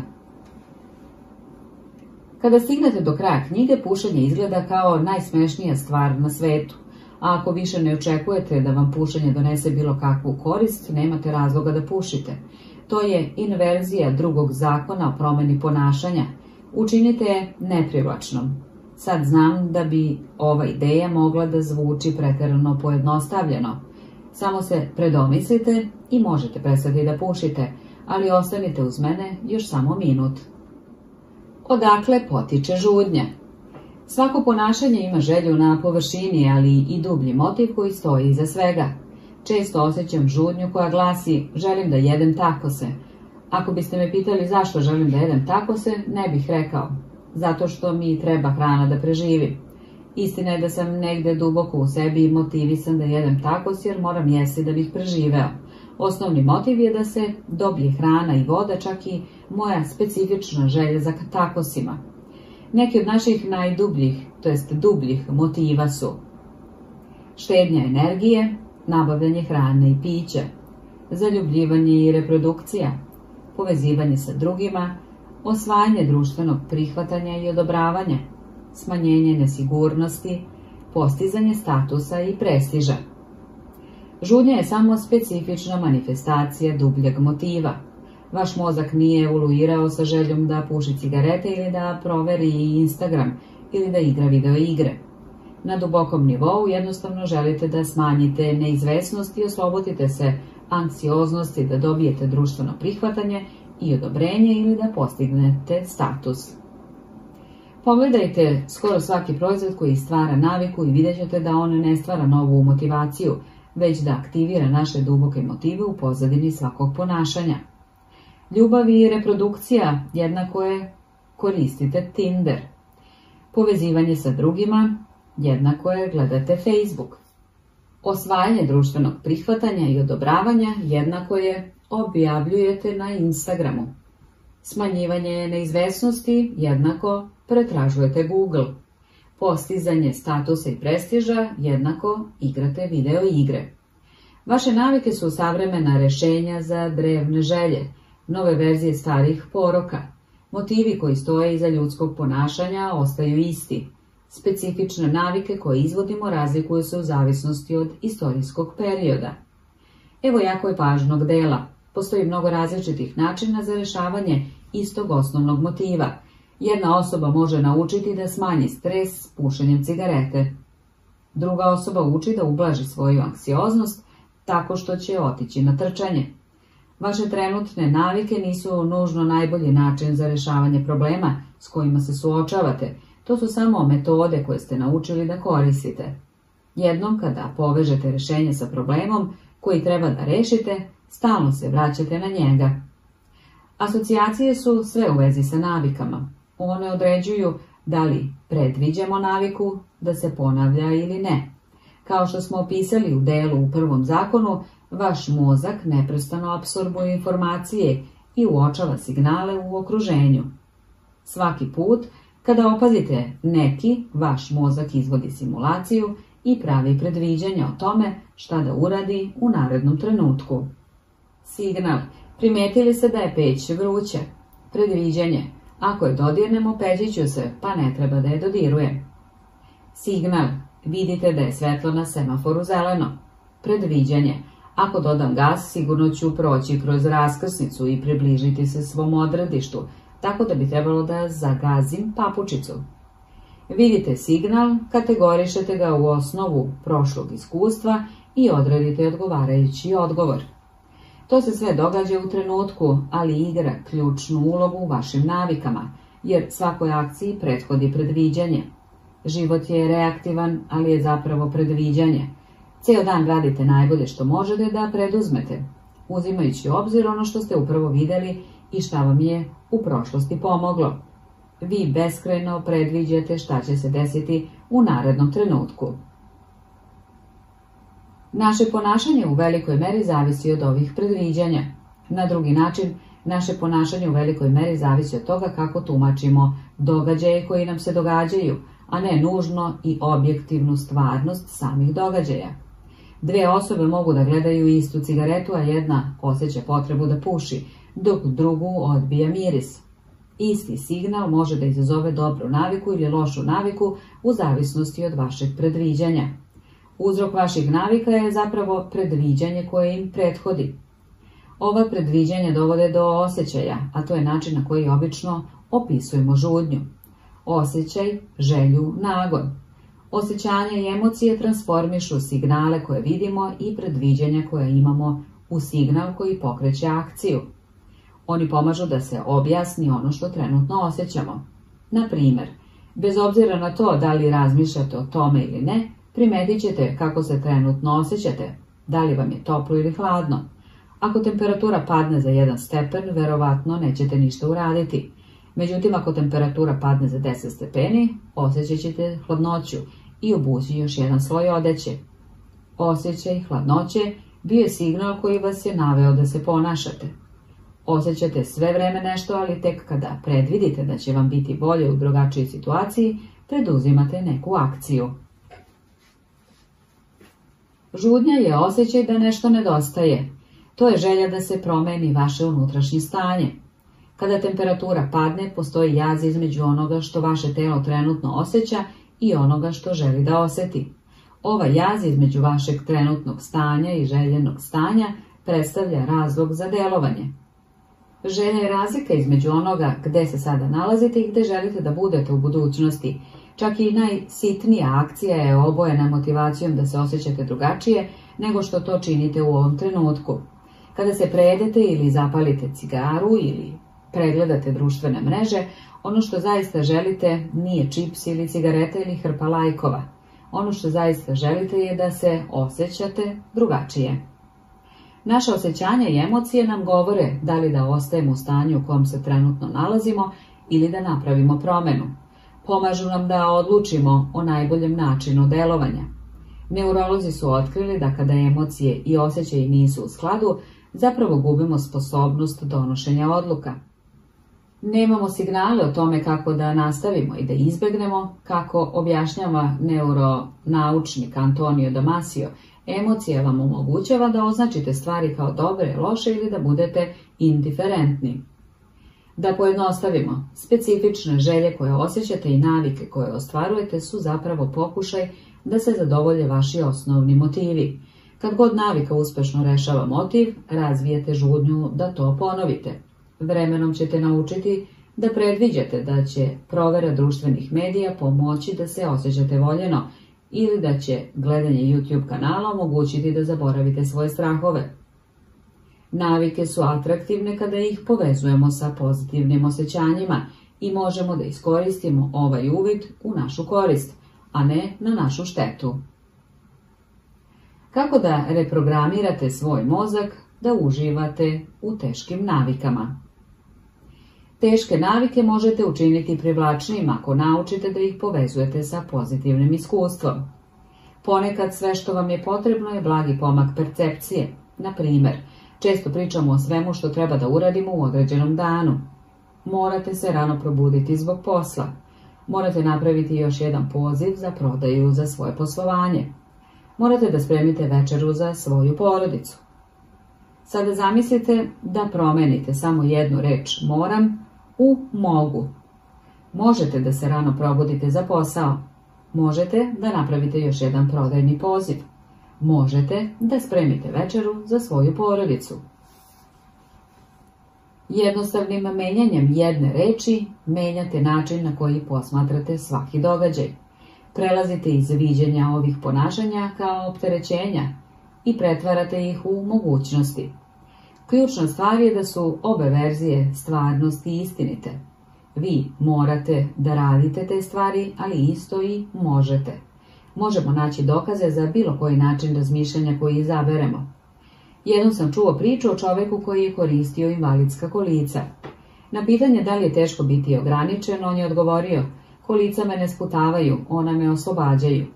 Da nije njih bilo, bio bih vezan za krevet i nikada ne bih mogao da napustim svoju kuću. Ova promjena u gledanju na stvari potpuno je promenila način na koji je živeo svaki dan. Preoblikovanje vaših navika da biste istakli njihove prednosti, a ne njihove nedostatke, je brzi lagan način da reprogramirate svoj um i da vam navika izgleda privlačnije. Vežbanje. Mnogi ljudi povezuju vežbanje sa izazovnim zadatkom koji iscrpljuje i troši energiju. Možete ga lako sagledati kao način za razvoj veština i izgradnju. Umjesto da kažete sebi, moram da trčim ujutru, recite, vreme je da izgradim izdrživost i postanem brza. Financije. Štednja je često povezana sa žrtvovanjem, međutim, možete povezati sa slobodom, a ne ograničenjem ako shvatite jednu jednostavnu istinu. Život ispod vaših trenutnih sredstava povećava vaša sredstva za budućnost. Novac koji uštedite ovog meseca povećava vašu kupovnu moć sljedećeg meseca. Meditacija. Svako ko je pokušao da meditira više od 3 sekunde zna kako frustrirajuće može biti kada vam sljedeća distrakcija neminovno padne na pamet. Možete pretvoriti frustraciju u oduševljenje kada shvatite da vam svaki prekid daje šansu da vežbate povratak na dah. Odvraćanje pažnje je dobra stvar zato što vam treba distrakcija da biste praktikovali meditaciju. Trema. Mnogi se osjećaju anksiozno pre nego što izvedu veliku prezentaciju ili se takmiče u važnom događaju. Doživljavaju brže disanje, brži rad srca, pojačano uzbuđenje. Ako te osjećaje protumačimo negativno, onda se osjećamo ugroženo i napeto. Ako ova osjećanja protumačimo pozitivno, onda možemo odgovoriti fluidnošću ili i gracioznošću. Možete da preformulišete ja sam nervozan u ja sam uzbuđen i dobijam adrenalinsku pomoć da se koncentrišem. Ove male promjene u umu nisu nikakva magija, ali mogu da pomognu da se promene osjećanja koje povezujete sa određenom navikom ili situacijom. Ako želite da napravite korak dalje, možete stvoriti ritual motivacije. Jednostavno praktikujte svoje navike sa nečim u čemu uživate. Onda možete koristiti taj signal kad god vam je potrebno malo motivacije. Na primjer, ako uvek slušate istu pesmu pre seksa, onda ćete početi da povezujete muziku sa činom. Kad god poželite da pojačate uzbuđenje, samo pritisnite play. Ed Latimore, bokser i pisac iz Pittsburgha, imao je koristi od slične strategije, a da to nije znao. Čudan uvid, napisao je, moj fokus i koncentracija se povećavaju samo stavljanjem slušalica dok pišem. Čak ne moram ni da pustim u pesmu. Ne shvatajući to, uslovio je sam sebe. Na početku bi stavio slušalice, pustio neku muziku, u kojoj je uživao i fokusirao se na posao. Nakon što je to uradio 5, 10, 20 puta, stavljanje slušalica je postalo signal i automatski se bolje fokusirao. Žudnja bi prirodno usledila. Sportisti koriste slične strategije kako bi se skoncentrisali na aktivnost. Tokom moje bejsbol karijere razvio sam specifičan ritual istezanja i bacanja pre svake utakmice. Čitav niz je trajao oko 10 minuta, a ja sam to radio na isti način svaki put. Iako me fizički zagrevalo za igru, još važnije, to me je stavljalo u pravo mentalno stanje. Počeo sam da povezujem svoj ritual sa takmičarskim duhom i fokusom. Čak iako nisam bio motivisan ranije kada bih završio sa svojim ritualom, bio sam raspoložen za igru.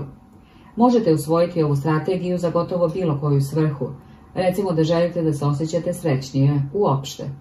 Nađite nešto što vas čini zaista srećnim, kao što je maženje vašeg psa ili kupka, i onda stvorite kratku rutinu koju izvodite svaki put pre nego što uradite ono što volite. Možete da udahnete tri puta i da se nasmete. Tri duboka udisaja, osmeh, maženje kućnog ljubimca, ponavljanje. Na kraju ćete početi da povezujete ovu rutinu disanja i osmeha sa dobrim raspoloženjem. To postaje signal koji znači osjećaj sreće. Kada se jednom uspostavi, možete ga prekinuti kad god vam je potrebno da promenite svoje emocionalno stanje. Pod stresom ste na poslu. Udahnite tri puta i osmehnite se. Tužni ste zbog života. Tri duboka udaha i osmeh. Kada se jednom izgradi navika, signal može izazvati žudnju, čak iako ima malo veze sa prvobitnom situacijom. Ključ za pronalaženje i popravljanje uzroka vaših loših navika je da se preoblikuju percepcije koje imate o njima. Nije lako, ali ako možete reprogramirati svoja predviđanja, možete pretvoriti tešku naviku u atraktivno. Rezime poglavlja Inverzija drugog zakona o promjeni ponašanja je neka bude neprivlačno. Svako ponašanje ima želju na površinskom nivou i dublji motiv ispod toga. Vaše navike su moderna rešenja za drevne želje. Uzrok vaših navika je zapravo predviđanje koje im prethodi. Predviđanje vodi do osjećaja. Istaknite prednosti izbjegavanja loše navike kako bi se učinila neprivlačnom. Navike su atraktivne kada ih povezujemo s pozitivnim osjećajima i neprivlačne kada ih povezujemo s negativnim osjećajima. Napravite ritual motivacije radeći nešto u čemu uživate, neposredno pre teške navike. Kako da stvorite dobru naviku? Prvi zakon neka bude očigledna. 1.1. Popunite listu za procenu navika, zapišite svoje trenutne navike da biste ih postali svesni. 1.2. Koristite implementaciju namere. Ja ću, u zagradi ponašanje, u, u zagradi vreme, u, u zagradi mesto. 1.3. Koristite slaganje navike. Nakon, trenutna navika u zagradi, ja ću, u zagradi nova navika. 1.4.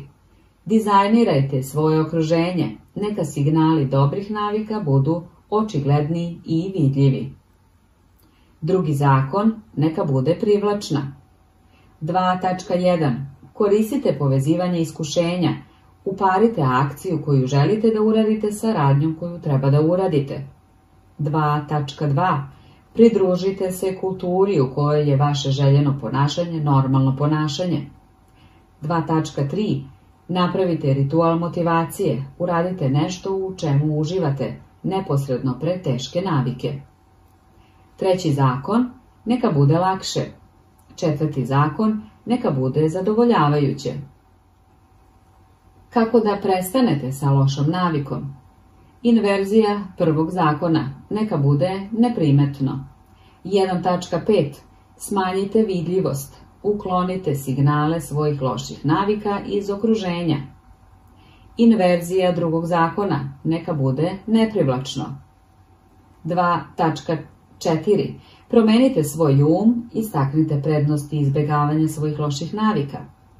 Inverzija trećeg zakona, neka bude teško. Inverzija četvrtog zakona, neka bude nezadovoljavajuće. Treći zakon, neka bude lako. Hodajte polako, ali nikad unazad. Prvog dana nastave Jerry Uelsman, profesor na univerzitetu na Floridi, podelio je svoje studente filmske fotografije u dve grupe. Svi na levoj strani učionice, objasnio je on, bili bi u kvantitativnoj grupi. Oni bi se ocenjivali isključivo na osnovu količine fotografije koje bi napravili. Posljednjeg dana nastave on će evidentirati fotografije koje je predao svaki učenik. 100 fotografija bi dobilo ocenu 10, 90 fotografija 9, 80 fotografija 8 i tako dalje. Umeđu vremenu svi na desnoj strani prostorije bili bi u kvantitativnoj grupi. Ocenjivali bi se samo na osnovu izvrsnosti njihovog rada. Trebalo je da naprave samo jednu fotografiju tokom semestra, ali da bi dobili A, ona je morala biti skoro završena. Na kraju polugodišta bio je iznenađen kada je otkrio da su se sve najbolje fotografije proizvedene od strane kvantitativne grupe. Tokom semestra ovi učenici su bili zauzeti fotografisanjem, eksperimentisanjem sa kompozicijom i osvetljenjem, testiranjem različitih metoda u mračnoj sobi i učenjem iz njihovih grešaka. U procesu stvaranja stotina fotografija oni su usavršili svoje veštine. U međuvremenu kvalitativna grupa je sedela okolo razmišljajući o savršenstvu. Na kraju imali su sam malo toga da pokažu za svoje napore osim neproverenih teorija i jedne osrednje fotografije. Lako je zaglaviti se pokušavajući da nađete optimalni plan za promenu.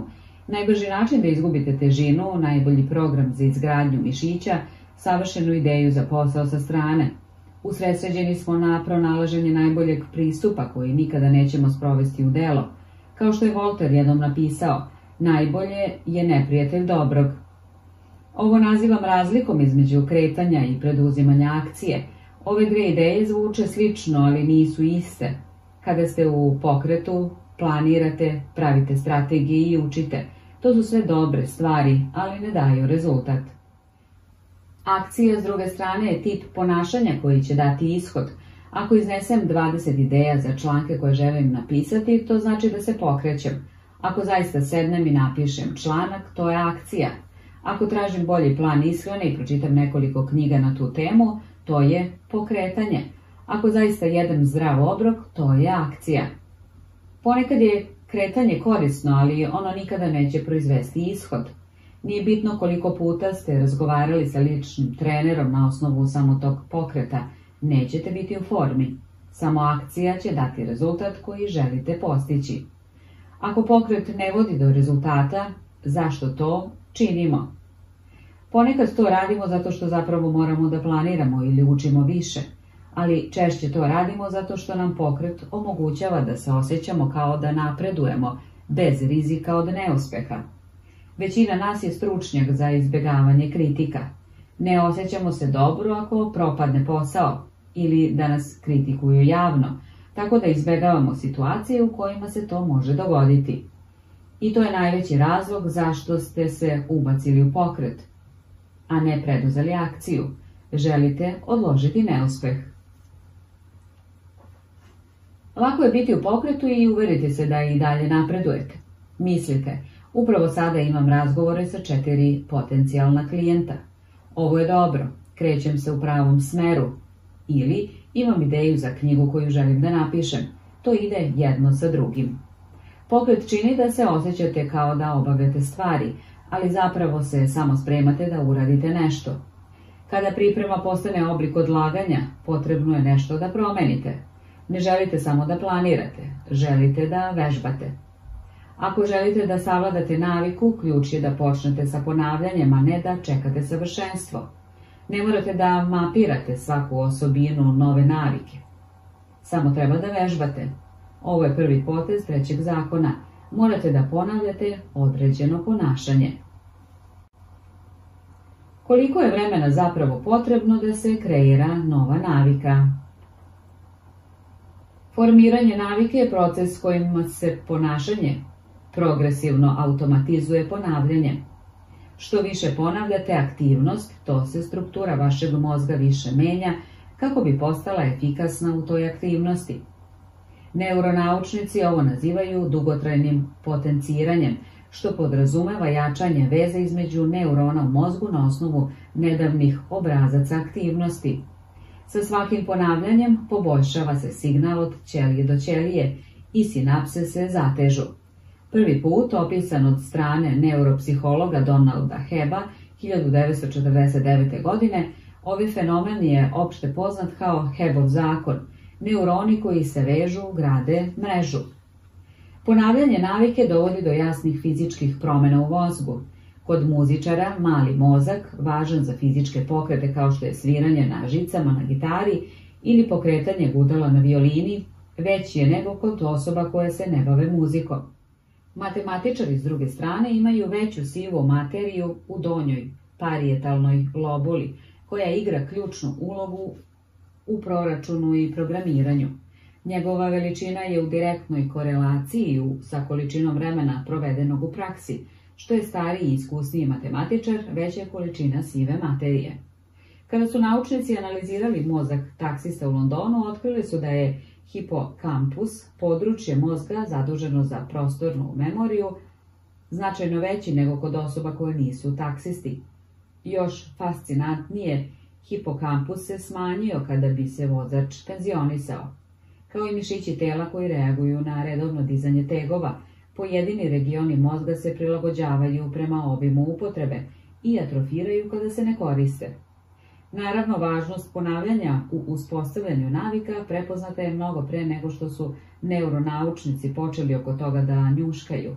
Engleski filozof George Lois je 1860. godine primetio učenje novog jezika, sviranje instrumenta ili kretanje na koje nismo navikli stvara nam teškoće jer kanali kroz koje svaka senzacija mora da prođe još nisu uspostavljeni ali čim čestim ponavljanjem napravimo putanje, teškoće nestaju, a akcije postaju toliko automatske da se mogu izvoditi dok je um angažovan potpuno drugim stvarima. I zdrav razum i naučni dokazi se slažu. Ponavljanje je vid promene. Svaki put kada ponavljate radnju, aktivirate određene sinapse, povezane sa tom navikom. To znači da jednostavno ponavljanje jeste jedan od najkritičnijih koraka koje možete preduzeti za kodiranje nove navike. Zato su učenici koji, koji su pravili mnogo fotografija poboljšali svoje veštine, dok oni koji su tek teoretisali o savršenim fotografijama nisu. Jedna grupa se angažovala u aktivnoj praksi, a druga u pasivnom učenju. Jedna u akciji, druge u pokretu. Sve navike slijede sličnu putanju, od naporne prakse do automatskog ponašanja, procesa poznatog kao automatizam. Automatizacija je sposobnost obavljanja ponašanja bez razmišljanja o svakom koraku, koji nastaje kada nesvesni um preuzme komandu. Jedno od najčešćih pitanja koje čujem je koliko je vremena potrebno za izgradnju nove navike, ali ono što bi ljudi trebalo da pitaju je koliko je mnogo potrebno da bi se stvorila nova navika, odnosno koliko ponavljanja je potrebno da bi navika bila automatska. Nema ničega magičnog u prolasku vremena u pogledu formiranja navike. Nije bitno da li je prošlo 21 dan ili 30 dana ili 300 dana. Ono što je važno jeste učestalost kojom vršite ponašanje. Možete da uradite nešto dva put u 30 dana ili 200 puta. Razlika je u učestalosti. Vaše trenutne navike su internalizovane tokom stotina, ali ne i hiljada ponavljanja. Nove navike zahtevaju isti nivo ponavljanja. Morate spojiti dovoljno uspešnih pokušaja sve dok se ponašanje čvrsto ne utisne u vaš um i pređete krivulju navika. U praksi nije bitno koliko dugo je potrebno da navika postane automatska. Važno je da preuzmete akciju koje su neophodne da biste ostvarili napredak. Da li je akcija potpuno automatska, manje je važno. Da biste izgradili naviku morate vežbati, a najefikasniji način da se praksa desi jeste pridržavanje trećeg zakona o promjeni ponašanja. Neka bude lako. Poglavlja koja slijede će vam pokazati kako da uradite upravo to. Rezime poglavlja. Treći zakon o promjeni ponašanja glasi neka bude lako. Najefikasnija forma učenja je praksa, a ne planiranje. Fokusirajte se na akciju, a ne na pokretanje. Formiranje navike je proces kojim se ponašanje postepeno sve više automatizuje kroz ponavljanje. Količina vremena koju obavljate nije toliko važna koliko je broj puta izvršene radnje.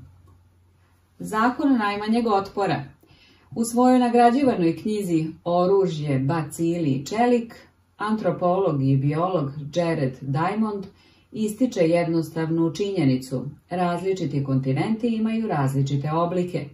Na prvi pogled ova izjava izgleda prilično očigledno i nevažno, ali se ispostavlja da ima dubok utjecaj na ljudsko ponašanje. Glavna osa Amerike proteže se od severa prema jugu, to jest kopnena masa Severne i Južne Amerike ima tendenciju da bude visoka i mršava, a ne široka i debela. Isto važi i za Afriku. Umeđu vremenu kopno koje čini Europu, Aziju i Bliski istok je opozit tome. Ovaj masovni deo zemlje se više proteže ka istoku i zapadu. Prema Diamondu, ova razlika u obliku je imala značajnu ulogu u širenju poljoprivrede tokom vekova.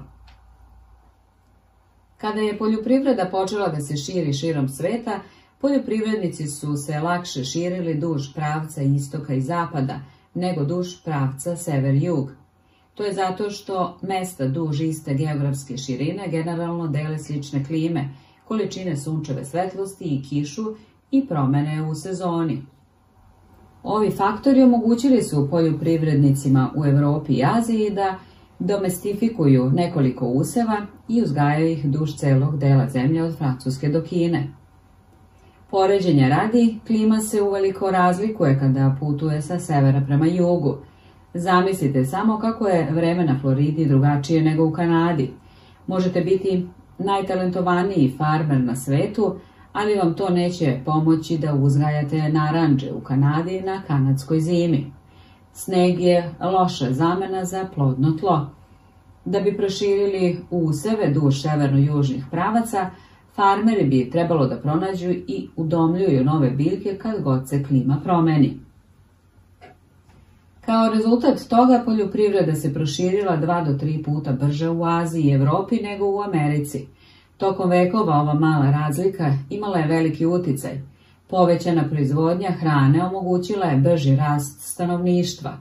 Sa više ljudi, ove kulture su bile u stanju da izgrade jače vojske i bile bolje opremljene za razvoj novih tehnologija. Promene su u početku bile male, usev koji se širio malo dalje, populacija koja je rasla malo brže, ali su vremenom učinile značajne razlike. Širenje poljoprivrede je primer trećeg zakona o promeni ponašanja na globalnom nivou. Prema konvencionalnom shvatanju motivacije je ključ za promenu navike. Kada biste stvarno nešto želeli, možda biste to i uradili. Ali istina je da je naša stvarna motivacija da budemo lenji i da radimo ono što nam je najlakše.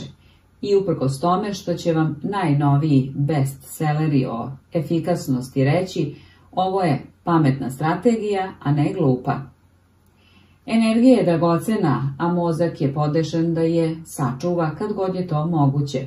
Ljudska priroda je da se pridržava zakona najmanjeg napora, koji kaže da će ljudi pri odlučivanju između dve slične opcije prirodno težiti opciji koja zahteva najmanje napora. Na primjer, proširenje vaše farme na istok gdje možete uzgajati iste useve, a ne na sever gdje je klima drugačija. Od svih mogućih akcija koje bismo mogli da preduzmemo, ona koja se ostvaruje je ona koja donosi najveću vrednost sa najmanje napora. Mi smo motivisani da radimo ono što je lako. Svaka akcija zahteva određenu količinu energije. Što je više energije potrebno, manje je verovatnoće da će se to dogoditi. Ako je vaš cilj da uradite stotinu sklekova dnevno, to je mnogo energije. U početku, kada ste motivisani i uzbuđeni, možete da prikupite snagu da započnete. Ali nakon nekoliko dana, tako masivan napor je iscrpljujući. Umeđu vremenu, pridržavanje navike, obavljanje jednog skleka dnevno ne zahteva gotovo nikakvu energiju za početak. A što manje energije zahteva naviku, veća je verovatnoća da ćete ostati pri njoj. Pogledajte bilo koje ponašanje koje ispunjava veći deo vašeg života i vidjet ćete da se može obaviti sa veoma niskim nivoom motivacije. Navike poput scrollovanja na našim telefonima, provere mailova i gledanje televizije kradu toliko našeg vremena jer se mogu izvoditi gotovo bez napora. Izuzetno su zgodni. U određenom smislu svaka navika je samo prepreka za dobijanje onoga što zaista želite. Dijeta je prepreka da budete vitki. Meditacija je prepreka za smirenost. Vođenje dnevnika je prepreka za jasno razmišljanje. Vi zapravo ne želite samo naviku. Ono što zaista želite je rezultat koji navika donosi. Što je veća prepreka, to je teža navika. To je više otpora između vas i željenog krajnjeg stanja. Zato je ključno da vaše navike budu tako jednostavne da ćete ih raditi čak i kada niste raspoloženi za njih. Ako možete da učinite svoje dobre navike praktičnim, verovatnije je da ćete ih pratiti. Ali šta je sa svim trenucima kada činimo suprotno? Ako smo svi tako lenji, kako onda objašnjavate ljude koji ostvaruju komplikovane stvari kao što su podizanje deteta ili pokretanje biznisa ili penjanje na Mont Everest? Svakako da ste sposobni da radite veoma izazovne stvari. Problem je u tome što se nekim danima osjećate kao da ste spremni za naporan rad, a nekim danima biste jednostavno odustali. U teškim danima ključno je imati što je moguće više stvari u svoju korist, tako da možete prevazići izazove koje život prirodno baca pred vas. Što se sa manje otpora susrećete, lakše je da se vaše jače sobstvo pojavi.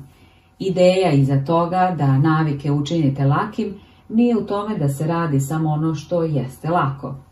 Ideja je da u trenutku učinite da one budu što je lakše moguće kako biste mogli da izvodite dugoročno. Kako da postignete više sa manje napora? Zamislite da držite baštensko crevo koje je savijeno u sredini. Voda može da teče, ali sporo. Ako želite da povećate brzinu kojom voda prolazi kroz crevo, imate dve opcije. Prva opcija je da odvrnete ventil i pustite još jači mlaz vode. Druga opcija je da jednostavno ispravite crevo i pustite da voda teče prirodno. Pokušaj da podstaknete svoju motivaciju da se držite teške navike je kao pokušaj da se više vode silom pusti kroz savijeno crevo. To možete da uradite, ali to zahteva mnogo truda i povećava napetost u vašem životu. Umeđu vremenu vaše navike su jednostavne i lake kao uklanjanje pregiba u crevu. Umjesto da pokušavate da prevaziđete otpor u svom životu, smanjite ga.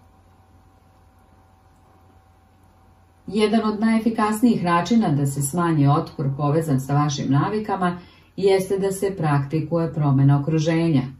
U šestom poglavlju razmatrali smo dizajn okruženja kao metod za stvaranje očiglednih signala, ali možete i da optimizujete svoje okruženje da biste olakšali radnje. Na primjer, kada odlučujete gdje da vežbate novu naviku, najbolje je da izaberete mesto koje je već na putu vaše dnevne rutine. Navike se lakše grade kada se uklapaju u tok vašeg života.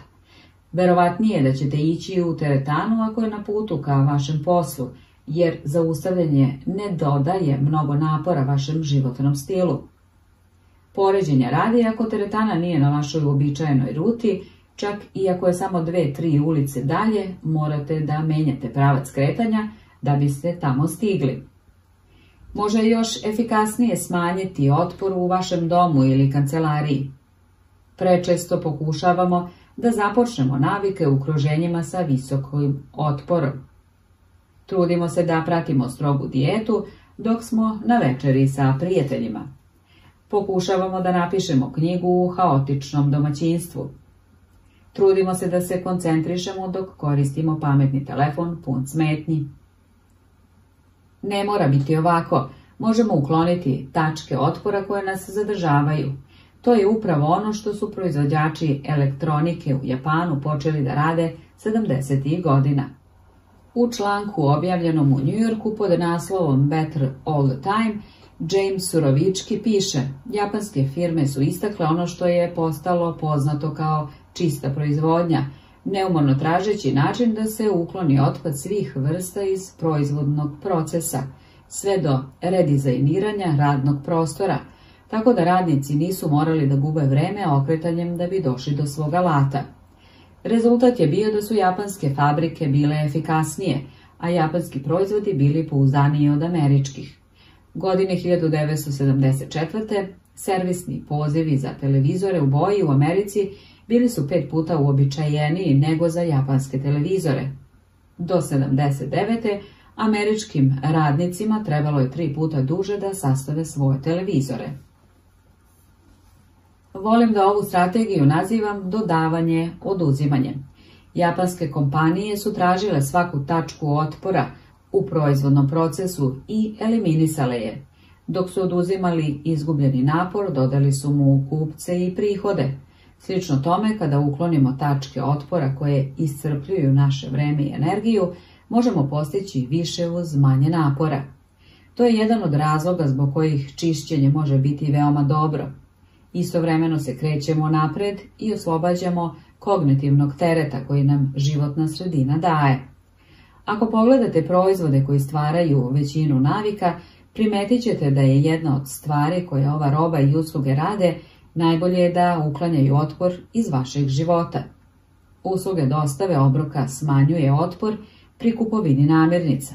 Aplikacije za upoznavanje smanjuju otpor pri društvenom upoznavanju. Usluge podele vožnje smanjuju otpor vožnje po gradu. Tekstualna poruka smanjuje otpor slanja pisma poštom. Poput japanskog proizvođača televizora koji redizajnira svoj radni prostor kako bi smanjio otpad, uspešne kompanije dizajniraju svoje proizvode kako bi automatizovale, eliminisale ili pojednostavile što više koraka. Oni smanjuju broj polja na svakom obrazcu, oni smanjuju broj klikova potrebnih za kreiranje računa. Oni isporučuju svoje proizvode sa lako razumljivim uputstvima ili traže od svojih klijenata da naprave manje izbora. Kada su se prvi zvučnici aktivirani glasom pojavili, proizvodi kao što su Google Home, Amazon Echo i Apple HomePod, pitao sam prijatelja šta mu se dopada kod proizvoda koje je kupio. Rekao je da je bilo lakše reći pusti neku country muziku, nego izvući telefon, otvoriti aplikaciju i izabrati listu pesama. Naravno, samo nekoliko godina ranije neograničen pristup muzici u vašem džepu bio je neobično ponašanje bez otpora u odnosu na vožnju do prodavnice i kupovinu CD-a. Razvoj biznisa je beskrajna potraga za lakšim postizanjem istih rezultata. Slične strategije su efikasno koristile i vlade – kada je britanska vlada htjela da poveća stope poreza, izmenili su korake koje je bilo potrebno obaviti na njihovom sajtu. Umjesto preuzimanja obrazca, čuvanja u memoriji kompjutera, pa onda popunjavanja i ponovnog slanja, građani su sada popunjavali direktno sve na jednom URL mestu. Smanjenje takvog jednog koraka u procesu povećao je stopu odgovora sa 19,2% na 23,4%. Za zemlju kao što je Velika Britanija, tri ti procenti predstavljaju milione prihoda od poreza. Centralna ideja je da se stvori okruženje u kojem je činiti pravu stvar olakšano do maksimuma. Veliki deo borbe za izgradnju boljih navika svodi se na pronalaženje načina da se smanji otpor povezan sa našim dobrim navikama i poveća otpor povezan sa našim lošim. Pripremite okolinu za buduće akcije. Oswald Nichols je inženjer informacijonih tehnologija iz Načeza u Mississippiju. On je također neko ko razume moć pripreme okruženja. Nikol se okrenuo navici čišćenja prateći strategiju koju on naziva resetovanjem sobe. Na primjer, kada završi gledanje televizije, postavlja daljinski upravljač na stalak za televizor, postavlja jastuke na kauč i pakuje ćebe. Kada napusti auto, baca svo smeće. Kad god se tušira, obriše toalet dok se tuš zagreva. Kao što napominje, savršeno vreme za čišćenje toaleta je tačno pre nego što se i sami istuširate. Svrha resetovanja svake sobe nije jednostavno čišćenje nakon posljednje akcije, već priprema za sljedeću akciju. Kada uđem u sobu, sve je na svom mestu, napisao je Nichols. Zato što to radim svaki dan u svakoj sobi, stvari uvek ostaju dobro sređene. Ljudi misle da radim naporno, ali zapravo sam stvarno lenj. Ja sam samo proaktivno lenj, posle imaš mnogo vremena za sebe. Kad god organizujete prostor prema namjeri koje služi, pripremate je da sljedeću akciju učinite lako. Na primjer, moja žena ima kutiju čestitki koje sortira prema povodu proslavljanja, rođendan, saučešća, venčanja, mature i još mnogo toga. Kad god je potrebno, ona zgrabi odgovarajuću karticu i pošalje je. Ona je neverovatno dobra u pamćenju da šalje kartice jer je smanjila otpor u tome. Godinama sam se ponašao suprotno tome. Neko bi dobio bebu i ja bih pomislio trebalo bi da pošaljem čestitku, ali onda bi prošle nedelje i do trenutka kad bih se setio da je kupim u prodavnici, bilo bi prekasno. Navika nije bila laka. Postoji mnogo načina da pripremite svoju okolinu tako da je spremna za momentalnu upotrebu. Ako želite da skuvate zdrav doručak, stavite tiganj na šporet, postavite ulje na pult i postavite bilo kakve tanjire i pribor koji će vam biti potrebni noć ranije. Kad se probudite, priprema doručka će biti laka. Želite li više da crtate? Stavite bojice, olovke, blok i alate za crtanje na vrh svog stola, na dohvat ruke. Želite da vežbate? Postavite svoju odeću za vežbanje, obuću, torbu za teretanu i bocu za vodu pre odlaska u teretanu. Želite da poboljšate ishranu? Vikendom isecite tonu voća i poveća i pakujte ih u kutije, tako da imate lak pristup zdravim, spremnim za jelo namirnicama tokom sedmice. To su jednostavni načini da se dobra navika stvori sa najmanjim naporom. Možete i da preokrenete ovaj princip i da okruženje učinite teškim za loše ponašanje. Ako, na primjer, gledate previše televiziju, onda ga isključite nakon svake upotrebe.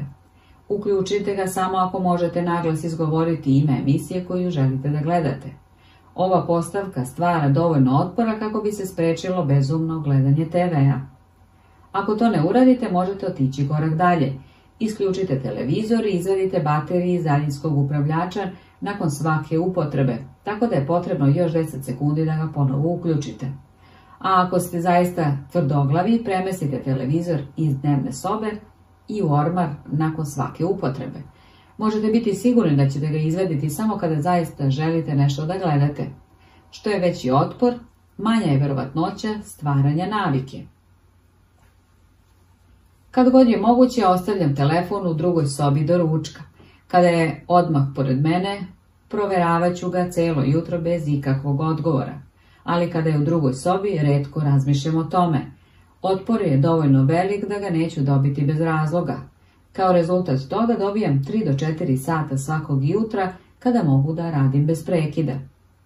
Ako se držanje telefona u drugoj prostoriji ne čini dovoljnim, Recite prijatelju ili članu porodice da ga sakrije od vas na nekoliko sati. Zamolite kolegu da ga ujutro zadrži na svom stolu i da vam ga vrati za vreme ručka. Zanimljivo je koliko je malo otpora potrebno da bi se sprečilo neželjeno ponašanje. Kada sakrijem pivo u frižideru, gde ga ne vidim, manje pijem. Kada brišem aplikacije za društvene medije sa svog telefona, mogu proći nedelje pre nego što ih ponovo preuzom i prijavim se. Ovi trikovi verovatno neće obuzati pravu zavisnost, ali za mnoge od nas malo otpora može činiti razliku između držanja dobre navike ili prepuštanja lošoj. Zamislite kumulativni utjecaj primjene desetina ovih promjena i življenja u okruženju koje je dizajnirano kako bi olakšalo dobro ponašanje i otežalo loše ponašanje. Bilo da se približavamo promjeni ponašanja kao pojedinac, roditelj, trener ili lider, trebalo bi da postavimo isto pitanje. Kako možemo da osmislimo svet u kome je lako uraditi ono što je ispravno? Redizajnirajte svoj život tako da su akcije koje su najvažnije i akcije koje je najlakše uraditi. Rezime poglavlja Ljudsko ponašanje sledi zakon o najmanjem naporu. Mi ćemo naravno težiti opciji koja zahteva najmanje posla. Stvorite okruženje u kojem je što lakše moguće da činite pravu stvar. Smanjite otpor povezan sa dobrim ponašanjem.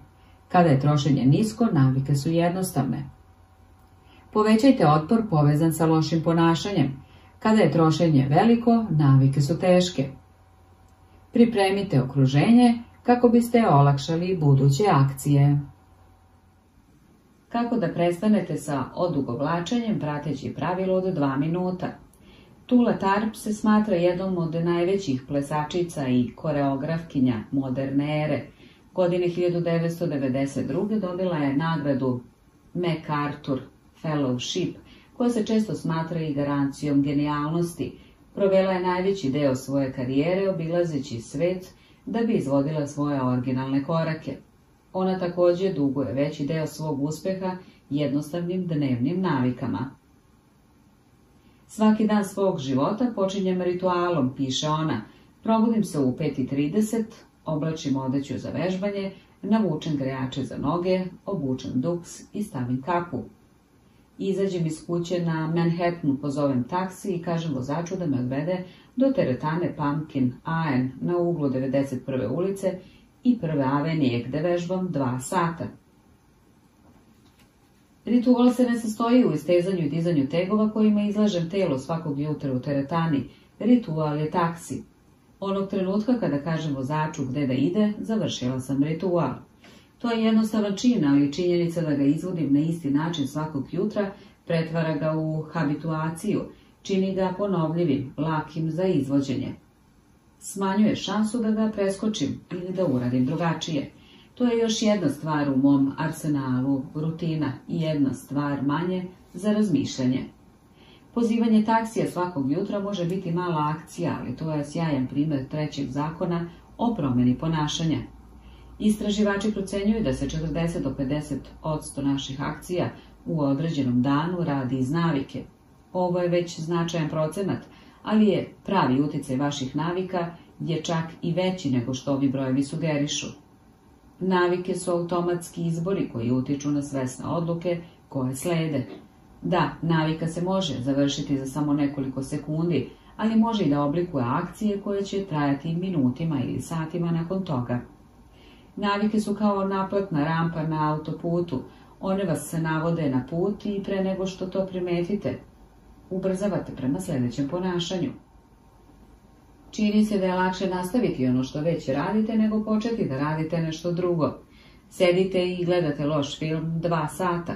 Nastavljate da grickate čak i kada ste već siti. Proveravate telefon za samo sekundu i uskoro ste proveli 20 minuta gledajući u ekran. Na ovaj način navike koje pratite bez razmišljanja često određuju izbore koje donosite kada razmišljate. Svake večeri postoji mali trenutak, obično oko 17 i 15, koji oblikuje ostatak moje noći. Moja žena se vraća sa posla i ili se presvučemo u odeću za vežbanje i odemo u teretanu ili se opustimo na kauču, naručimo indijsku hranu i gledamo seriju u kancelariji, The Office. Ako se presvučem, znam da će doći do treninga. Sve što sledi, vožnja u teretanu, odlučivanje koje vežbe da se urade, dizanje tegova, a lako je kada sam napravio prvi korak. Svakog dana postoji nekoliko trenutaka koji imaju najveći utjecaj. Ove male izbore nazivam odlučujućim momenti. trenutak kada se odlučite da naručite ili da spremite večeru, trenutak kada se odlučite da idete automobilom ili vozite bicikl, trenutak kada odlučite da radite domaći ili da igrate igrice. Ovi izbori su račvanja na putu. Odlučujući momenti postavljaju opcije koje su dostupne vašem budućem ja. Na primjer, ulazak u restoran je odlučujući trenutak, jer određuje šta ćete jesti za ručak. Tehnički vi kontrolišete ono što naručujete, ali u širem smislu možete naručiti samo ono što je na meniju. Ako uđete u restoran u kome se služi biftek, možete dobiti pečenicu ili rebro, ali ne i suši. Vaše opcije su ograničene onim što je dostupno. One su oblikovane vašim prvim izborom. Ograničeni smo onim kuda nas navike vode, zato je ovladavanje odlučujućih trenucima tokom dana toliko važno. Svaki dan je sačinjen od mnogih trenutaka, ali u suštini nekoliko uobičajenih izbora određuje put kojim ćete krenuti. Ovi mali izbori se skupljaju. Svaki od njih postavlja putanju kako ćete provesti sljedeći deo vremena. Navike su ulazna tačka, a ne krajnja tačka. One su taksi, a ne teretana. Pravilo od dva minuta. Čak i kada znate da treba da počnete malim stvarima, lako je preuveličati. Kada sanjate o promjeni, uzbuđenje vas neizbežno preuzima i na kraju pokušavate da uradite previše prerano. Najdelotvorniji način za koji ja znam da se suprotstavim ovoj tendenciji je da koristim pravilo od dva minuta koje kaže kada započnete novu naviku trebalo bi da prođe manje od dva minuta da je uradite otkrićete da skoro svaka navika može da se svede na dva minuta. Čitanje pre spavanja svake noći postaje pročitajte jednu stranicu. Vežbati jogu 30 minuta postaje izvadite joga prostirku. Učiti za čas postaje otvoriti beleške. Spakovati veš postaje spakovati jedan par čarapa. Trči 5 km postaje vezati patike. Ideja je da učinite što lakšim početak vaših navika. Svako može da meditira jedan minut, da pročita jednu stranicu ili odloži jedan komad odeće. I kao što smo upravo diskutovali, ovo je moćna strategija, jer kada počnete da radite pravu stvar, mnogo je lakše nastaviti sa tim. Nova navika ne bi trebalo da bude izazov. Akcije koje slede mogu biti izazovne, ali prva dva minuta bi trebalo da bude lako. Ono što želite je izlazna navika, koja vas prirodno vodi produktivnim putem. Obično možete prepoznati izlazne navike, koje će vas dovesti do željenog ishoda, mapiranjem ciljeva na skali od vrlo lako do veoma teško. Na primjer, trčanje maratona je veoma teško, trčanje 5 km je teško, hodanje 10.000 koraka je umereno teško, Hodanje 10 minuta je lako, a obuvanje patika je veoma lako. Vaš cilj bi mogao da bude trčanje maratona, ali vaša izlazna navika jeste da obujete patike. Tako se slijedi pravilo od 2 minuta. Vrlo lako obuvanje patika. Lako hodanje 10 minuta. Srednje hodanje 10.000 koraka. Teško trčanje 5 km i vrlo teško trčanje maratona. Vrlo lako napisati jednu rečenicu, lako napisati jedan paragraf, srednje napisati hiljadu reči, teško napisati članak od 5000 reči, vrlo teško napisati knjigu. Vrlo lako otvoriti beleške, lako učiti 10 minuta, srednje učiti 3 sata, teško dobiti dobre ocene, vrlo teško doktorirati. Ljudi često misle da je čudno biti uzbuđen zbog čitanja jedne stranice ili meditiranje jedan minut ili jednog poziva za prodaju. Ali poenta nije da se uradi jedna stvar. Poenta je ovladati navikom pojavljivanja. Istina je da se navika mora uspostaviti pre nego što se ona može poboljšati. Ako ne možete da naučite osnovnu veštinu pojavljivanja, onda ima malo nade da ćete ovladati finim detaljima. Umjesto da pokušavate da napravite savršenu naviku od samog početka, radite lake stvari, ali budite im dosledni. Morate standardizovati stvari pre nego što ih optimizujete. Dok savladavate umetnost prikazivanja, prva dva minuta jednostavno postaju ritual na početku veće rutine. To nije samo fora da se navike učine lakšim, već zapravo idealni način da se ovlada teška veština. Što više ritualizujete početak procesa, to je verovatnije da ćete moći da uđete u stanje dubokog fokusa, koji je potreban da bi se uradili velike stvari. Radeći isto zagrevanje pre svakog treninga, olakšavate ulazak u stanje vrhunskih performansi. Prateći isti kreativni ritual, olakšavate da uđete u težak posao stvaranja. Razvijajući doslednu naviku umirivanja, lakše ćete svake noći otići u krevetu u razumnom vremenu. Možda nećete moći da automatizujete ceo proces, ali možete napraviti prvu akciju svesno. Olakšajte početak i ostatak će slediti. Pravilo od dva minuta može izgledati kao trik nekim ljudima. Znate da je pravi cilj da uradite više od samo dva minuta, tako da se može osjećati kao da pokušavate da se zavarate. Niko zapravo ne želi da pročita jednu stranicu ili da napravi jedan sklek ili otvori svoje beleške, a ako znate da je to mentalni trik, zašto biste pali na njega? Ako se pravilo od dva minuta forsira, pokušajte ovo. Uradite to dva minuta i zatim prestanite. Idite na trčanje, ali morate prestati posle dva minuta. Počnite da meditirate, ali morate prestati nakon dva minuta. Učite arapski, ali morate prestati nakon dva minuta. To nije strategija za početak, to je sve. Vaša navika može trajati samo 120 sekundi. Jedan od mojih čitalaca iskoristio je ovu strategiju da izgubi više od 45 kg. U početku je svakog dana odlazio u teretanu, ali je sebi rekao da mu nije dozvoljeno da ostane više od 5 minuta. Otišao bi u teretanu, vežbao 5 minuta i otišao čim bi njegovo vreme isteklo. Posle nekoliko nedelja pogledao je oko sebe i pomislio, pa i onako dolazim ovamo. Mogao bih i da ostane malo duže. Nekoliko godina kasnije težina je nestala. Vođenje dnevnika predstavlja još jedan primjer. Skoro svako može imati koristi od toga da svoje misli izvuče iz glave i stavi na papir, ali većina ljudi odustaje nakon nekoliko dana ili ih u potpunosti izbegava zato što pisanje dnevnika osjeća kao zadatak. Tajna je da uvek ostanete ispod tačke u kojoj nešto osjećate kao obavezu. Greg McKeon, konsultant za lidere iz Velike Britanije, razvio je svakodnevnu naviku vođenja dnevnika, posebno pišući manje od onoga što je osjećao. Uvek je prestajao da piše pre nego što je izgledalo kao gnjavaža. Ernest Hemingway je verovao u sličan savjet za bilo koju vrstu pisanja. Najbolji način je da se zaustaviš uvek kada ti ide dobro, rekao je.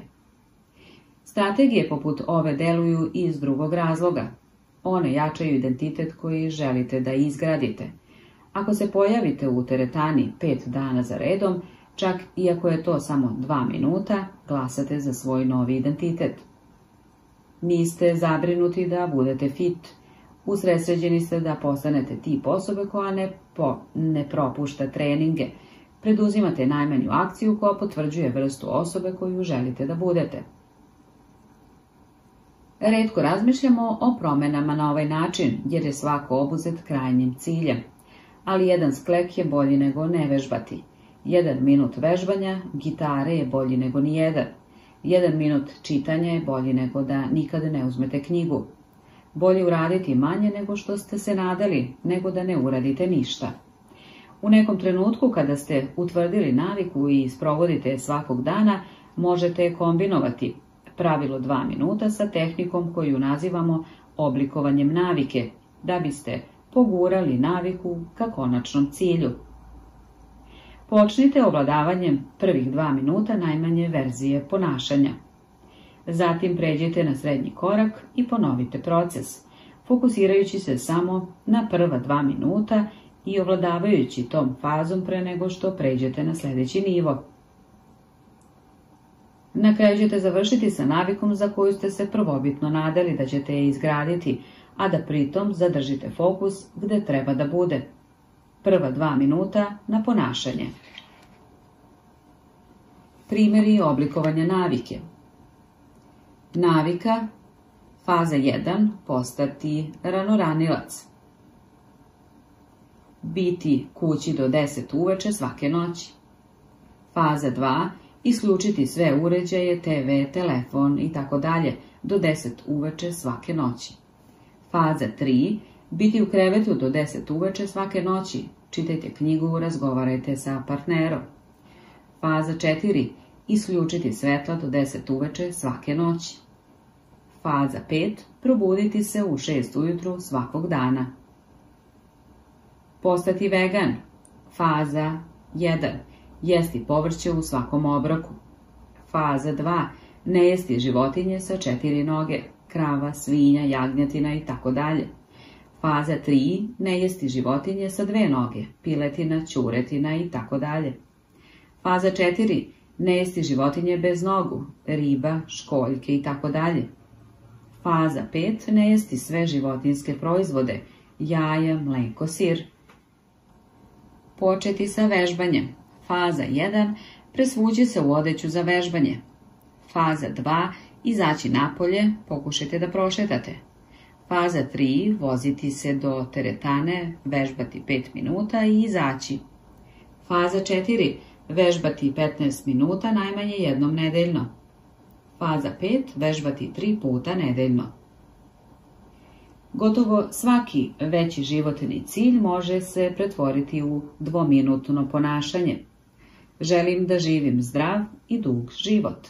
Moram da ostanem u formi. Moram da vežbam. Moram da se presvučam u svoju odeću za vežbanje. Želim da imam srećan brak. Moram da budem dobar partner. Trebalo bi svaki dan da radim nešto da bi život svog partnera učinio lakšim. Trebalo bi da planiram obrok za sljedeću sedmicu. Kad god se borite da se držite navike, možete da primenite pravilo dva minuta. To je jednostavan način da olakšate svoje navike. Rezime poglavlja. Navike se mogu završiti za nekoliko sekundi, ali nastavljaju da utiču na vaše ponašanje minutima ili satima nakon toga. Mnoge navike se dešavaju u odlučujućim momentima, izborima koji su poput račvanja na putu, ili vas šalju u pravcu produktivnog dana ili neproduktivnog.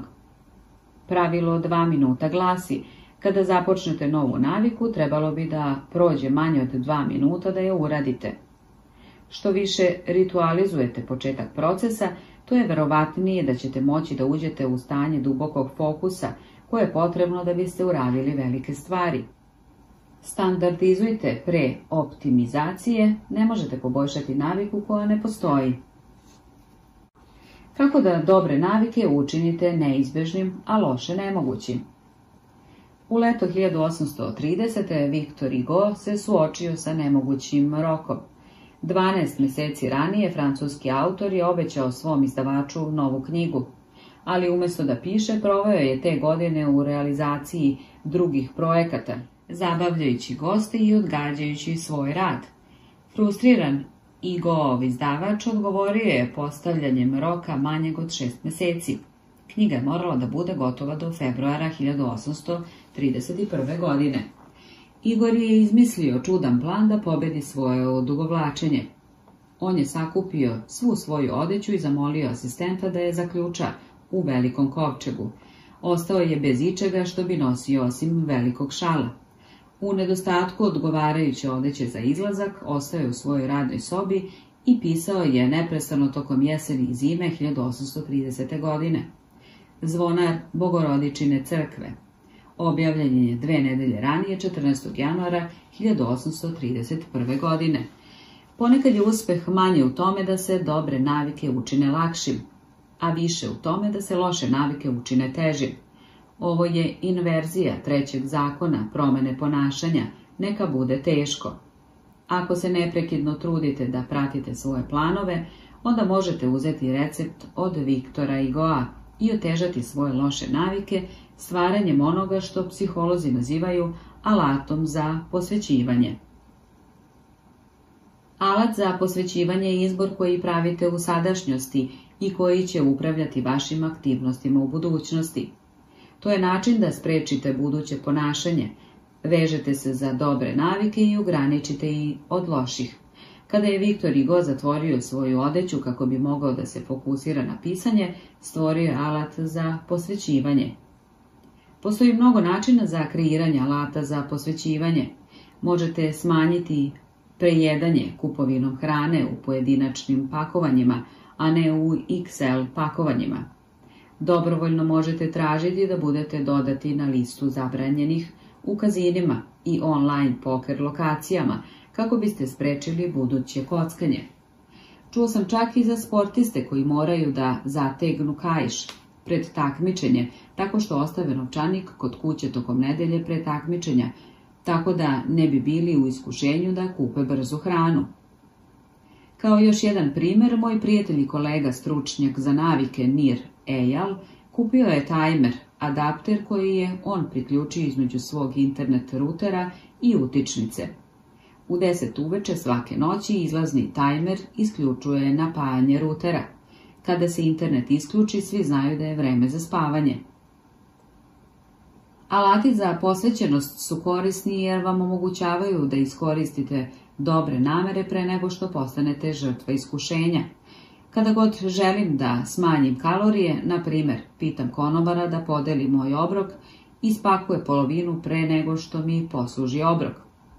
Da sam čekao da se obrok pojavi i rekao sebi da ću pojesti samo polovinu, to nikada ne bi uspelo. Ključ je u tome da se promeni zadatak tako da zahteva više posla da bi se izašlo iz dobre navike nego da se počne s njom. Ako se osjećate motivisano da dovedete liniju u formu, zakažite sa časove joge i platite unapred. Ako ste uzbuđeni zbog posla koji želite da pokrenete, pošaljite mail preduzetniku kog poštujete i zakažite poziv za konsultacije. Kada dođe vreme da delujete, jedini način za kauciju je da otkažete sastanak, koji zahteva napor i može vas koštati novca. Alati za posvećenost povećavaju šanse da ćete uraditi pravu stvar u budućnosti tako što ćete u sadašnjosti otežati loše navike.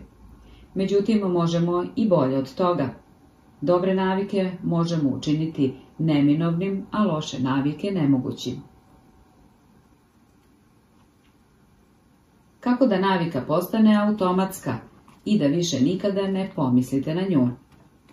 John Henry Peterson rođen je u Daytonu u Ohio 1844. godine.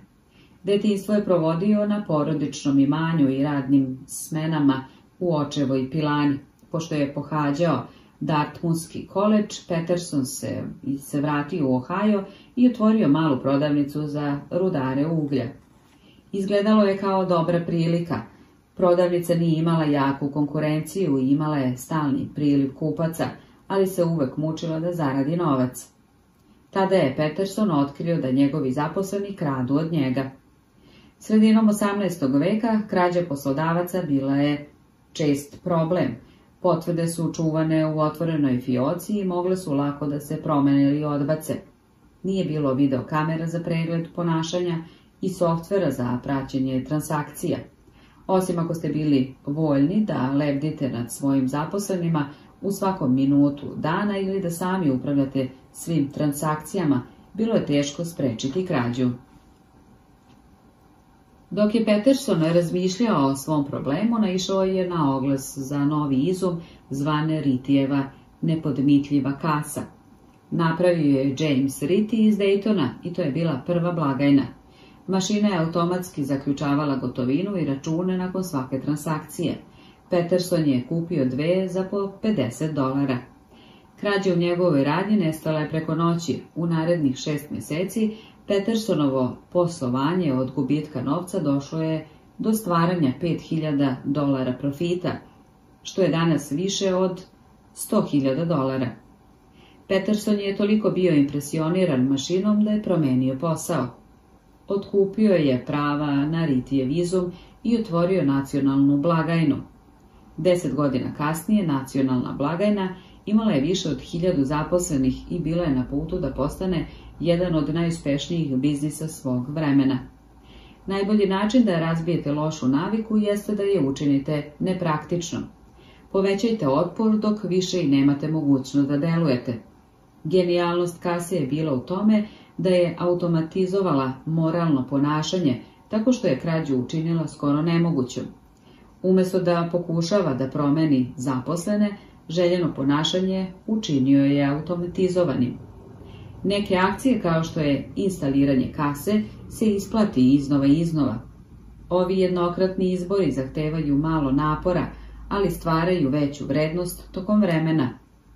Oduševljen sam idejom da jedan izbor može iznova iznova donositi korist i napravio sam anketu među mojim čitaocima koja je njihova omiljena jednokratna akcija koja je donela niz boljih dugoročnih navika.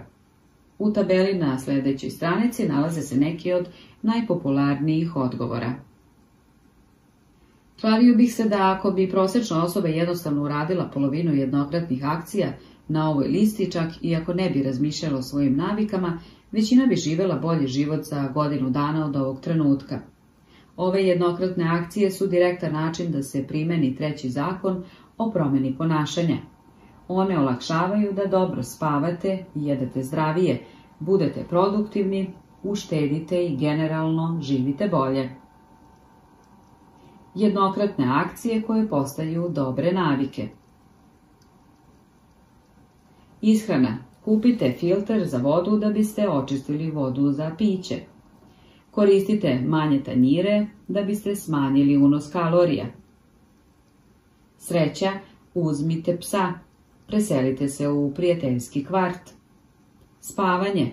Kupite dobar dušek, nabavite zavese za zamračenje. Uklonite televizor i spavaće sobe. Opšte zdravlje. Vakcinišite se. Kupite dobre cipele da biste izbegli bol u leđima. Kupite anatomsku stolicu ili sto za rad stojeći. Produktivnost. Otkažite pretplatu na elektronske poruke. Isključite obaveštenja i isključite grupne razgovore.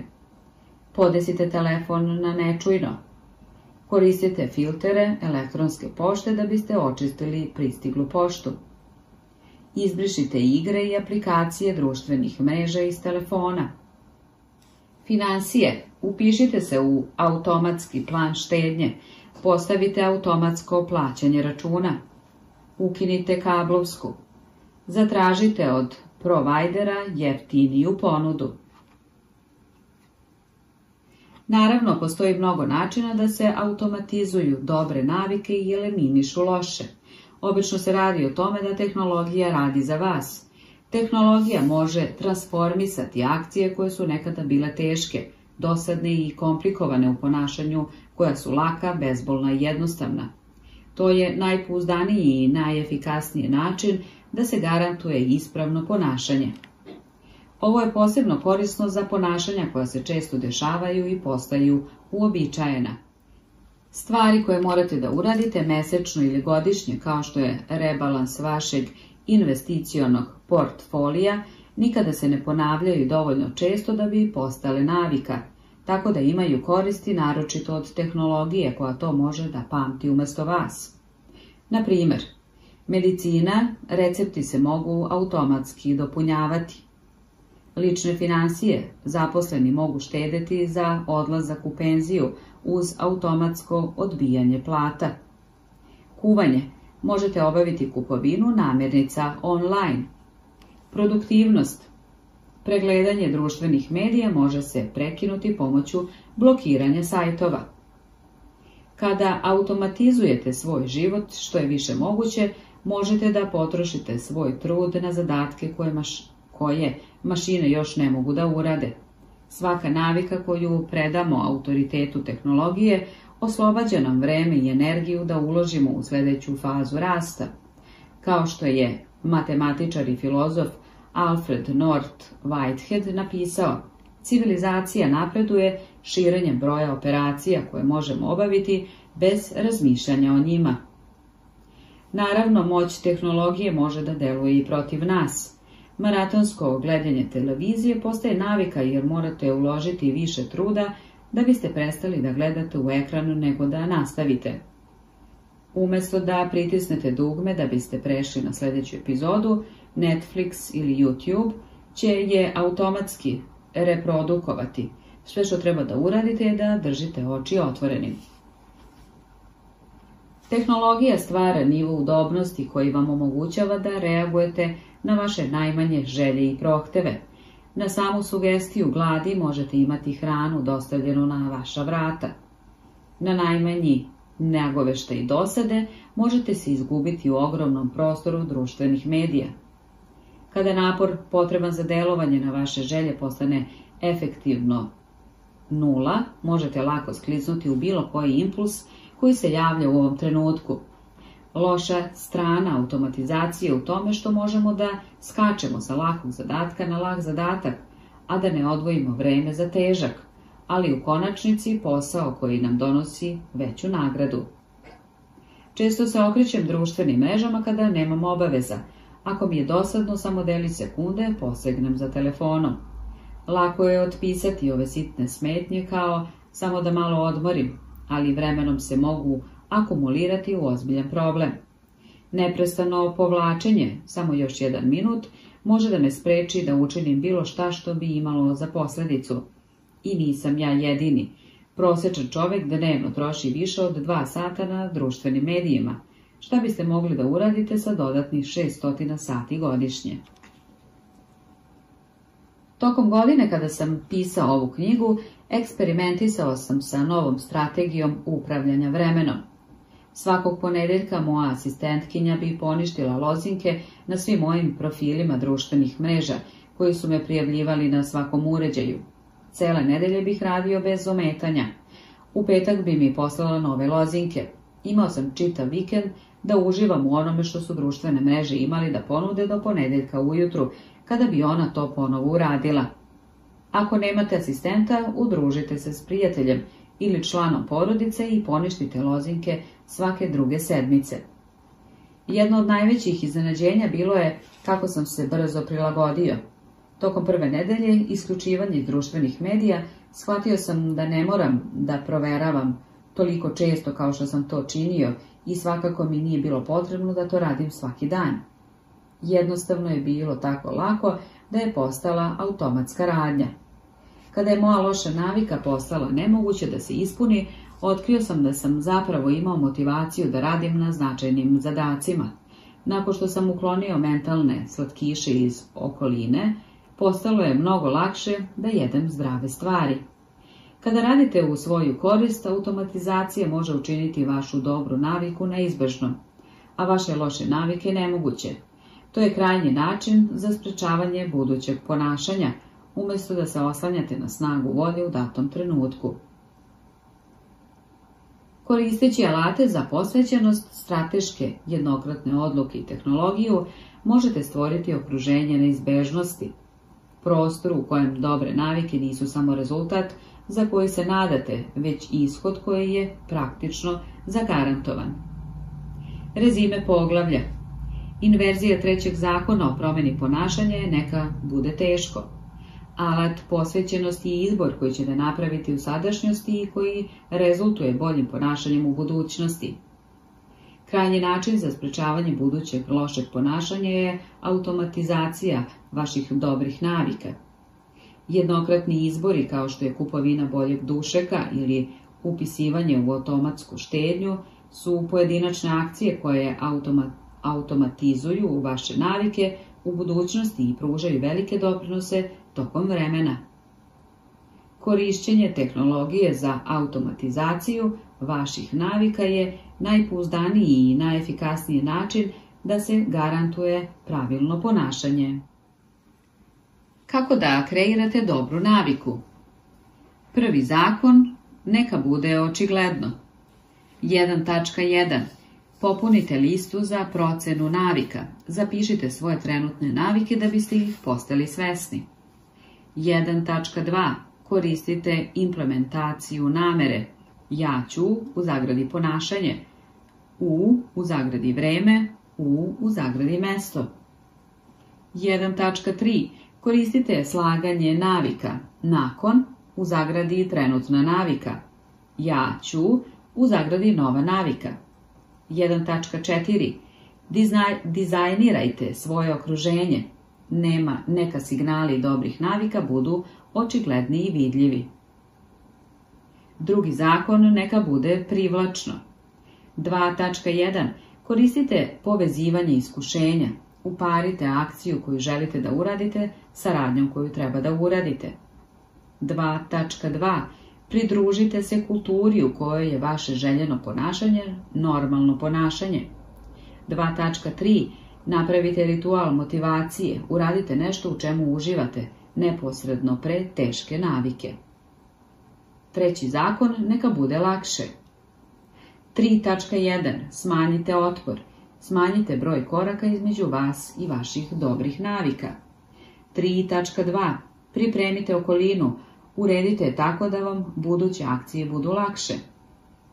3.3. Ovladajte odlučujućim momentom. Optimizujte male izbore koji pružaju veliki utjecaj. 3.4. Koristite pravilo 2 minuta. Smanjite svoje navike dok se ne postignu za 2 minuta ili manje. 3.5.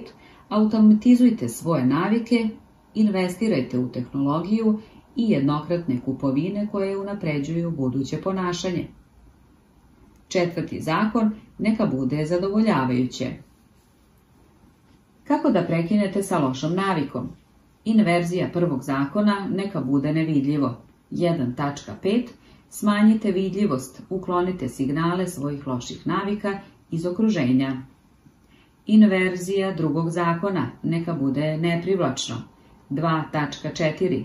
Promenite svoj um, istaknite prednosti izbjegavanja svojih loših navika. Inverzija trećeg zakona neka bude teško. 3.6. Povećajte otpor, povećajte broj koraka između vas i vaših loših navika. 3.7. Koristite alat za posvećenost. Ograničite svoje buduće izvore na one koje vam donose korist. Inverzija četvrtog zakona neka bude nezadovoljavajuće. Četvrti zakon neka bude zadovoljavajuće. Najvažnije pravilo za promenu ponašanja. Krajem 90. godina prošlog veka zdravstveni radnik Steven Luby napustio je svoj rodni grad Omaha u Nebraski i kupio kartu u jednom pravcu za Karačiju u Pakistanu. Karači je bio jedan od najnaseljenijih gradova na svetu. Do 1998. godine preko 9 miliona ljudi ga je nazvalo domom. Postaje je ekonomski centar Pakistana i transportno čvorište sa nekim od najaktivnijih aerodroma i morskih luka u regionu. U komercijalnim delovima grada mogli ste da pronađete sve standardne gradske sadržaje i pune ulice užurbanih ljudi u centru grada. Ali Karači je bio i jedan od gradova sa najmanje mogućnosti za život na svetu. Preko 60% stanovnika Karačija živalo je u kvartovima i sirotinskim naseljima. Ove gusto naseljene četvrti bile su ispunjene improvizovanim kućama koje su bile popločene od starih dasaka, blokova od pepela i drugih odbačenih materijala. Nije bilo sistema za uklanjanje otpada, električne mreže, čistog vodovoda. Kada je suvo, ulice su bile kombinacija prašine i smeća, kada je padala kiša, postojali su blatna jama kanalizacije. Kolonije komaraca razvijele su se u bazenima stajaće vode i deca su se igrala među smećem. Nehigijenski uslovi dovodili su do rasprostranjenih bolesti i zaraza. Kontaminirani izvori vode uzrokovali su epidemije dijareje, povraćanja i bolova u trbuhu. Gotovo jedna trećina dece koja je tamo živjela bila je neuhranjena. Sa tako mnogo ljudi koji su bili nagurani u tako mali prostor, virusi i bakterijske infekcije se brzo šire. Upravo ta kriza javnog zdravlja dovela je Stevena Lubija u Pakistan. Lubi i njegov tim su shvatili da u okruženju sa lošim sanitarnim sistemom jednostavna navika pranja ruku može napraviti pravu razliku u zdravlju stanovnika, ali ubrzo su otkrili da su mnogi ljudi već bili svesni da je pranje ruku važno. Pa ipak, uprkos ovom znanju, mnogi stanovnici su prali ruke na neadekvatan način. Neki bi samo brzo provukli ruke pod vodu, drugi bi samo prali jednu ruku. Mnogi bi jednostavno zaboravili da operu ruke pre pripreme hrane. Svako je rekao da je pranje ruku važno, ali malo ljudi je napravilo naviku od te prakse. Problem nije bio znanje, problem je bila doslednost. Tada je Lubi sa svojim timom sklopio partnerstvo sa Procter Gamble kompanijom kako bi snabdevali naselja sa Safeguard sapunom. U poređenju sa standardnim sapunom korišćenje Safeguarda je bilo prijatnije iskustvo. U Pakistanu Safeguard je bio premium sapun, rekao mi je Lubi. Učesnici studije su obično pominjali koliko im se to sviđa. Sapun je se lako penio, a ljudi su mogli da nasapunjaju ruke sapunicom. Divno je mirisalo. Odmah je pranje ruku postalo malo prijatnije. Uvideo sam da je cilj promovisanja pranja ruku bilo usvajanje navike, a ne promjena ponašanja, rekao je Lubi. Ljudima je mnogo lakše da usvoje proizvod koji daje snažan pozitivni senzorni signal, na primjer ukus zubne paste od mente, nego da usvoji naviku koja ne pruža prijatnu senzornu povratnu informaciju, kao što je čišćenje zuba konce. Marketing team Procter Gamble je govorio o pokušaju stvaranja pozitivnog iskustva pranja ruku. Za nekoliko meseci istraživači su vidjeli brzu promjenu zdravlja dece u naseljima. Stopa dijareje opala je za 52%, pneumonije za 48% i impetigo, bakterijske kožne infekcije za 35%. Dugoročni efekti su bili još bolji. Otišli smo u neka od domaćinstava u Karačiju šest godina kasnije, rekao mi je Lubi. Preko 95% domaćinstava koja su dobila sapun besplatno i podstaknuta da peru ruke, imalo je lavabo za pranje ruku sa sapunom i vodom na raspolaganju kada ih je naš studijski tim posjetio. Nismo dali nikakav sapun za intervencijsku grupu više od pet godina, ali tokom procesa su postali tako naviknuti da peru ruke da su održavali praksu. To je bio snažan primer četvrtog i konačnog zakona o promjeni ponašanja, neka bude prijatno, zadovoljavajuće. Skloniji smo o tome da ponavljamo ponašanje kada je iskustvo zadovoljavajuće. Ovo je potpuno logično. Osjećaj zadovoljstva, čak i manje kao što je pranje ruku sapunom, koji dobro miriše i dobro peni su, signali koji govore mozgu ovo je dobro, učinite to ponovo sljedeći put.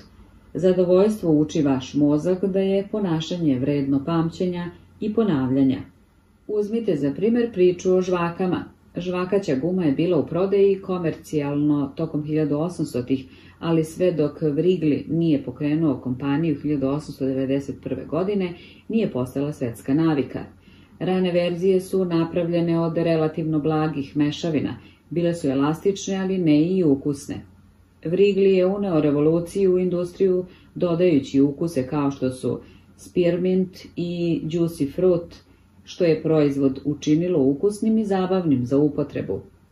Zatim su otišli korak dalje i počeli da promovišu žvaku kao put do čistih usta. Oglasi su poručivali čitateljima, osvežite svoj ukus. Prijatni ukus i osjećaj svežeg daha pružili su malo neposrednog pojačanja i učinili proizvod zadovoljavajućim za upotrebu. Potrošnja je naglo porasla, a Frigli je postao najveća kompanija za žvake na svetu. Pasta za zube imala je sličnu putanju.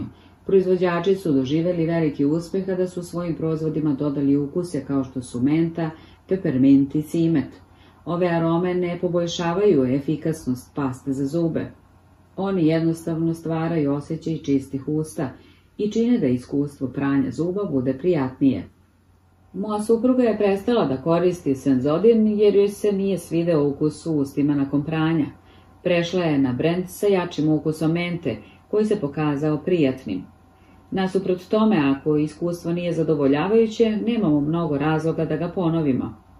U mom istraživanju naišao sam na priču o ženi koja je imala narcisoidnog rođaka koji ju je izluđivao.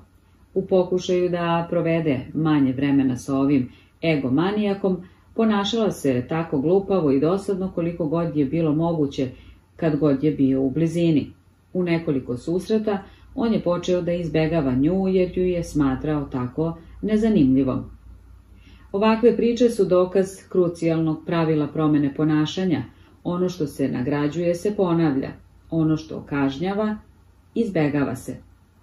Učite šta ćete raditi u budućnosti na osnovu onoga kako ste nagrađivani za ono što ste radili ili bili kažnjeni za to u prošlosti. Pozitivne emocije kultivišu navike, negativne emocije ih uništavaju. Prva tri zakona o promjeni ponašanja, neka bude očigledno, neka bude privlačno i neka bude lako, povećavaju šanse da će se ponašanje izvršiti ovog puta. Četvrti zakon o promjeni ponašanja, neka bude zadovoljavajuće, povećava šanse da se ponašanje ponovi sljedeći put. Završava petlju stvaranja navike. Ali postoji trik. Ne tražimo tek neku vrstu zadovoljstva, tražimo trenutno zadovoljstvo. Nepodudaranje između trenutnog i odloženog zadovoljstva. Zamislite da ste životinja koja luta afričkim ravnicama, žirafa ili slon ili lav. Bilo kog dana većina vaših odluka ima neposredan utjecaj. Uvek razmišljate o tome šta da jedete ili gde da spavate ili kako da izbegnete predatora. Konstantno ste fokusirani na sadašnjost ili na blisku budućnost. Živite u onome što naučnici nazivaju okruženjem neposrednog odziva, jer vaše akcije odmah daju jasne i trenutne rezultate. Sada se vratite na svoje ljudsko biće. U modernom društvu mnogi od izbora koje danas donosite neće vam odmah doneti korist. Ako radite dobar posao na poslu, dobit ćete platu za nekoliko nedelja. Ako vežbate danas, možda nećete imati prekomernu težinu sljedeće nedelje. Ako sada uštedite novac, možda ćete imati dovoljno za penziju decenijama od sada. Vi živite u onome što naučnici nazivaju okruženjem sa odloženim odzivom, jer možete raditi godinama pre nego što vaše radnje ostvare željenu dobit. Ljudski mozak nije evoluirao do kraja života u okruženju sa odloženim odzivom. Najstariji ostaci modernih ljudi, poznati kao Homo sapiens sapiens, stari su otprilike 200.000 godina. To su bili prvi ljudi koji su imali relativno sličan mozak kao naš.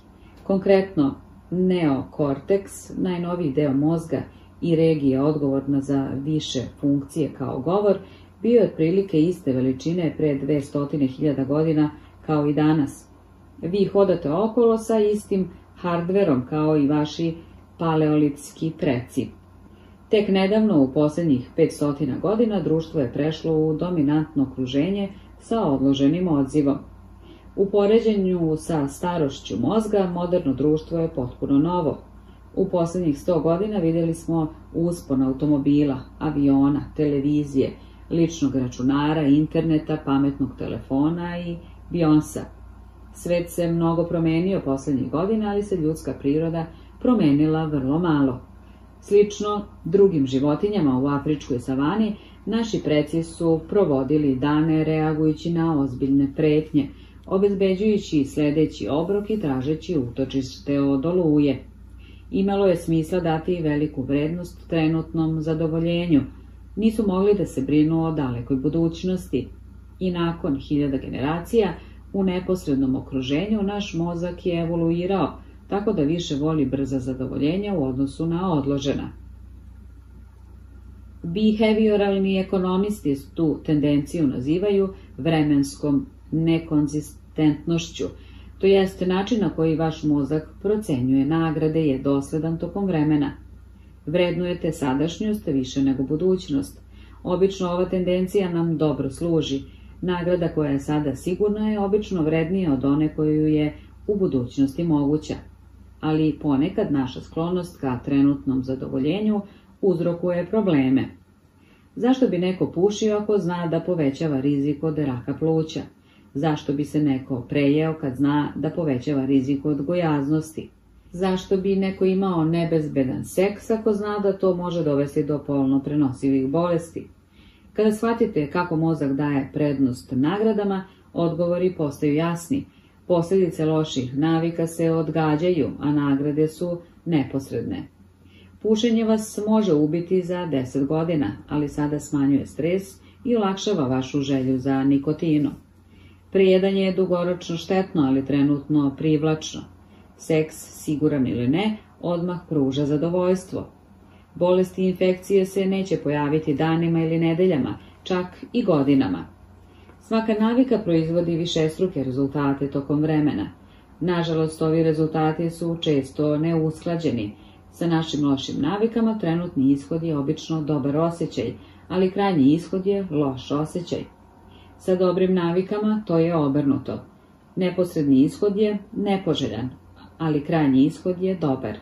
Francuski ekonomista Frederik Bastiat jasno je objasnio problem kada je napisao Gotovo se uvek dogodi da kada su neposredne posljedice povoljne, kasnije posljedice su katastrofalne i obrnuto. Često što je slađi prvi plod navike, goče su njegovi kasniji plodovi. Drugim rečima, troškovi vaših dobrih navika su u sadašnjosti, troškovi loših navika su u budućnosti. Tendencija mozga da sadašnji trenutak stavi iznad budućeg znači da se ne možete osloniti na dobre namere. Kada napravite plan, da smršate, napišete knjigu ili naučite jezik, zapravo pravite planove za svoje buduće ja, a kada zamislite kako želite da vaš život izgleda, lako je uvideti vrednost u preduzimanju akcija sa dugoročnim koristima. Svi želimo bolje živote za naše buduće ja. Međutim, kada dođe moment odluke, trenutno zadovoljenje obično pobedi. Vi više ne pravite izbor za vaše buduće ja, koje sanja o tome da bude mršaviji, bogatiji ili srećniji. Vi birate za svoje sadašnje ja koje želi da bude paženo, maženo i zabavljeno. Kao opšte pravilo, što je užitak koji ste dobili od neke akcije veći, snažnije treba da se zapitate da li je u skladu sa vašim dugoročnim ciljevima. Sa potpunijim razumevanjem onoga što uzrokuje naš mozak da ponavlja neka ponašanja i izbegava druga, hajde da unapredimo naše krucijalno pravilo promene ponašanja. Ono što se odmah nagrađuje se ponavlja, ono što se odmah kažnjava se izbegava. Naša sklonost ka trenutnom zadovoljenju otkriva važnu istinu o uspehu zbog načina na koji smo podešeni. Većina ljudi će provesti čitav dan u potrazi za brzim zadovoljstvima. Put kojim se ređe ide je put odlaganog zadovoljenja. Ako ste spremni da sačekate nagrade, suočit ćete se sa manje konkurencije i često dobiti veću nagradu. Kao što izreka kaže, na cilju je najmanja gužva. To je upravo ono što je istraživanje pokazalo. Ljudi koji bolje odlažu zadovoljenje imaju više rezultate na testovima, manje poroka, manju verovatnoću za gojaznost, bolji odgovor na stres i vremenske socijalne veštine. Svi smo igrali ovu igru u našim životima. Ako odložite gledanje televizije i završite domaći zadatak, generalno ćete naučiti više i dobiti bolje ocene.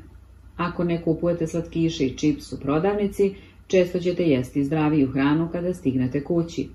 U nekom trenutku uspeh u gotovo svakom polju zahteva od vas da ignorišete neposrednu nagradu u korist odložene nagrade.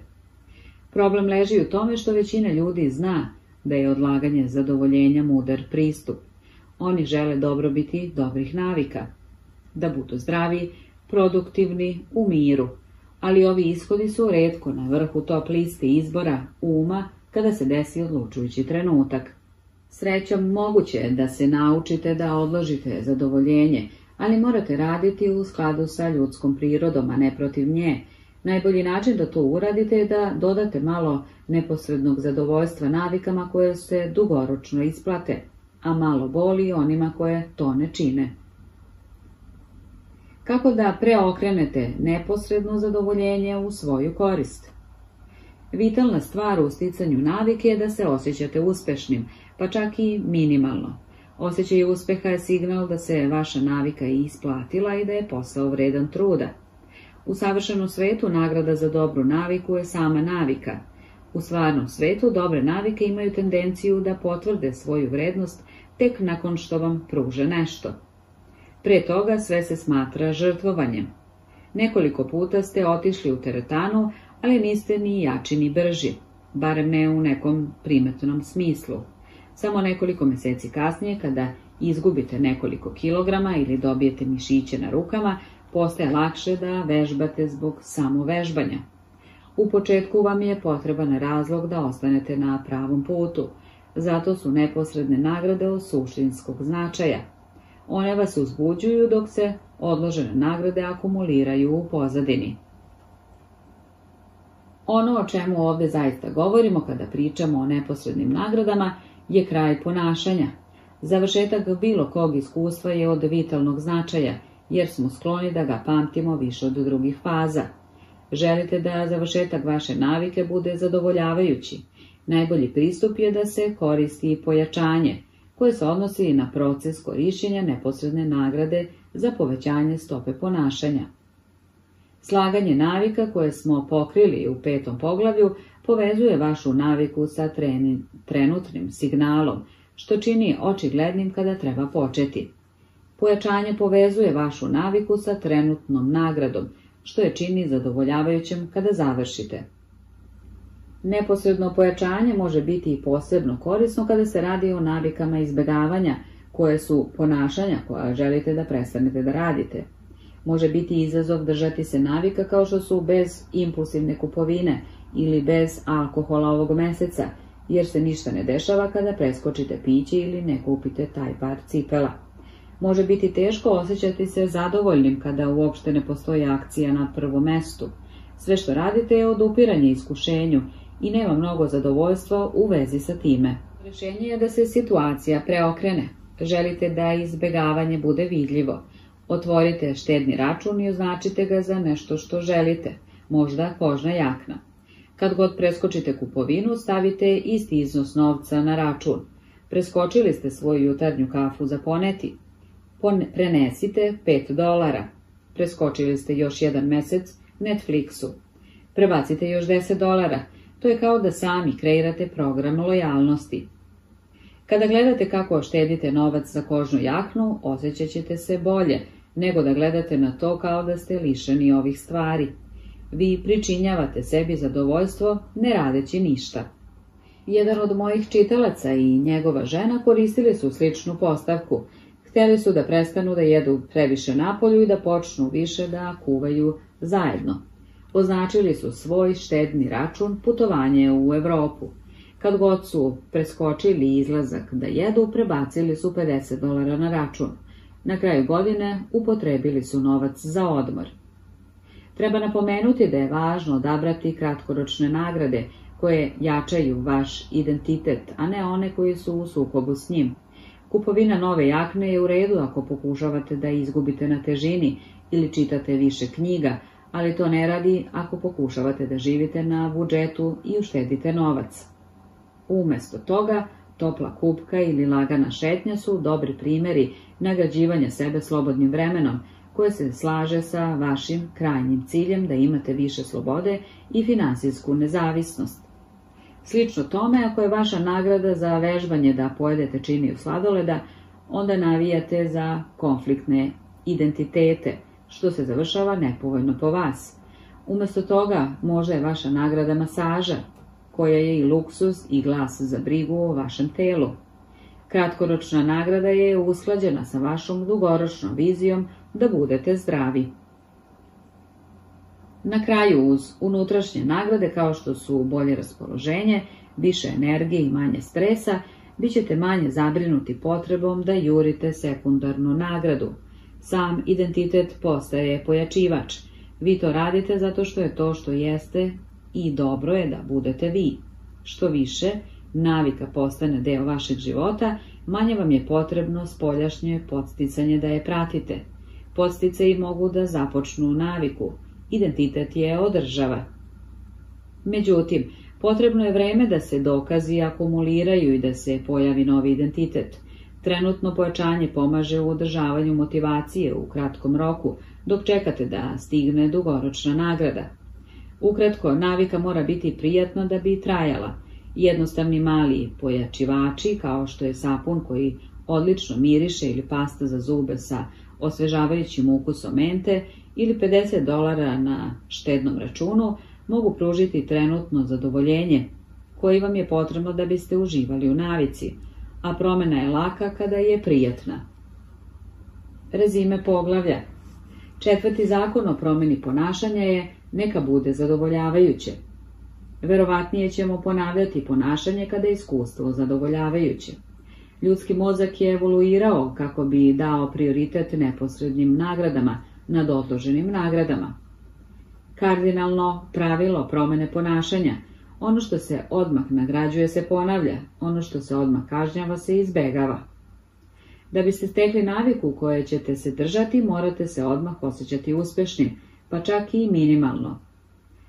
Prva tri zakona o promjeni ponašanja neka bude očigledno, neka bude privlačno i neka bude lako, povećavaju šanse da će se ponašanje ovog puta izvršiti. Četvrti zakon o promjeni ponašanja neka bude zadovoljavajuće, povećava šanse da će se ponašanje ponoviti sljedeći put. Kako da svakoga dana ostajete pri dobrim navikama? Godine 1993. banka u Abbotsfordu u Kanadi zaposlila je 23-godišnjeg brokera Trenta Deersmida. Abbotsford je relativno malo predgrađe, skriveno u senci obližnjeg Vancouvera, gde su se većim delom sklapali veliki poslovi.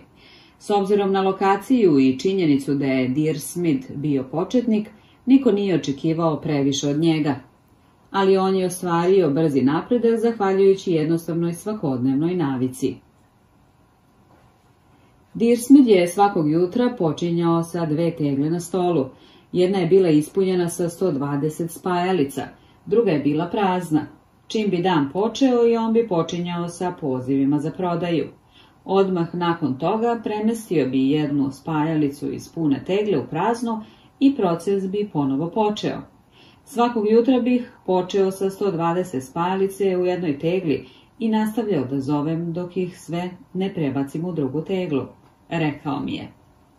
U roku od 18 mjeseci Deersmith je doneo 5 miliona dolara kompaniji. Do 24. godine zarađivao je 75.000 dolara godišnje, što je ekvivalent 125.000 dolara danas. Nedugo zatim dobio je posao šase sa šest cifara u drugoj kompaniji. Volim da zovem ovu tehniku strategijom spajalica i tokom godina sam slušao njoj od čitalaca koji su je koristili na različite načine. Jedna žena je prebacivala šnale za kosu iz jedne konzerve u drugu, kad god bi napisala stranicu svoje knjige. Drugi čovjek bi pomerao klikere iz jedne posude u drugu svaki put kada bi uradio sklekove. Ostvarivanje napretka je zadovoljavajuće, a vizualne mere poput pomeranja spajalice ili šnala za kosu ili klikera pružaju jasan dokaz vašeg napretka. Kao rezultat toga oni osnažuju vaše ponašanje i dodaju malo neposrednog zadovoljstva bilo kojoj aktivnosti. Vizualna merenja se pojavljuju u mnogim oblicima. Dnevnik o ishrani, beleške sa treninga, kartice za lojalnost, traka napretka na softveru, čak i brojevi stranice u knjizi. Ali možda je najbolji način da izmerite svoj napredak sa meračem navika. Kako da vodite svoje navike? Praćenje navika je jednostavan način da odredite da li ste ih sproveli u delo. Najosnovniji format je da uzmete kalendar i precrtate svaki dan kada se držite svoje rutine. Na primjer, ako meditirate ponedjeljkom, sredom i petkom, svaki od tih datuma dobija x. Kako vreme prolazi, kalendar postaje zapis o vašem sprovođenju navika. Bezbroj ljudi je pratilo svoje navike, ali možda je najpoznatiji bio Benjamin Franklin – Počevši sa 20 godina, Franklin je nosio malu knjigu svuda gde je išao i koristio je da prati 30 ličnih vrlina. Ovaj spisak je uključivao ciljeve kao što su ne gubi vreme, budi uvek zauzet nečim korisnim, i izbegava beznačajnu konverzaciju. Na kraju svakog dana Franklin bi otvorio svoju knjižicu i zabeležio svoj napredak. Jerry Seinfeld navodno koristi merač navika kako bi se držao rutine pisanja viceva. U dokumentarcu Komičar objašnjava da je njegov cilj jednostavno da nikada ne prekine niz pisanja šala svakog dana. Drugim rečima, on nije usresređen na to koliko je dobra ili loša određena šala ili koliko je inspirisan. On se jednostavno fokusira na to da dodaje šale i da se drži svoje rutine. Ne prekidaj niz je moćna mantra. Ne prekidajte niz poziva za prodaju i izgradit ćete uspešnu poslovnu karijeru. Ne prekidajte niz treninga i bit ćete brži nego što ste očekivali. Ne prekidajte niz stvaranja svaki dan i završit ćete sa impresivnim portofilom. Praćenje navika je moćno jer utiče na više struke zakone o promeni ponašanja. To istovremeno čini ponašanje očiglednim, atraktivnim i zadovoljavajućim. Hajde da vidimo čemu sve to koristi. Prednost pod 1. Praćenje navike je očigledno. Snimanje vaše posljednje akcije kreira okidač koji može da pokrene ovu onu sledeću. Praćenje navike prirodno stvara niz vizualnih signala, kao što je niz x-ova u vašem kalendaru ili lista obroka u dnevniku hrane. Kada pogledate kalendar i vidite niz, podsjetit ćete se da ponovo reagujete. Istraživanje je pokazalo da ljudi koji prate svoj napredak u postizanju ciljeva, kao što su gubitak težine, prestanak pušenja i snižavanje krvnog pritiska, imaju veću verovatnoću da, će da se poboljšaju od onih koji to ne čine. Jedna studija koja je obuhvatila više od 1600 ljudi otkrila je da su oni koji su vodili dnevnu evidenciju onoga što su pojeli, izgubili dvostruko više od onih koji nisu. Sam čin praćenja ponašanja može izazvati potrebu da se ono promeni. Praćenje navike također čini da budete pošteni. Većina nas ima iskrivljeno viđenje našeg ponašanja. Mislimo da se ponašamo bolje nego što to činimo. Merenje nudi jedan od načina za prevazilaženje naše zaslepljenosti prema sobstvenom ponašanju i uočavanje onoga što se zaista događa svakog dana. Jedan pogled na spajalice u tegli i odmah znate koliko posla imate ili niste uložili. Kada su dokazi pred vama, manje je verovatno da ćete lagati sami sebe. Prednost 2. Praćenje navike je atraktivno. Najefikasniji oblik motivacije je napredak. Kada dobijemo signal da idemo napred, postajemo sve više motivisani da nastavimo na tom putu. Na ovaj način praćenje navika može imati zavisni efekat na motivaciju. Svaka mala pobjeda hrani vašu želju. Ovo može biti posebno moćno kada imate loš dan, kada se osjećate loše, lako je zaboraviti sav napredak koji ste već napravili. Praćenje navika pruža vizualni dokaz vašeg napornog rada, postaje suptilan podsjetnik koliko ste daleko stigli. Osim toga, prazan kvadrat koji vidite svakog jutra može da vas motiviše da počnete, jer ne želite da izgubite napredak tako što ćete prekinuti niz. Prednost 3. Praćenje navika je zadovoljavajuće. Ovo je najvažnija korist od svih Praćenje može postati sobstveni oblik nagrade. Zadovoljstvo je štiklirati stavku za vaše list, sa vaše liste zadataka, dovršiti unos u dnevnik rada ili označiti x na kalendaru. Dobar je osjećaj gledati kako se vaši rezultati poboljšavaju, raste veličina vašeg investicionog portofila, dužina rukopisa vaše knjige, iako se osjećate dobro, onda je verovatnije da ćete izdržati. Praćenje navika također pomaže da držite loptu na oku, fokusirani ste na proces, a ne na rezultat. Niste usresređeni na dobijanje trbušnjaka, samo pokušavate da održite niz rutine i postanete tip osobe koja ne propušta treninge. Ukratko, praćenje navike jedan stvara vizualni signal koji vas može podsjetiti da delujete. Pod dva, inherentno motiviše jer vidite napredak koji ostvarujete i ne želite da ga izgubite. I tri, osjećate zadovoljstvo kada ikada zabeležite još jedan uspešan primer vaše navike. Šta više praćenje navike pruža vizuelni dokaz da navijate za tip osobe koji želite da postanete, što je divan oblik neposrednog i unutrašnjeg zadovoljstva. Možda se pitate ako je praćenje navika toliko korisno, zašto sam toliko dugo čekao da pričam o tome. Uprkos svim prednostima ostavio sam ovu diskusiju do sada iz jednostavnog razloga. Mnogi ljudi se odupiru ideji praćenja i merenja. Osjećaju to kao teret, jer vas prisiljava na dve navike. Naviku koju pokušavate da izgradite i naviku praćenja.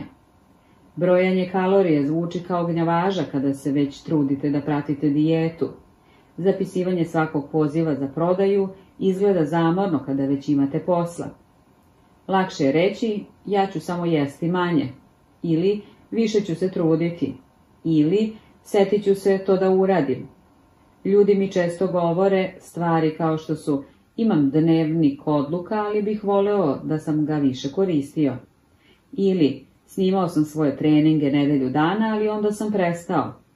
Bio sam u tim fazama, jednu sam napravio dnevnik ishrane kako bih pratio svoje kalorije.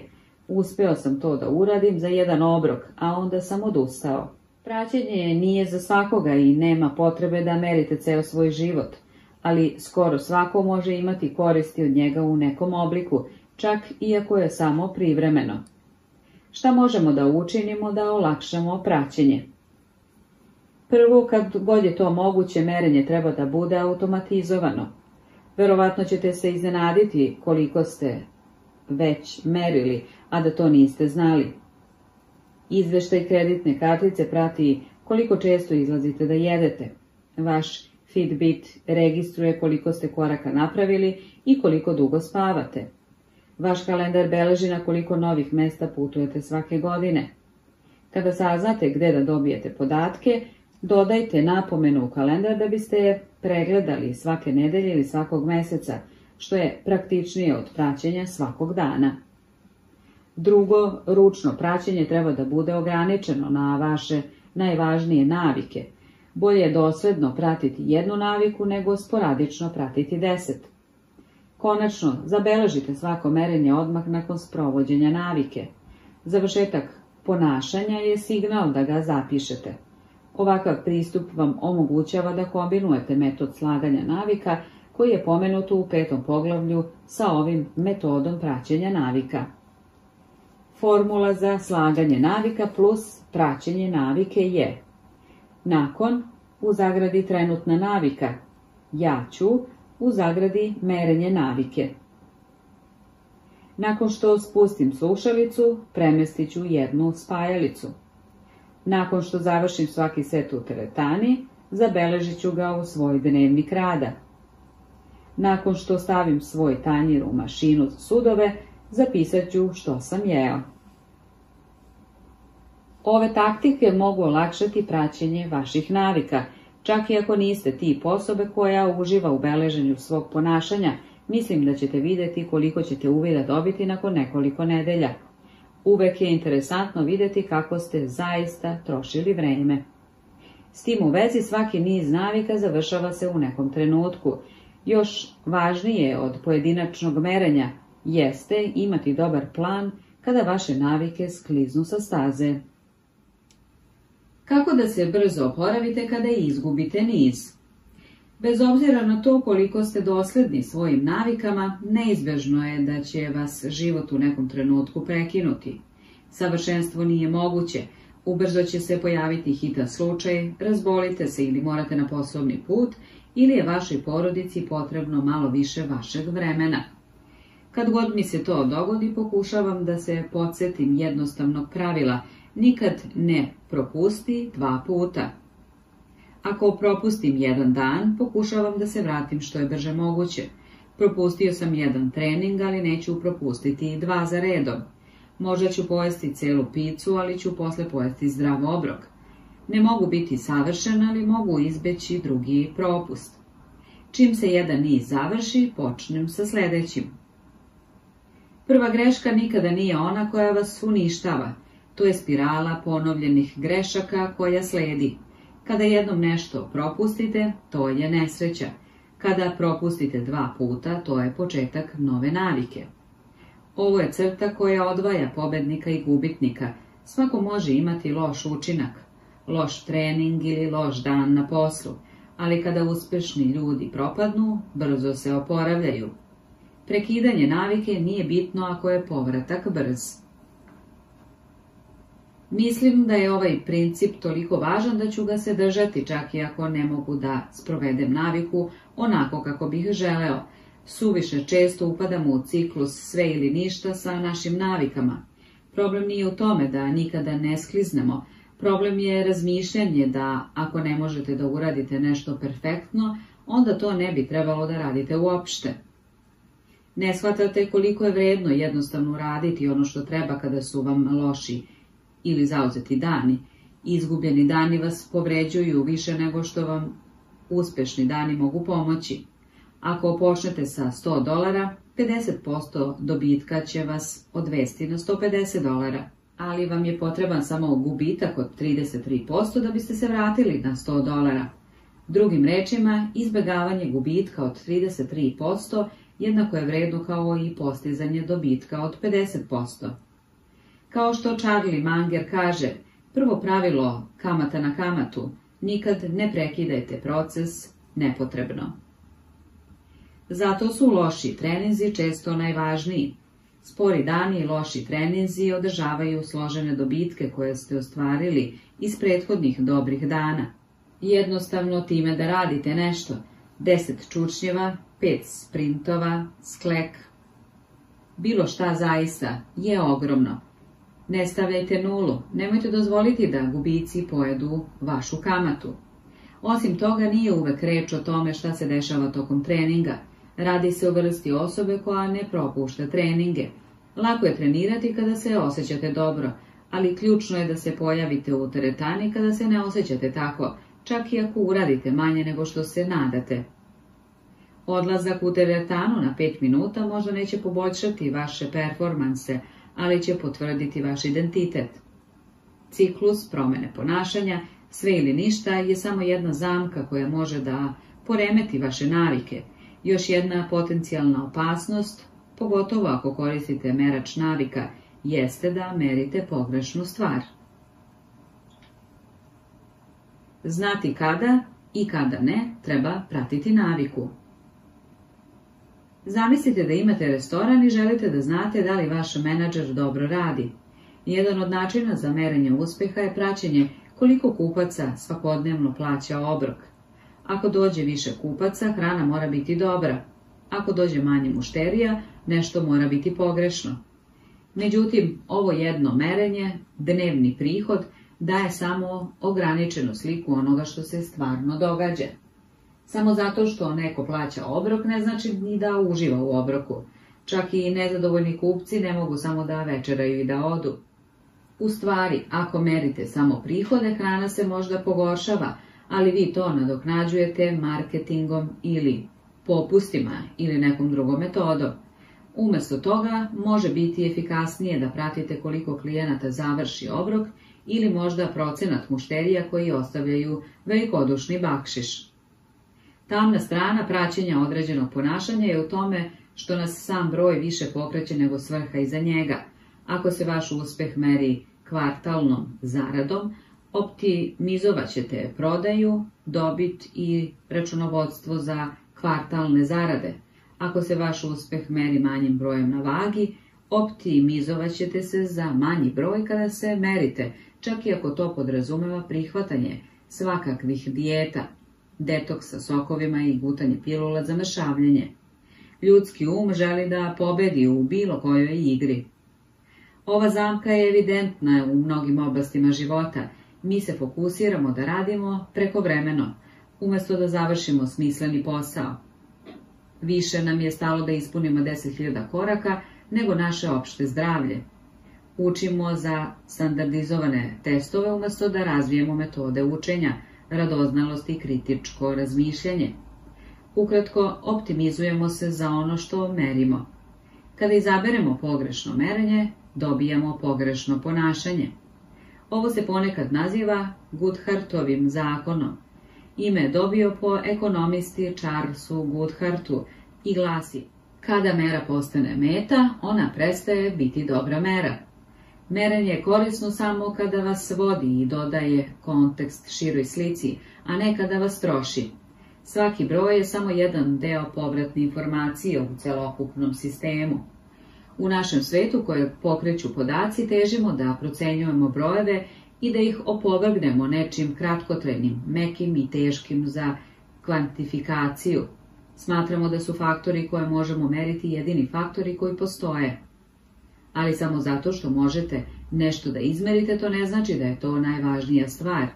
I samo zato što ne možete nešto da izmerite, ne znači da uopšte nije važno.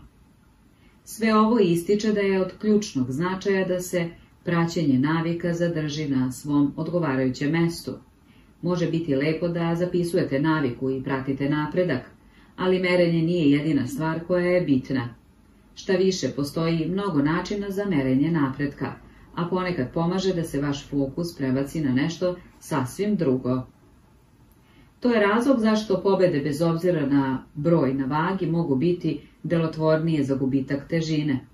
Broj na vagi može biti tvrdoglav, pa ako se fokusirate isključivo na taj broj, vaša motivacija će se smanjiti.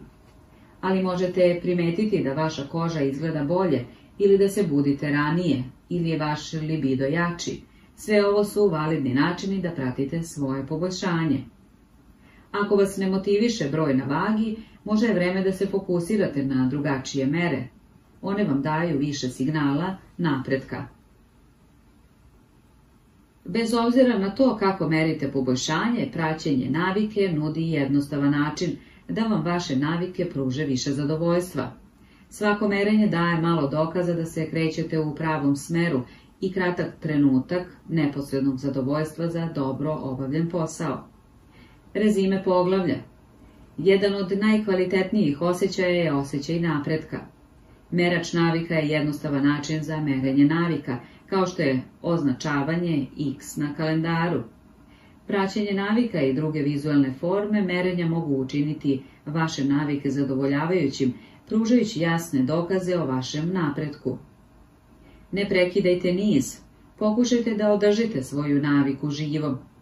Nikada ne propustite dva puta, ako propustite jedan dan, pokušajte da se vratite u rutinu što je brže moguće. Samo zato što možete nešto da izmerite, ne znači da je to najvažnija stvar. Kako vam partner za podršku može sve promeniti?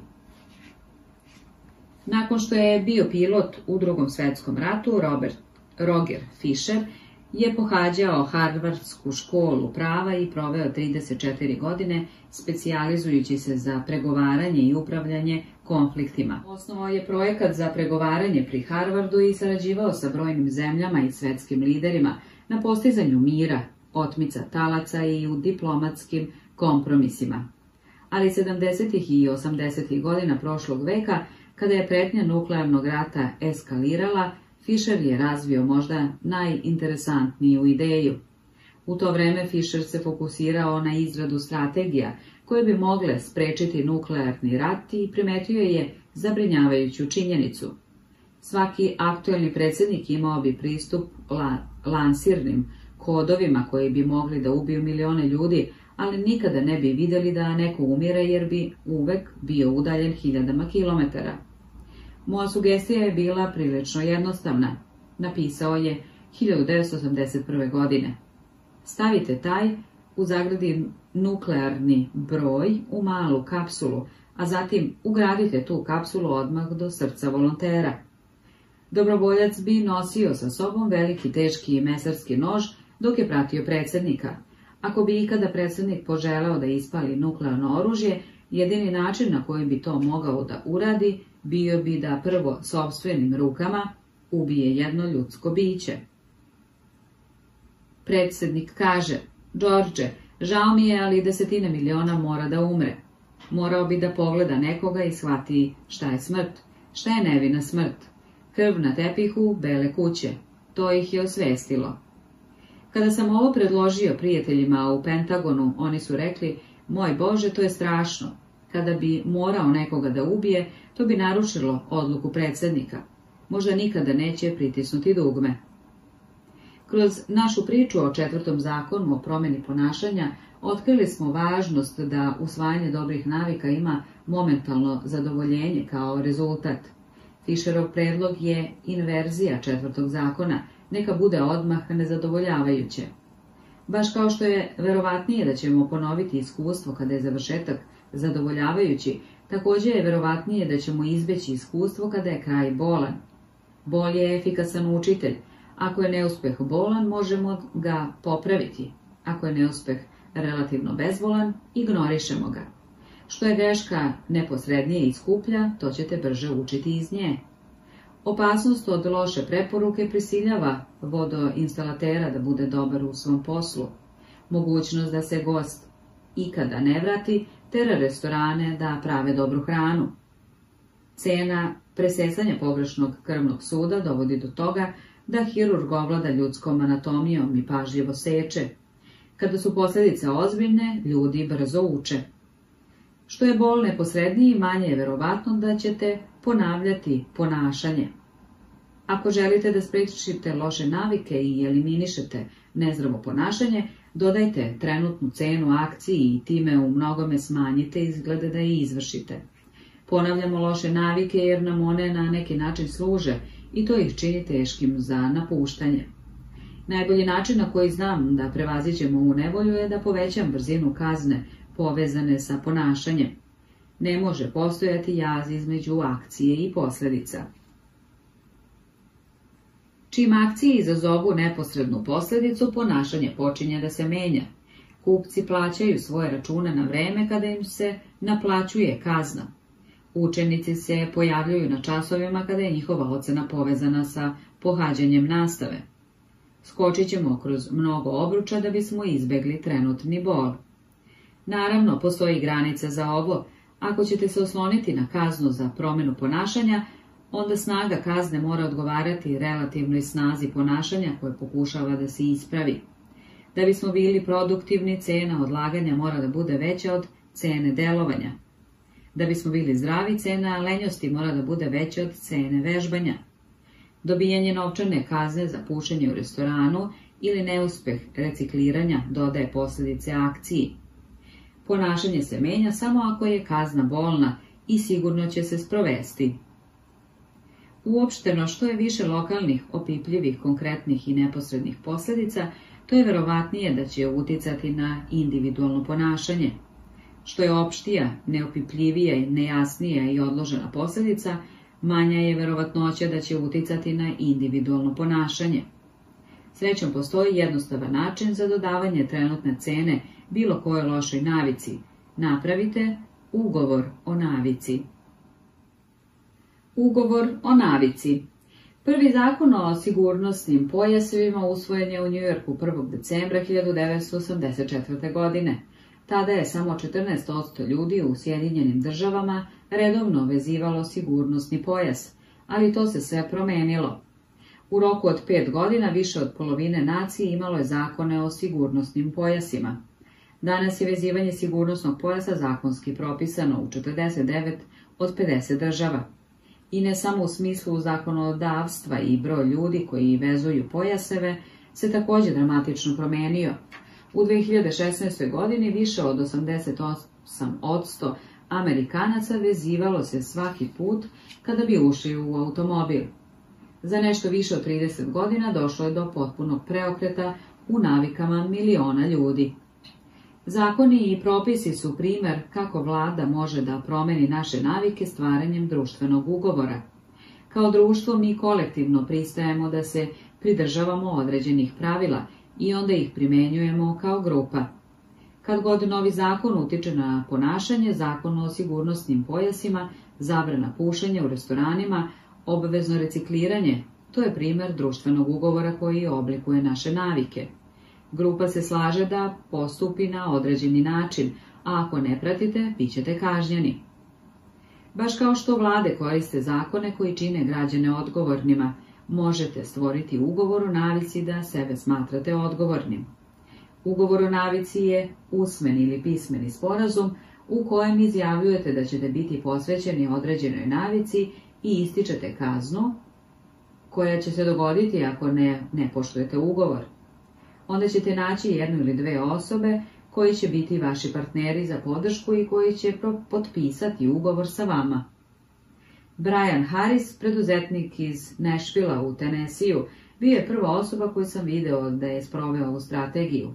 Ubrzan nakon rođenja sina, Harris je shvatio da želi da izgubi nekoliko kilograma. Napisao je ugovor o navici između sebe, svoje supruge i ličnog trenera. Prva izjava je glasila Brajanov prvi cilj za prvi kvartal 2017. godine je da ponovo počne da jede pravilno kako bi se bolje osjećao, izgledao bolje i bio u stanju da dostigne svoj dugoročni cilj od 90 kg na 10% telesne masti. Ispod te izjave Haris je postavio smernice za postizanje svog idealnog ishoda. Faza 1. Vratiti se na strogu dijetu sa malo ugljenih hidrata u prvom kvartalu. Faza 2. Pokrenuti strogi program praćenja ishrane u drugom kvartalu. Faza 3. Poboljšati i održati detalje dijete i programa vežbanja u trećem kvartalu. Na kraju je napisao svaku od svakodnevnih navika koje bi ga dovele do cilja. Na primjer, zapiši svu hranu koju svakodnevno konzumiraš i meri se svakog dana. A onda je naveo kaznu ako ne uspe u tome. Ako Brian ne uradi ove dve stvari, onda će se izvršiti sljedeće kaznene mere. Morat će da se sređuje svakog radnog dana i svake nedelje ujutru do kraja tromesečja. Sređivanje je definisano time da ne nosi farmerke, majice, dukseve i bermude. Također će dati Joeyu, treneru, 200 dolara da ih iskoristi onako kako mu odgovara, ako jedan dan ne poštuje ishranu. Na dnu stranice Haris, njegova supruga i njegov trener su potpisali ugovor. Moja prva reakcija je bila da se ovakav ugovor čini pretjerano formalnim i nepotrebnim, posebno sa potpisima, ali Haris me uverio da je potpisivanje ugovora pokazatelj ozbiljnosti. Kad god preskočim ovaj deo, rekao je, odmah počinjem da popuštam. Tri mjeseca kasnije, nakon što je ispunio ciljeve za prvi kvartal, Haris je poboljšao svoje ciljeve, ali i posljedice. Ako bi propustio svoje ciljeve za unos ugljenih hidrata i proteina, morao je da plati treneru 100 dolara, ako bi propustio da se izmeri, morao bi da svoje ženi da da svoje ženi 500 dolara, da ih iskoristi onako kako je smatrala prikladnim. Možda najviše bolno, ako bi zaboravio da trči sprint, morao je svaki dan da se sređuje za posao i da nosi Alabama kačket ostatak tromesečja, tima koji je ogorčeni suparnik voljenog Auburn tima. Strategija je upalila sa svojom suprugom i trenerom koji su delovali kao partneri za podršku i sa ugovorom o navikama koji je tačno objasnio šta da radi svaki dan, Harris je izgubio kilograme. Da bi loše navike bile nezadovoljavajuće, vaša najbolja opcija je da ih učinite bolnim u tom tačnom trenutku. Stvaranje ugovora o navici je jednostavan način da se upravo to postigne. Čak i ako ne želite da stvorite potpuni ugovor o navici, jednostavno nađite partnera za podršku. Komičar Margaret Cho svaki dan piše vic ili pesmu. Ona pravi izazov, jedna pesma dnevno sa prijateljem, što im pomaže da ostanu posvećeni. Saznanje da vas neko posmatra može biti snažan motivator. Manje verovatno da ćete odugovlačiti ili odustati jer postoji neposredna cena toga. Ako ne sprovodite naviku, možda će vas vidjeti kao nepouzdanog ili lenjog. Odjednom ne samo da ne održavate svoje obećanja za sebe, već i ne održavate svoje obećanja data drugima. Možete čak i automatizovati ovaj proces. Thomas Frank, preduzetnik, poduzetnik u Boulderu u Koloradu, budi se u 5.55 svakog jutra a ako to ne uradi, on je automatski zakazao post na Twitteru koji kaže sada je 6.10 i nisam ustao jer sam lenj. Odgovorite na ovo za 5 dolara preko Paypala, limit 5 pod pretpostavkom da moj alarm nije se pokvario. Mi uvek pokušavamo da se svetu predstavimo u najboljem svetlu. Češljamo kosu i peremo zube i pažljivo se oblačimo jer znamo da će ove navike imati pozitivnu reakciju. Želimo da dobijemo dobre ocene i diplomiramo u najboljim školama kako bismo impresionirali potencijalne poslodavce, partnere i naše prijatelji i porodicu. Mi brinemo o mišljenjima oni koji nas okružuju, jer nam pomaže ako nas drugi vole. Upravo zbog toga dobijanje partnera za podršku ili potpisivanje ugovora o navici funkcionisat će veoma dobro. Rezime poglavlja Inverzija četvrtog zakona o promjeni ponašanja glasi učinite nezadovoljavajućim. Manje je verovatno da ćemo ponoviti lošu naviku ako je bolna ili nezadovoljavajuća. Partner za podršku može stvoriti neposredne kazne za nepoštovanje rutine. Mi duboko brinemo o onome što drugi misle i ne želimo da drugi imaju loše mišljenje o nama. Ugovor o navici može se koristiti da bi se javno sankcionisalo neko ponašanje. To čini cenu kršenja vaših obećanja javnom i bolnom. Saznanje da vas neko drugi posmatra može biti snažan motivator. Kako da kreirate dobru naviku? Prvi zakon neka bude očigledno. 1.1. Popunite listu za procenu navika. Zapišite svoje trenutne navike da biste ih postali svesni. 1.2. Koristite implementaciju namere ja ću u zagradi ponašanje, u u zagradi vreme, u u zagradi mesto. 1.3. Koristite slaganje navika. Nakon u zagradi trenutna navika, ja ću nova navika. 1.4. Dizajnirajte svoje okruženje. Neka signali dobrih navika budu očigledni i vidljivi. Drugi zakon neka bude privlačno. 2.1. Koristite povezivanje iskušenja. Uparite akciju koju želite da uradite sa radnjom koju treba da uradite. 2.2. Pridružite se kulturi u kojoj je vaše željeno ponašanje normalno ponašanje. 2.3. Napravite ritual motivacije. Uradite nešto u čemu uživate, neposredno pre teške navike. Treći zakon neka bude lakše. 3.1. Smanjite otpor, smanjite broj koraka između vas i vaših dobrih navika. 3.2. Pripremite okolinu, uredite je tako da vam buduće akcije budu lakše. 3.3. Ovladajte odlučujućim momentom, optimizujte male izbore koji pružaju veliki uticaj. 3.4. Koristite pravilo 2 minuta, smanjite svoje navike dok se ne postignu za 2 minuta ili manje. 3.5. Automatizujte svoje navike, investirajte u tehnologiju i jednokratne kupovine koje unapređuju buduće ponašanje. Četvrti zakon. Neka bude zadovoljavajuće. 4.1. Koristite pojačanje. Dajte sebi trenutnu nagradu kada završite svoju naviku. 4.2. Učinite nedelovanje prijatnim. Kada izbjegavate loše, lošu naviku, osmislite način da vidite prednosti. 4.3. Koristite merač navika, pratite svoj niz rutine i ne prekidajte ga. 4.4. Nikada ne propustite rutinu dva puta. Kada zaboravite da uradite naviku, pobrinite se da se odmah vratite na pravi put. Kako da prekinete sa lošom navikom?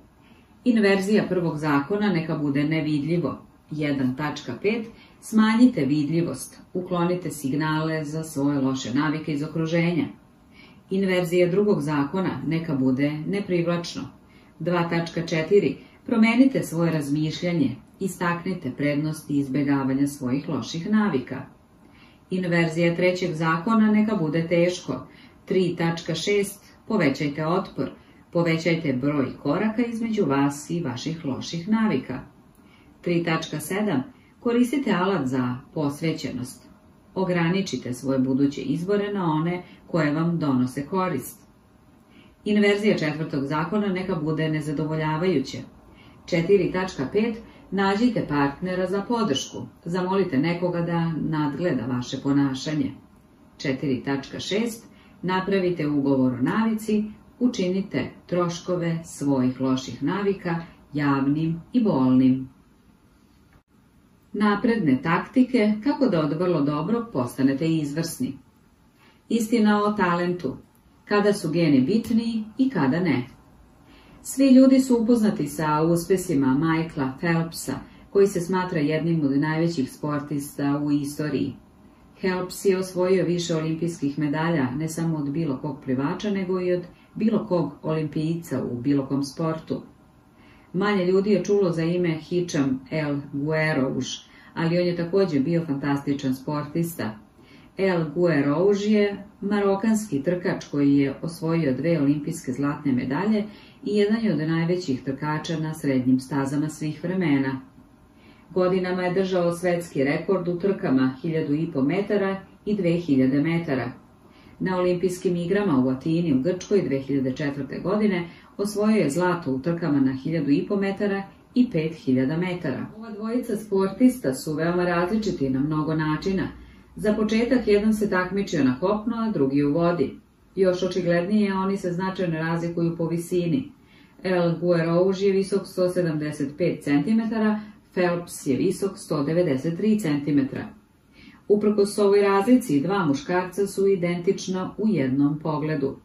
Michael Phelps i Mitcham El Guerouj imaju istu dužinu nogavica na pantalonama. Kako je to moguće? Phelps ima relativno kratke noge za svoju visinu i vrlo dugačak torzo, savršenu konstituciju za plivanje. El Guerouj ima neverovatno duge noge i kratak gornji deo, idealnu figuru za trčanje na daljinu. Sada zamislite kada bi ovi sportisti svetske klase zamenili sport. Imajući u vidu njegov neverovatan atleticizam, da li bi Michael Phelps mogao da postane trkač i olimpijski kadar sa dovoljno treninga? Malo je verovatno. Na vrhuncu kondicije Phelps je bio težak 87 kg, čak 40% teži od El Guerouža, koji se takmičio na ultra lakim trakama sa svojih 63 kg. Viši trkači su teži trkači, a svaki dodatni kilogram je prokletstvo kada je u pitanju trčanje na daljinu. Protiv elitnih takmičara Phelps bi od početka bio osuđen na propast. Slično tome, El Guerouj je mogao da bude jedan od najboljih trkača u istoriji, ali je malo verovatno da bi se ikada kvalifikovao za olimpijadu kao plivač. Od 1976. godine prosječna visina takmičara koji su osvojili olimpijske zlatne medalje u muškoj trci na 1500 metara je 177 cm. U poređenju sa tim, prosječna visina osvajača zlatne olimpijske medalje u muškom slobodnom plivanju na 100 metara je 193 cm. Plivači imaju tendenciju da budu visoki i da imaju duga leđa i ruke, što je idealno za kretanje kroz vodu. El Guerouj bi bio u ozbiljnom nedostatku pre nego što bi ikada dodirnuo bazen. Maksimiziranja vaših šansi za uspeh je da odaberete pravu oblast za takmičenje. Identično kao i kada se menjaju navike kao što je u sportu i biznisu. Navike se lakše obavljaju i više zadovoljavaju kada se usklade sa vašim prirodnim sklonostima i sposobnostima. Kao i Michael Phelps u bazenu ili Hitcham El Guerouj na stazi, želite da igrate igru u kojoj su šanse na vašoj strani. Prihvatanje ove strategije zahteva prihvatanje jednostavne istine da se ljudi rađaju s različitim sposobnostima. Neki ljudi ne vole da razgovaraju o ovoj činjenici. Na površini izgleda da su vaši geni fiksirani i nije zabavno pričati o stvarima koje ne možete kontrolisati. Osim toga, fraze kao što je biološki determinizam čini da to zvuči kao da su pojedinci određeni za uspeh, a drugi osuđeni na neuspeh, ali ovo je kratkovidan pogled na uticaj gena na ponašanje. Snaga gena je i njihova slabost. Geni se ne mogu lako menjati, što znači da oni pružaju snažnu prednost u povoljnim okolnostima i ozbiljan nedostatak u nepovoljnim okolnostima. Ako hoćete da zakucate trojku, onda je to što ste visoki 2 metra veoma korisno. Ako želite da se bavite gimnastikom, To što ste visoki dva metra je velika prepreka. Naše okruženje određuje pogodnost naših gena i korist naših prirodnih talenata. Kada se naša okolina promeni, promene se i kvaliteti koji određuju uspeh. Ovo je tačno ne samo za fizičke karakteristike, već i za mentalne. Pametan sam ako me pitate o navikama i ljudskom ponašanju, ne toliko kada je reč o pletenju, raketnom pogonu ili gitarskim akordima. Kompetencija zavisi od konteksta. Ljudi na vrhu bilo kog takmičarskog polja nisu samo dobro istrenirani, već su dobro prilagođeni zadatku. I zato ako želite da budete zaista odlični, odlučujuće je da odaberete pravu oblast u kojoj ćete se fokusirati. Ukratko, geni ne određuju vašu sudbinu, oni određuju vaše mogućnosti, kao što lekar Gabor Mate napominje. Geni daju predispozicije, ali ne i determinišu. Područja u kojima ste genetski predisponirani za uspeh su područja u kojima je verovatnije da će navike biti zadovoljavajuće. Ključno je da usmerite svoje napore prema područjima koja vas uzbuđuju i odgovaraju vašim prirodnim veštinama, kako biste uskladili svoju ambiciju sa svojim sposobnostima. Očigledno pitanje je kako da shvatim gde su šanse u moju korist. Kako da identifikujem prilike i navike koje su mi potrebne. Prvo mesto na koje ćemo tražiti odgovor je razumevanje vaše ličnosti. Kako vaša ličnost utiče na vaše navike? Vaši geni deluju ispod površine svake navike, zaista ispod površine svakog ponašanja. Pokazalo se da geni utiču na sve, od broja sati koje provodite gledajući televiziju, do vaše verovatnoće da se oženite ili razvedete u skladu sa vašom tendencijom da postanete ovisni o drogama, alkoholu ili nikotinu.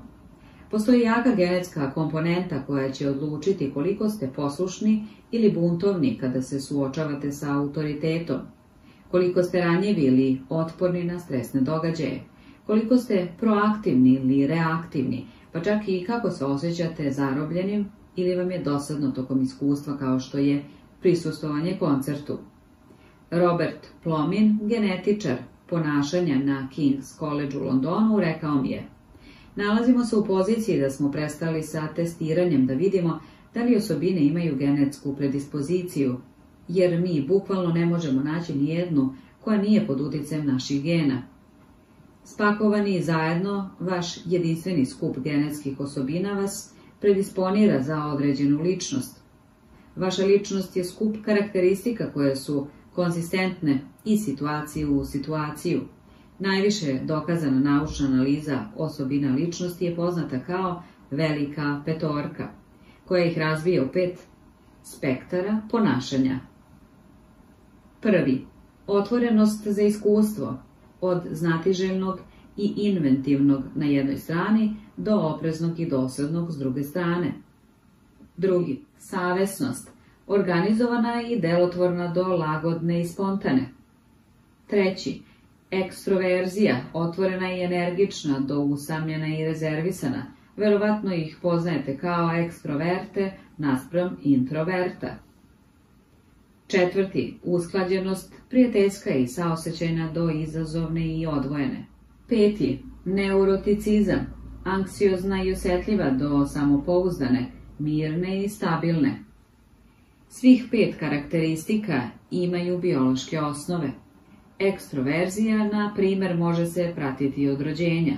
Ako naučnici puštaju glasnu buku u porodilištu, neke bebe se okreću prema njoj dok se druge okreću od nje. Kada su istraživači pratili ovu decu kroz život, otkrili su da su bebe koje se okreću prema buci verovatnije odrastale u ekstroverte. Oni koji su se okrenuli od buke su izvesnije postajali introverti. Ljudi koji su veoma pristrasni su ljubazni, pažljivi i topli. Takođe imaju tendenciju da prirodno imaju više nivoje oksitocina, hormona koji igra važnu ulogu u društvenom povezivanju, povećava osjećanje poverenja i može da deluje kao prirodni antidepresiv.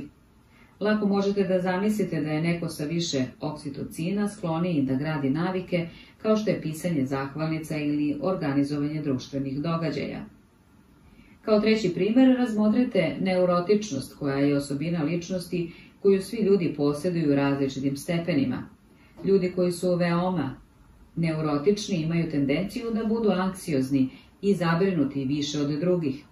Ova osoba je povezana sa preosetljivošću amigdale, delo mozga koji je odgovoran za primećivanje pretnji. Drugim rečima, ljudi koji su osjetljivi na negativne signale u svojoj okolini imaju veću verovatnoću da imaju visok neuroticizam.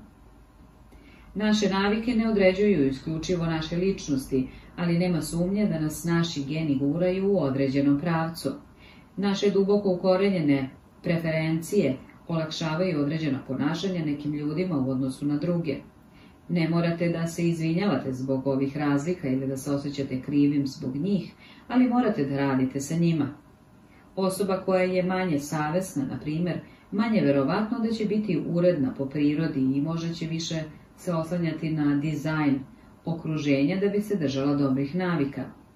Kao podsjetnik za manje koncentrisane čitaoce među nama, dizajn okruženja je strategija o kojoj smo govorili u poglavljima 6 i 12. Izlaz je da izgradite navike koje rade za vašu ličnost. Drugi mogu da se razviju vežbajući kao bodybuilderi, ali ako više volite penjanje po stenama ili biciklizam ili veslanje, onda oblikujte svoju naviku vežbanja oko svojih interesa. Ako vaš prijatelj prati dijetu s niskim unosom ugljenih hidrata, a vi otkrijete da je za vas dobra masnoća, onda vi imate jači argument. Ako želite da čitate više, nemojte se stideti ako više volite romantične romane umjesto dokumentarne literature. Čitajte sve što vas fascinira, ne morate graditi navike koje vam svi govore da gradite. Izaberite naviku koja vam najviše odgovara, a ne onu koja je najpopularnija. Postoji verzija svake navike koja vam može doneti radost i zadovoljstvo, Pronađite je. Navike moraju biti prijatne da biste ih se pridržavali. Ovo je osnovna ideja koja stoji iza četvrtog zakona. Prilagođavanje vaših navika svojoj ličnosti je dobar početak, ali to nije kraj priče. Obratimo pažnju na pronalaženje i osmišljavanje situacija u kojima imate prirodnu prednost. Kako da pronađete igru u kojoj su šanse na vašoj strani? Učenje i igranja igre u kojoj su šanse na vašoj strani od ključne važnosti za održavanje motivacije i osjećaj uspjeha. U teoriji možete uživati skoro u svemu. U praksi, verovatnije je da ćete uživati u stvarima koje vam lako dolaze. Ljudi koji su talentovani u određenoj oblasti imaju tendenciju da budu kompetentniji na tom zadatku i onda su pohvaljeni za dobar posao. Oni ostaju sa visokom energijom jer napreduju tamo gdje su drugi propali i zato što su nagrađeni boljom platom i većim mogućnostima, što ih čini ne samo srećnijima, već ih i podstiče da proizvode još kvalitetniji rad. To je dobar ciklus. Izaberite pravu naviku i napredak je lak. Izaberite pogrešnu naviku i život je borba. Kako da izaberete pravu naviku? Prvi korak je nešto što smo razmatrali u trećem zakonu, olakšajte je. U mnogim slučajevima kada ljudi izaberu pogrešnu naviku, to jednostavno znači da su izabrali naviku koja je bila preteška. Kada je navika jednostavna, veća je verovatnoća da ćete biti uspješni. Kada budete uspješni, verovatno ćete biti zadovoljni. Međutim, postoji još jedan nivo za razmatranje. Dugoročno, ako nastavite da napredujete i poboljšavate se, Svaka oblast može postati izazovna. U nekom trenutku morate biti sigurni da, je im, da igrate pravu igru za svoje veštine. Kako to da shvatite? Najčešći pristup je pomoću pokušaja i grešaka. Naravno, postoji problem sa ovom strategijom. Život je kratak. Nemate vremena da isprobate svaku karijeru, zabavljate se sa svim poželjnim neženjama ili svirate svaki muzički instrument. Srećom postoji i efikasan način za upravljanje ovom zagonetkom i ona je poznata kao istraži, iskoristi i kompromis. Na početku nove aktivnosti trebalo bi da postoji period istraživanja. U odnosima se zove izlazak na sastanak. Na koleđu to se zove slobodne veštine.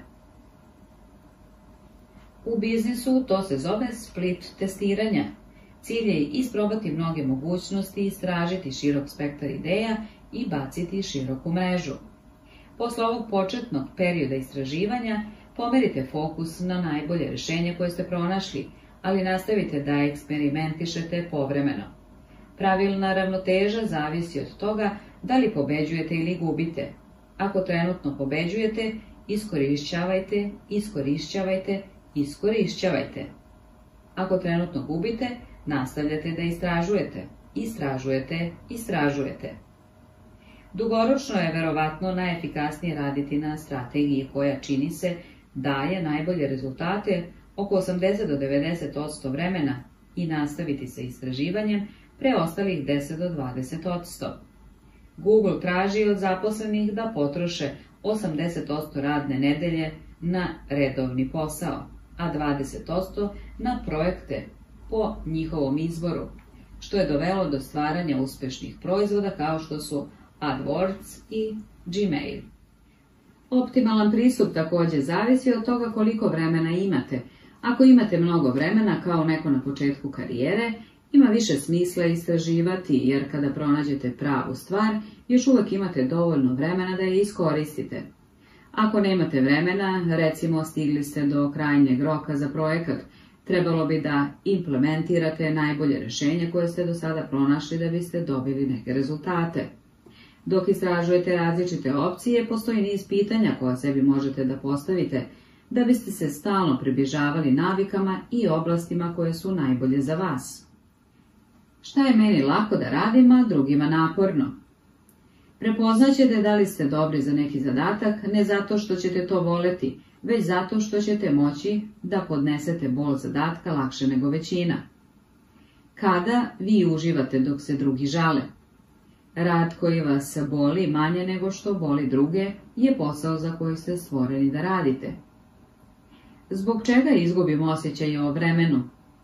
Tok je mentalno stanje u koje ulazite kada ste toliko fokusirani na zadatak koji radite, da ostatak sveta nestane. Ovaj spoj sreće i vrhunskog učinka je ono što sportisti i izvođači doživljavaju kada su u zoni, Gotovo je nemoguće iskusiti stanje toka i ne smatrati zadatak zadovoljavajućim, barem donekle. Gde mogu dobiti veću zaradu od prosečne osobe? Mi se neprestano upoređujemo sa onima oko nas i ponašat ćemo se bolje kada poređenje ide u našu korist. Kada sam počeo da pišem na jamesclear.com, moja mailing lista je rasla veoma brzo – nisam bio sasvim siguran da li radim dobro, ali sam znao da su rezultati za mene brži nego za neke od mojih kolega, što me motivisalo da nastavim sa pisanjem. Šta mi je prirodno? Samo na trenutak ignorišite ono što su vas učili, zanemarite ono što vam je društvo reklo, zanemarite ono što drugi očekuju od vas. Pogledajte u sebe i pitajte šta mi se čini prirodnim, kad sam se osjećala živo, kad sam se osjećao kao pravi ja bez unutrašnjih kritičara ili ugađanja drugima, nema premišljanja ili samokritike, samo osjećanje predanosti i uživanja. Kad god se osjećate autentično i iskreno, idete u pravom smeru. Da budem iskren, neki od ovih procesa su čista sreća. Michael Phelps i Hičamel Guerož su bili srećni što su rođeni s redkim skupom sposobnosti koje su visoko cenjene u društvu, i koje su stavljene u idealno okruženje za njih. Svi imamo ograničeno vreme na ovoj planeti i zaista su veliki među nama oni koji ne samo da rade naporno, već imaju sreću da budu izloženi prilikama koje ih favorizuju. Ali šta ako ne želite da se oslonite na sreću? Ako ne možete da nađete igru u kojoj su šanse na vašoj strani, napravite jednu. Scott Adams, karikaturista koji stoji iza stripa Dilbert kaže, svako ima bar nekoliko oblasti u kojima bi mogli da budu u prvih 25% sa malo truda. U mom slučaju mogu da crtam bolje od većine ljudi, ali teško da sam umetnik. I nisam zabavniji od prosečnog komičara koji nikada nije postao popularan, ali jesam smešniji od većine ljudi. Magija je da malo ljudi može dobro da crta i piše šale. Kombinacija ova dva čini ono što ja radim redkim. A kada dodate tome moje poslovno iskustvo, odjednom sam dobio skup tema u kojoj se malo karikaturista razume. Kada ne možete da pobedite time što ste bolji, možete pobediti i time što ste različiti. Kombinujući svoje veštine, smanjujete nivo konkurencije, što olakšava isticanje. Možete ignorisati potrebu za genetskom prednošću ili godine prakse tako što ćete napisati nova pravila. Dobar igrač naporno radi da pobedi u igri koju svi igraju. Veliki igrač stvara novu igru koja favorizuje njegove snage i izbegava njegove slabosti. Na koleđu sam kreirao svoju ličnu specijalizaciju, biomehaniku koja je predstavljala kombinaciju fizike, hemije, biologije i anatomije. Nisam da bio dovoljno pametan da se izdvojim među vrhunskim fizičarima ili biolozima, pa sam napravio svoju igru. Svi predmeti su mi prijali, išao sam samo na časove koji su me zanimali i studiranje izgledalo manje kao obaveza. Također je bilo lakše izveći zamku da se upoređujem sa svima ostalima. Posle svega niko drugi nije imao istu kombinaciju predmeta, pa ko bi mogao reći da li su bili bolji ili lošiji. Specijalizacija je moćan način da se prevaziđe nesreća, loše genetike. Što više ovladate određenom veštinom, to je teže za druge da se takmiče sa vama. Mnogi bodybuilderi su jači od prosečnog rvača, ali čak i masivni bodybuilder može izgubiti u borbi obaranja ruku, jer šampioni u rvanju imaju specifičnu snagu. Čak i ako niste najviše prirodno nadareni, često možete pobediti tako što ćete biti najbolji u vrlo uskoj kategoriji. Vrela voda će omekšati krompir, ali će otvrdnuti jaje. Ne možete kontrolisati da li ste krompir ili jaje, ali možete odlučiti da igrate igru gde je bolje da voda bude vrela ili hladna. Ako možete pronaći povoljnije okruženje, možete preokrenuti situaciju iz one u kojoj su šanse protiv vas u one u koje su na vašoj strani. Kako da dobijete maksimum od svojih gena? Naši geni ne eliminišu potrebu za napornim radom.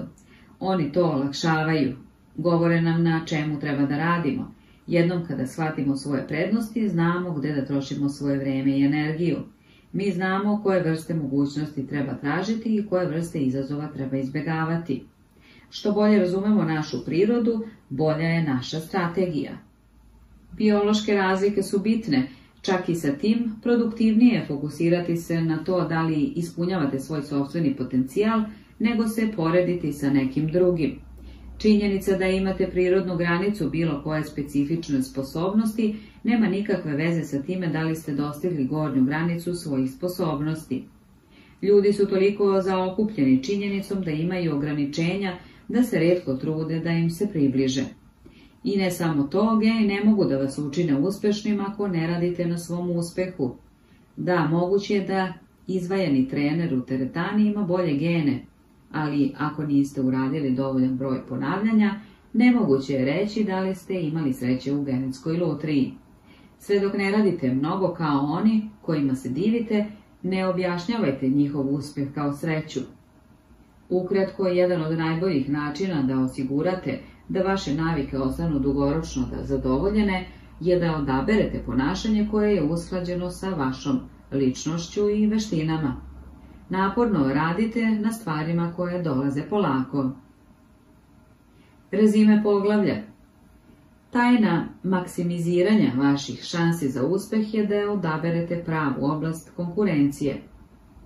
Izaberite pravu naviku i napredak je lak – izaberite pogrešnu naviku i život je borba.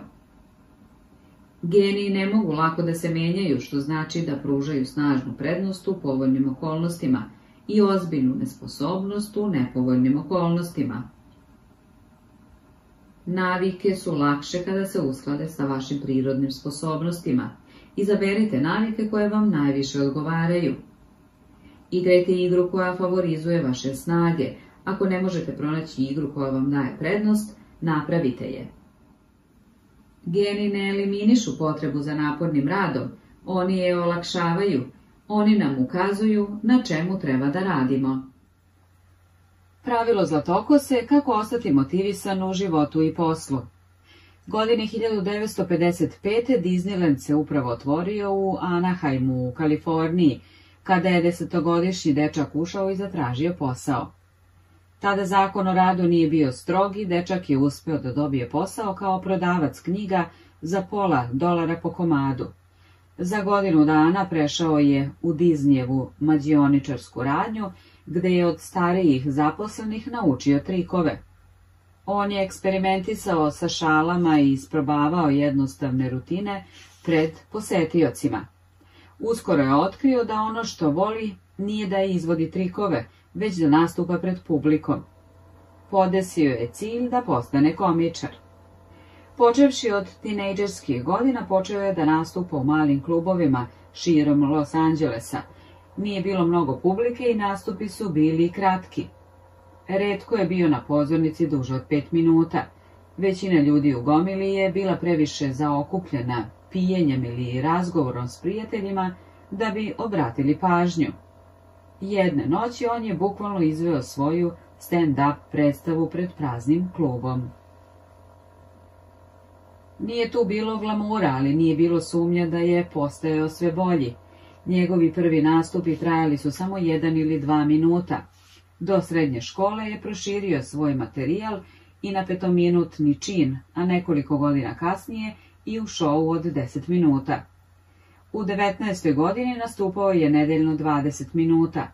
Tokom nastupa morao je da pročita tri pesme samo da bi šou bio za nijansu duži, ali su njegove sposobnosti i dalje napredovale.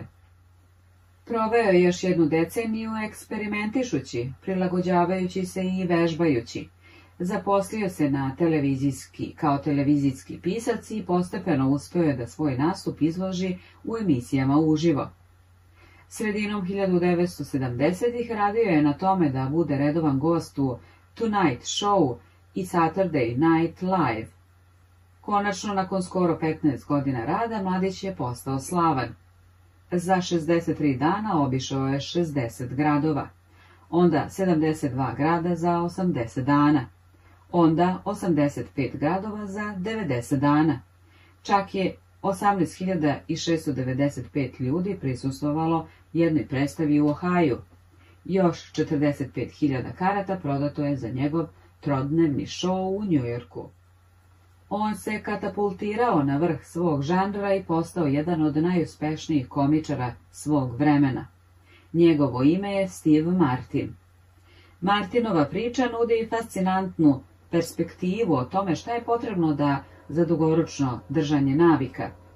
Komedija nije zastidljive. Teško je zamisliti situaciju koja bi izazivala strah u srcima više ljudi nego što bi solo nastup na sceni koji ne izmami bar jedan osmeh. Pa ipak Steve Martin se suočavao sa tim strahom svake nedelje 18 godina. Prema njegovim rečima, 10 godina proveo je u učenju Četiri godine proveo je u doterivanju, a četiri godine u divljem uspehu. Zašto se neki ljudi poput Martina drže svojih navika, bilo da se bave vicevima ili crtaju karikature ili sviraju gitaru, dok se većina nas bori da ostanemo motivisani? Kako da dizajniramo navike koje nas vuku da napredujemo, a ne one koje nestaju? Naučnici ovo pitanje proučavaju godinama iako još ima mnogo toga da se istraži, ali jedan od najkonzistentnijih otkrića je da je način da se održi motivacija i postignu vrhunski nivoi žudnje upravo u tome da se radi na zadacima uz upravljanje poteškoćama. Ljudski mozak voli izazov, ali samo ako je unutar optimalne zone teškoća. Ako volite tenis i pokušate da igrate ozbiljan meč protiv četvorogodišnjaka, brzo će vam postati dosadan. Previše je lako, osvojit ćete svaki poen, nasuprot tome ako igrate protiv profesionalnih tenisera kao što su Roger Federer ili Serena Williams, brzo ćete izgubiti motivaciju jer je meč previše težak. Sada razmislite o, igranju tenisa protiv nekog ko vam je jednak. Kako igra napreduje, osvajate nekoliko bodova i nekoliko gubite. Imate dobre šanse da pobedite, ali samo ako zaista pokušate. Fokus se sužava, smetnje nestaju, a vi se u potpunosti ulažete u zadatak. Ovo je izazov upravljanja poteškoćama i odličan je za primer za pravilo zlatokose. Pravilo zlatokose kaže da ljudi doživljavaju vrhunac motivacije kada rade na zadacima koji su na ivici njihovih trenutnih sposobnosti. Ne previše teško, ne previše lako, taman. Martinova karijera komičara je odličan primer pravila zlatokose u praksi. Svake godine je proširivao svoju rutinu komičara, ali samo za minut dva. Uvek je dodavao novi materijal, ali je zadržao nekoliko šala koje su zasigurno imale reakciju publike.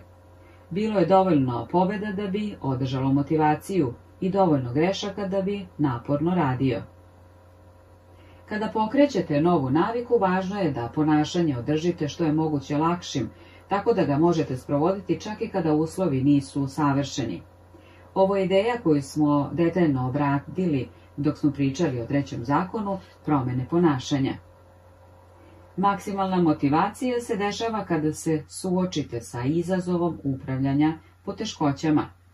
U psihološkim istraživanjima ovo je poznato kao Jerks, Dodsonov zakon, koji opisuje optimalni nivo uzbuđenja kao središnju tačku između dosade i anksioznosti.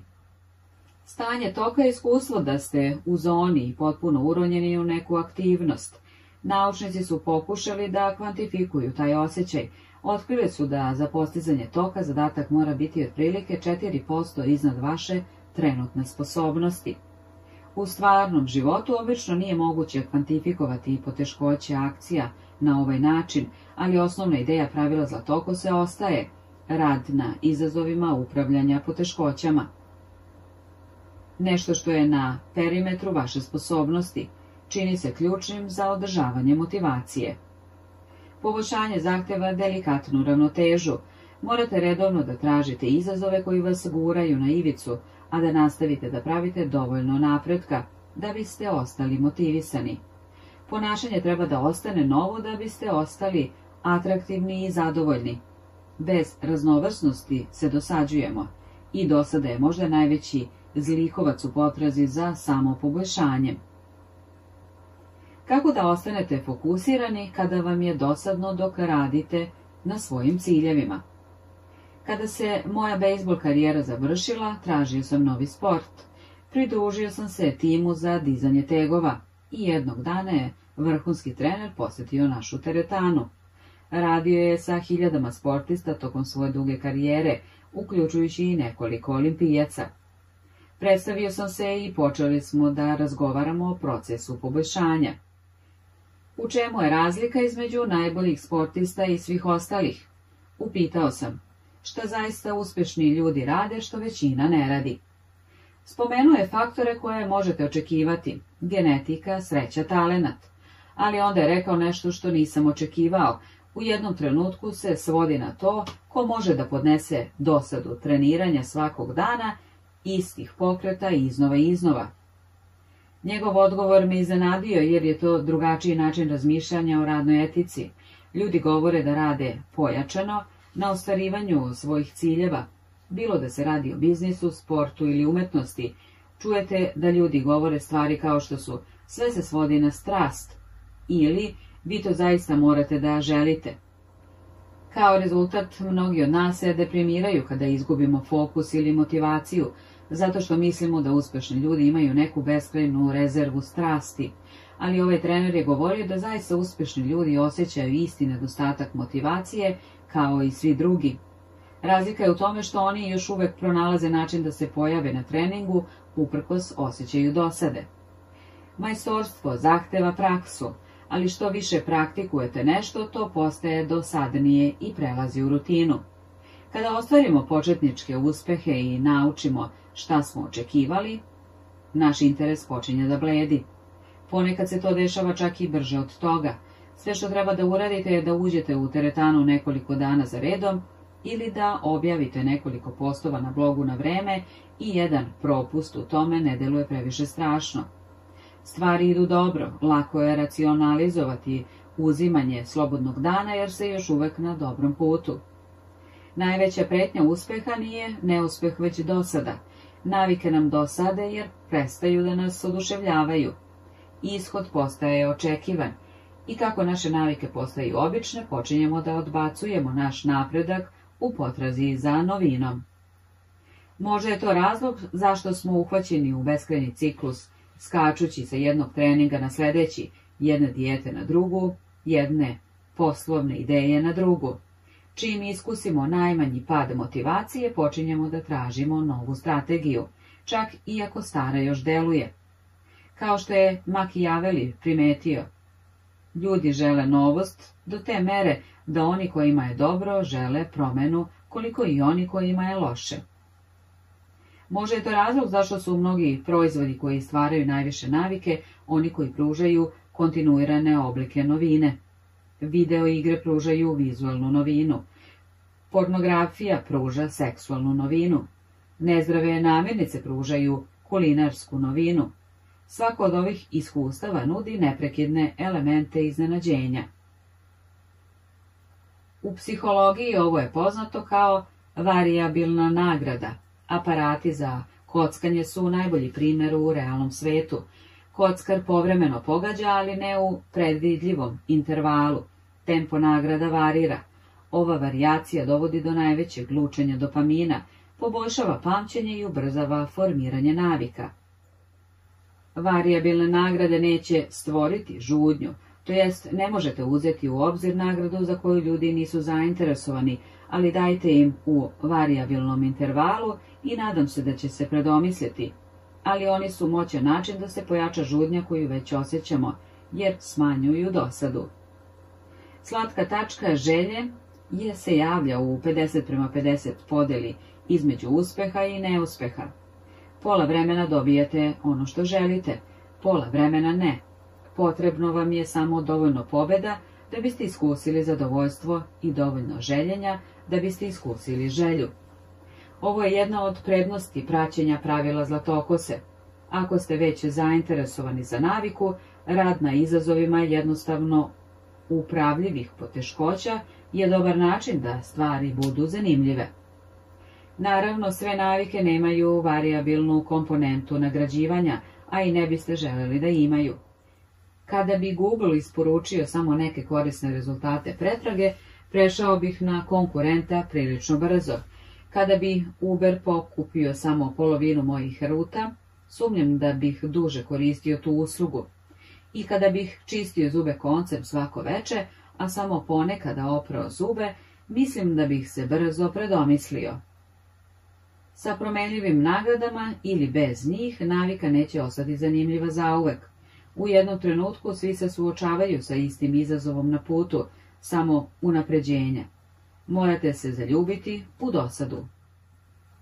Svi imamo ciljeve koje želimo da ostvarimo i snove koje želimo da ispunimo, ali nije važno u čemu se trudite da budete bolji ako to radite samo kada vam je zgodno ili uzbudljivo, onda nikada nećete biti dovoljno dosledni da postignete izvanredne rezultate. Mogu vam garantovati da ako uspete da započnete naviku i nastavite da, se, da je se držite, bit će dana kada ćete želeti da odustanete. Kada pokrenete posao, bit će dana kada nećete želeti ništa da radite. Kada ste u teretani, bit će treninga koje nećete želeti da završite. Kada dođe vreme da pišete, bit će dana kada nećete želeti da otkucate ni reč.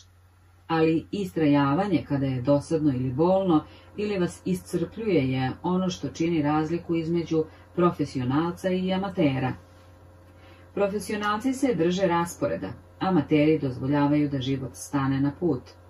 Profesionalci znaju šta im je važno i idu ka tome sa svrhom. Amatere sa puta izbace urgencije života.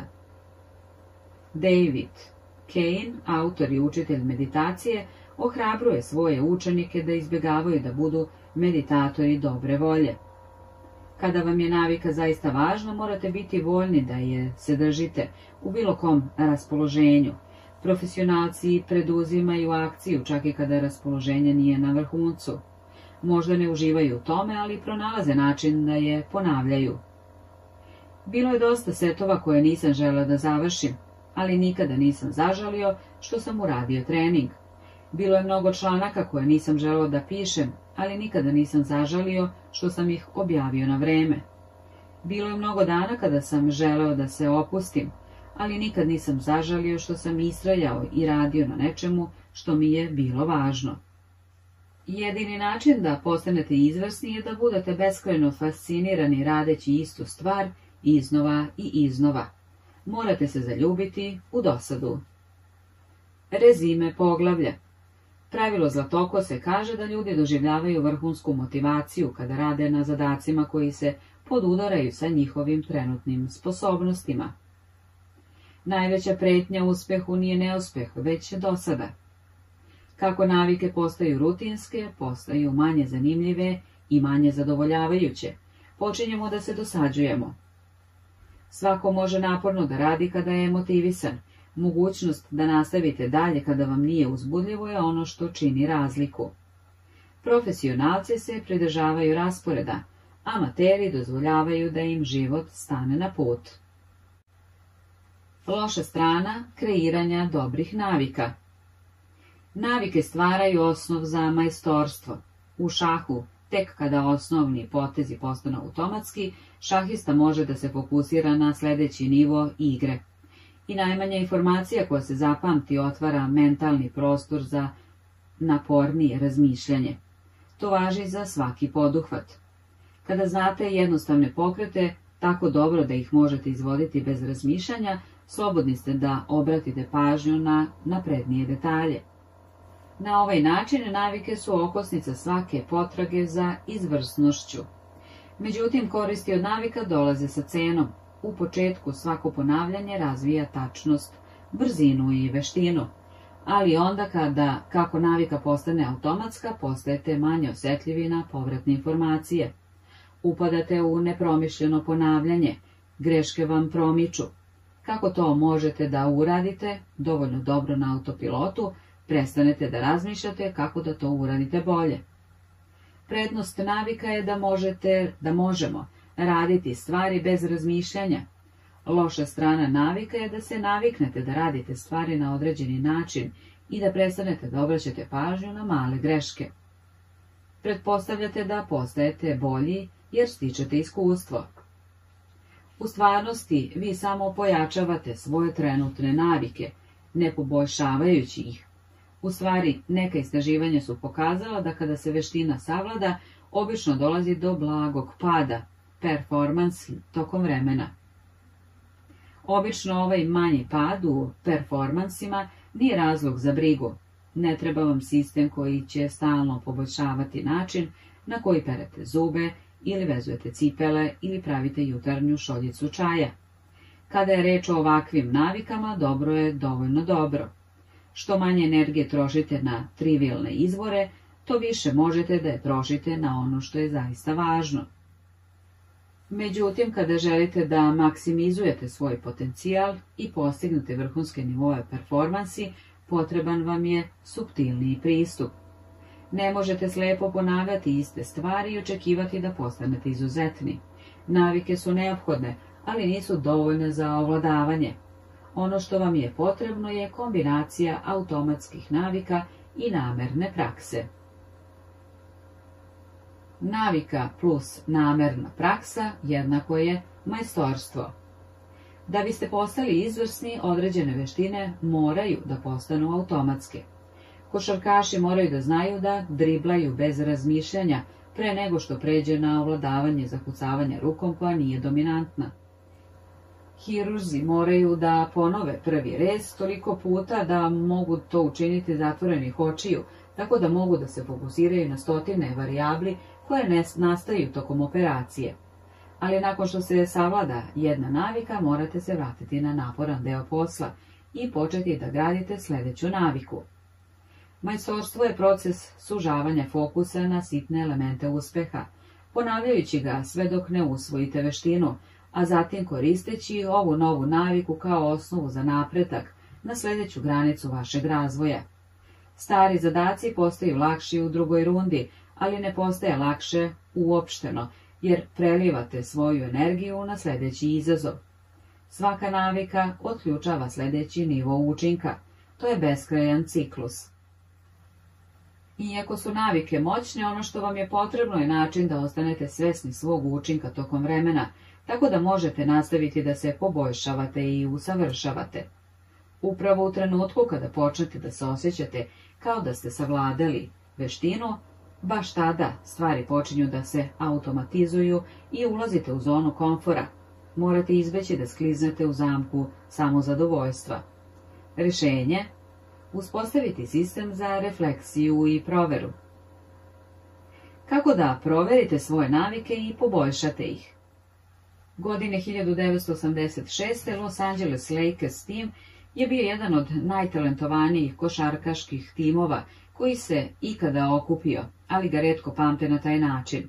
Tim je započeo sezonu NBA 1985. godine do 1986. sa zapanjujućim rekordom od 29 prema 5. Najveći stručnjaci su govorili da smo možda najbolji tim u istoriji košarke, rekao je trener Pat Riley nakon sezone. Iznenađujuće, Lakersi su počeli da posustaju u play-offu 1986. godine i pretrpeli poraz u sezoni u Western Conference finalu. Najbolji tim u istoriji košarke nije čak ni igrao za NBA šampionat. Nakon tog udarca, Riley je bio umoran od toga da sluša koliko su bili talentovani njegovi igrači i koliko su obećavali. On nije želeo da gleda te sjajne igrače ugrožene padom performansi. Želeo je da Lakers igraju svoj puni potencijal veče za veče. U leto 86. godine kreirao je plan da uradi upravo to, sistem koji je nazvao program karijernog razvoja. Kada se igrači prvi put pridruže timu, objasnio je Riley, pratimo njihove košarkaške statistike sve od srednje škole. Ja kažem da im uzimamo meru. Tražimo tačan profil onoga što igrač može da uradi, a zatim ga ugradimo u naš plan za tim na osnovu ideje da će nastaviti da održava, a onda i da počne da poboljšava svoje rezultate. Nakon određivanja osnovnog nivoa performansi igrača, Riley je dodao ključni korak.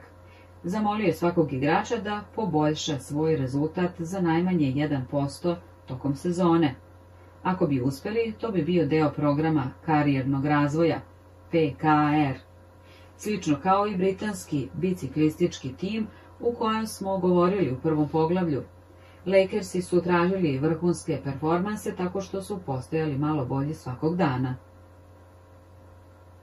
Riley je pazio da istakne da PKR nije samo o bodovima i statistici, nego i davanju svog najboljeg duhovnog i mentalnog i fizičkog napora. Igrači su dobijali dodatne bodove za dozvoljavanje igraču suprotnog tima da natrči na njih, znajući da će mu biti dosuđen faul, hvatanje lopti, trčanje za loptom bez obzira na to da li će stići ili ne, pomaganje sa igraču ako ga je nadigrao igrač koga čuva i ostala herojska dela. Na primjer, recimo da je Magic Johnson, zvezda tima u to vreme, imao 11 poena, 8 skokova, 12 asistencija, dve ukradene lopte i pet gubitka lopte u napadu. Magic bi također dobio dodatne bodove kao neopevani junak igre tako što se bacio za loptom plus 1. Osim toga, igrao je svih 33 minuta u ovoj zamišljenoj igri. Zbir pozitivnih bodova 11 plus 8 plus 12 plus 2 plus 1 iznosi 34. Zatim oduzimamo mu 5 izgubljenih lopti, 34 minus 5 i dobijemo 29. Konačno podelimo 29 na 33 minuta. Jednako je 0,879. Broj programa karijernog razvoja bio bi 879. Ovaj broj je uračunat u sve utakmice igrača, a prosječan PKR broj bi igrač trebalo da poboljšava za 1% u sezoni. Riley je uporedio trenutni PKR broj svakog igrača ne samo sa njihovim prethodnim utakmicama, već i sa ostalim igračima u ligi. Kao što je Riley rekao, mi rangiramo članove tima u poređenju sa igračima suprotnih timova u ligi koji igraju istu poziciju i imaju slične definicije uloga. Sportski izveštač Jackie Macmillan je primetio Riley je isticao na sav glas najbolji igrače u ligi ispisujući veliki brojevima na tabli svake nedelje njihove rezultate i uporiđujući ih sa igračima iz suprotnih timova. Solidni, pouzdani igrači imali su skor oko 600, dok su elitni igrači imali najmanje 800. Magic Johnson, koji je imao 138 dvocifrenih poena u tri kategorije u jednoj utakmici, često je imao preko hiljadu. Lakersi bi također naglasili napredak iz godine u godinu tako što su napravili istorijska poređenja PKR podataka. Riley je rekao, uporedili smo novembar 1986. godine sa novembrom 85. godine i pokazali igračima da li su bili bolji ili gori nego u istom periodu u prošloj sezoni. Onda smo im pokazali kako su se njihovi rezultati poboljšali u decembru 86. nasuprot novembru. Lakersi su počeli sa PKR u oktobru 86. godine. Osam mjeseci kasnije bili su šampioni NBA lige. Sljedeće godine Pat Riley je sa svojim timom osvojio još jedno prvenstvo u Lakersi. I Lakersi su postali prvi tim koji je osvojio dva puta za redom NBA prvenstvo. Nakon toga rekao je, održavanje napora je najvažnija stvar za svako preduzeće. Način da budete uspješni jeste da naučite kako da radite stvari kako treba, a zatim ih svaki put uradite na isti način. PKR program je najbolji primjer moći razmišljanja i provere. Lakersi su već bili talentovani. PKR im je pomogao da izvuku maksimum iz onoga što su imali i postarao se da se njihove navike poboljšavaju, a ne pogoršavaju. Promišljanje i pregled omogućava dugoročno poboljšanje svih navika, jer vas čini svesnim svojih grešaka i pomaže vam da razmotrite moguće puteve za poboljšanje. Bez razmišljanja možemo tražiti izgovore, racionalizovati i lagati sebe. Nemamo nikakav proces utvrđivanja da li smo bolji ili lošiji u odnosu na juče. Najbolji izvođači u svim oblastima učestvuju različitim vrstama samoanaliza, a proces ne mora biti složen. Kenijski trkač Elliot Kipchoge je jedan od najboljih maratonaca svih vremena i osvajač zlatne olimpijske medalje. I dalje vodi beleške nakon svakog treninga u kojima ocenjuje svoje performanse za taj dan i traži područja koja se mogu poboljšati. Slično tome, plivačica sa osvenim zlatnim medaljama Katie Ledecki ocenjuje stanje svog tela na skali od 1 do 10 i vodi beleške o ishrani i koliko je dobro spavala. Također beleži vreme koje su postigli drugi plivači.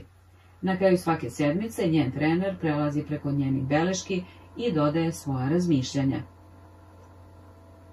Ne rade ovo samo sportisti. Kada komičar Chris Rock priprema novi materijal, on će se prvi put pojaviti u malim noćnim klubovima desetak puta i testirati stotine šala. On nosi svesku na scenu i beleži koji delovi dobro prolaze i gde treba da se prilagodi. Nekoliko dobrih šala koje prežive će predstavljati okosnicu njegove nove emisije.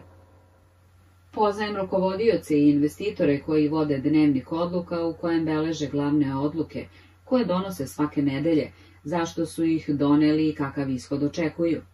Oni preispituju svoje izbore na kraju svakog meseca ili godine da bi vidjeli gde su bili u pravu i gde su pogrešili. Poboljšanje se ne odnosi samo na navike učenja, već i na njihovo fino podešavanje. Refleksija i pregled osiguravaju da trošite svoje vreme na prave stvari i pravite korekcije kursa kad god je to potrebno, kao što je Pet Riley prilagođavao napor svojih igrača iz noći u noć. Ne želite da nastavite da sprovodite naviku ako postane neefikasna. Ja lično koristim dva osnovna načina razmišljanja i pregleda. Svakog decembra pravim godišnju analizu u kojoj razmišljam o prethodnoj godini. Usklađujem svoje navike tokom godine prebrojavanjem koliko sam članaka objavio, koliko vežbi uradio, koliko novih mesta sam posetio i još mnogo toga. Tada razmišljam o svom napretku ili njegovom nedostatku, odgovaranjem na tri pitanja. Prvo pitanje, šta je prošlo dobro ove godine? Drugo, šta mi nije pošlo za rukom ove godine? I treće, šta sam naučio? Šest meseci kasnije, kada ponovo dođe leto, ja vodim izveštaj o integritetu. Kao i svi, pravim mnogo grešaka. Izveštaj o integritetu mi pomaže da shvatim gde sam pogrešio i da me motiviše da se vratim na kurs. Koristim ga kao vreme da ponovo pogledam svoje osnovne vrednosti i razmislim da li sam živeo u skladu sa njima. To je period kada razmišljam o svom identitetu i kako mogu da radim na tome da budem tip osobe koja želim da postanem. Moj godišnji izveštaj o integritetu odgovara na tri pitanja. Koje su osnovne vrednosti koje pokreću moj život i rad? Kako sada živim i radim sa integritetom? Kako mogu da postavim viši standard u budućnosti? Ova dva izveštaja ne traju dugo, samo nekoliko sati godišnje, ali su ključni periodi za poboljšanja. Oni sprečavaju postepeno iskakanje koje se dešava kada ne obraćam pažnju. Oni pružaju godišnji podsjetnik da ponovo pregledam moj željeni identitet i razmotrim kako mi navike pomažu da postanem tip osobe koju želim da, koja želim da budem. Oni ukazuju na to kako treba da usavršim svoje navike i preuzmem nove izazove i kada treba da povratim svoje napore i fokusiram se na ono što mi je zaista važno. Refleksija takođe može da donese perspektivu. Svakodnevne navike su moćne zbog toga što se sastoje, ali previše brige o svakodnevnom izboru je kao da gledate sebe u ugledalo udaljeno milimetar od vas. Možete videti svaku nesavršenost i izgubiti iz vida širu sliku. Ima previše povratnih informacija. Nasuprot tome, ako nikada ne preispitate svoje navike, to je kao da se nikada ne gledate u ogledalo. Niste svesni mana koje je lako popraviti, mrlje na košulji, malo hrane među zubima. Ima suviše malo povratnih informacija. Periodična refleksija i pregled je kao gledanje ugledalo sa udaljenosti od dužine ruke. Možete vidjeti i važne promene koje bi trebalo da uradite, a ne izgubite iz vida i veću sliku. Želite da vidite čitav planinski lanac, a ne da budete opsednuti svakim vrhom i dolinom. Konačno, razmišljanje i pregled nude idealno vreme za ponovno razmatranje jednog od najvažnijih aspekata promene ponašanja – identiteta. Kako da promenite uverenja koja vas sputavaju? U početku ponavljanje navike je neophodno za izgradnju dokaza o vašem željenom identitetu. Kako se približavate tom novom identitetu, ta ista verovanja mogu vas zadržati u razvoju – Kada rade protiv vas, vaš identitet stvara neku vrstu ponosa, koji vas ohrabruje da poričete svoje slabe tačke i sprečava vas da zaista rastete. To je jedna od najvećih mana izgradnje navika. Što nam je više ideja sveta, to jest što je dublje vezano za naš identitet, to ćemo snažnije braniti od kritike. To možete vidjeti u svakoj industriji. Učiteljica koja ignoriše inovativne metode podučavanja i drži se svojih isprobanih i dokazanih nastavnih planova. Menadžer veteran koji je veran svojim starim načinima rada. Hirur koji odbacuje ideje svojih mlađih kolega. Bend koji stvara prvi neverovatan album, a onda se zaglavi u kolotečini. Što se čvršće držimo identiteta, to teže postaje da rastemo izvan njega. Jedno od rešenja je da izbegavate da bilo koji aspekt vašeg identiteta bude ogroman deo onoga što vi jeste. Prema rečima investitora Pola Grejama, držite svoj identitet malim. Što više dozvolite da vas jedno verovanje definiše, manje ste sposobni da se prilagodite kada vas život izazove. Ako sve vežete za to da budete playmaker ili partner u firmi ili bilo šta drugo, onda će vas gubitak tog aspekta vašeg života uništiti. Ako ste vegana, onda se pojavi zdravstveno stanje koje vas prisiljava da promenite svoju ishranu i imaćete krizu identiteta. Kada se čvrsto držite jednog identiteta, postajete krhki. Izgubite jednu stvar i izgubite sebe. Veći deo moje mladosti biti sportista bio je veliki deo mog identiteta. Nakon što sam završio svoju bejsbol karijeru, borio sam se da se pronađem. Kada čitav život provedeš definišući se da na jedan način i on nestane, ko si sada ti? Vojni veterani, bivši preduzetnici govore o sličnim osjećajima. Ako je vaš identitet ispunjen uverenjem ja sam veliki vojnik, šta se dešava kada se završi vaše služenje? Za mnoge vlasnike biznisa njihov identitet je nešto što je u skladu sa ja sam ceo ili ja sam osnivač. Ako ste proveli svaki trenutak radeći na svom poslu, kako ćete se osjećati nakon što prodate kompaniju? Ključ za ublažavanje ovih gubitaka identiteta je redefinisanje sebe tako da zadržite važne aspekte svog identiteta čak iako se vaša određena uloga promeni.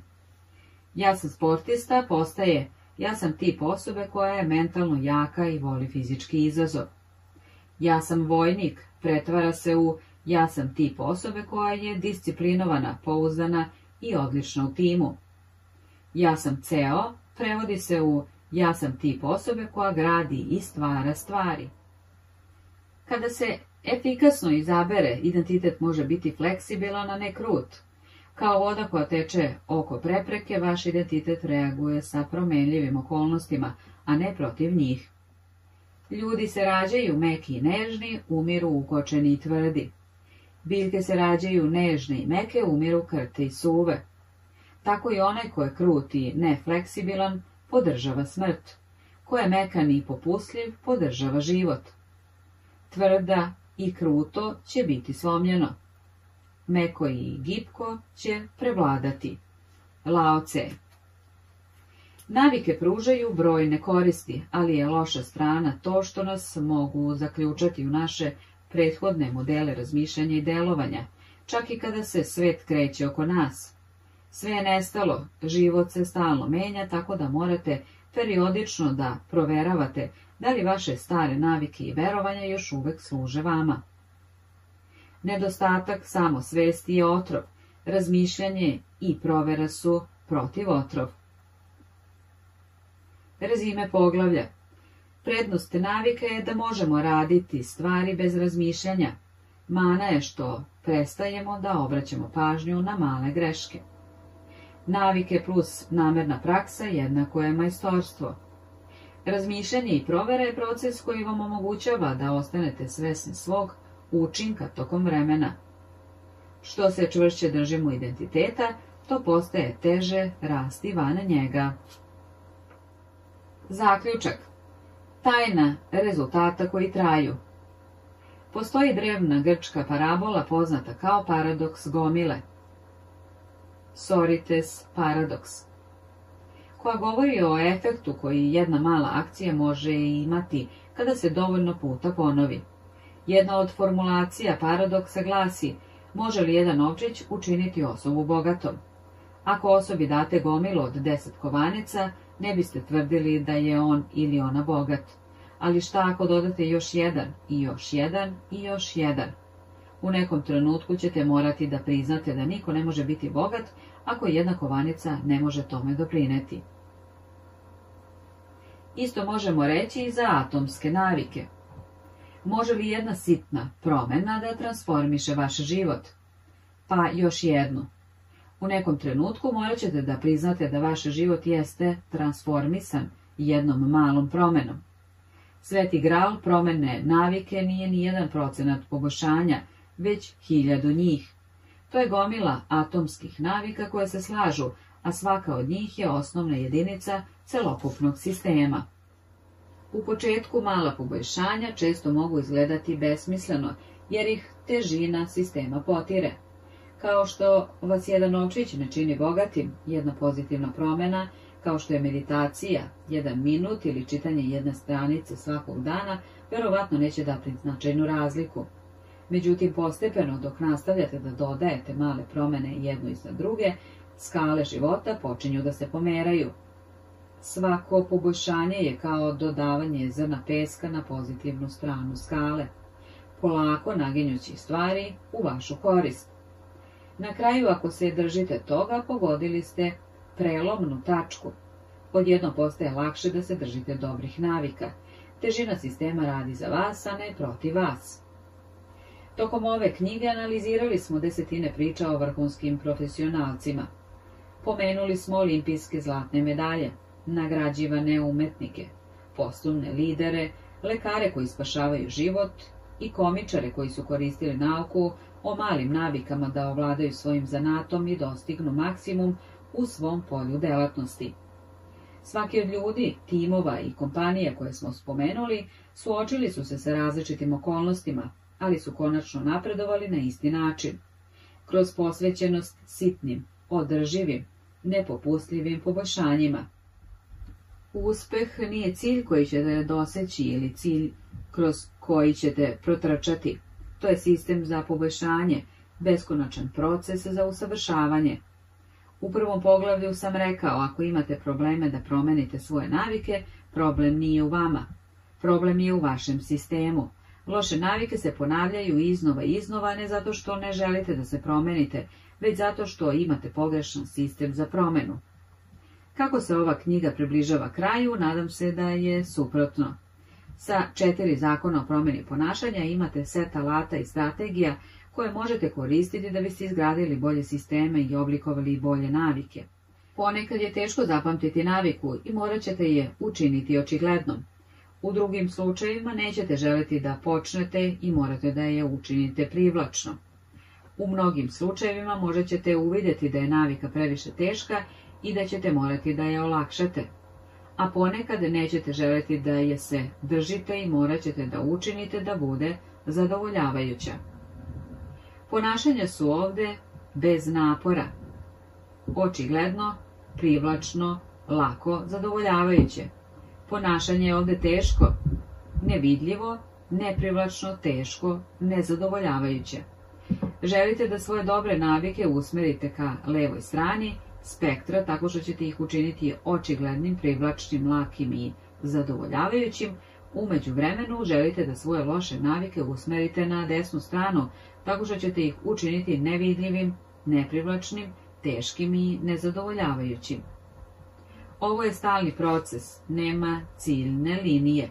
Ne postoji trajno rješenje. Kad god želite da se poboljšate, možete se kretati kroz četiri zakona o promjeni ponašanja, dok ne nađete sljedeće usko grlo. Neka bude očigledno, neka bude privlačno, neka bude lako, neka bude zadovoljavajuće. U krug uvek tražite sljedeći način da ostvarite 1% poboljšanja. Tajna dobijanja rezultata je da nikada ne prestanete da pravite poboljšanja. Neverovatno je što možete da napravite ako se ne zaustavite. Neverovatan je posao koji možete da izgradite ako ne prestanete da radite. Neverovatno je telo koje možete da izgradite ako ne prestanete da trenirate. Izvanredno je znanje koje možete izgraditi ako ne prestanete da učite. Izuzetno je bogatstvo koje možete izgraditi ako ne prestanete da štedite. Neverovatna su prijateljstva koje možete izgraditi ako ne prestanete da vodite računa o prijateljima. Male navike se ne sabiraju, one se umnožavaju. To je snaga atomskih navika, mikropromene, izvanredni rezultati. Kratke lekcije iz četiri zakona. U ovoj knjizi sam kreirao model od četiri koraka za ljudsko ponašanje. Signal žudnja, odgovor nagrada. Ovaj okvir ne samo da nas uči kako da stvaramo nove navike, već i otkriva neke zanimljive uvide o ljudskom ponašanju. Problem faza pod jedan signal, pod dva žudnja, faza rešenja, pod tri odgovor, četiri nagrada. U ovom poglavlju sastavio sam nekoliko lekcija i nekoliko delova logičnih opažanja koje potvrđuju ovaj model. Svrha opisanih primjera je da se objasni koliko je ovaj okvir koristan i širok u opisivanju ljudskog ponašanja. Kada shvatite model, vidjet ćete njegove primjere svuda oko vas. Svest dolazi pre želje. Žudnja se kreira kada signalu dodelite značenje.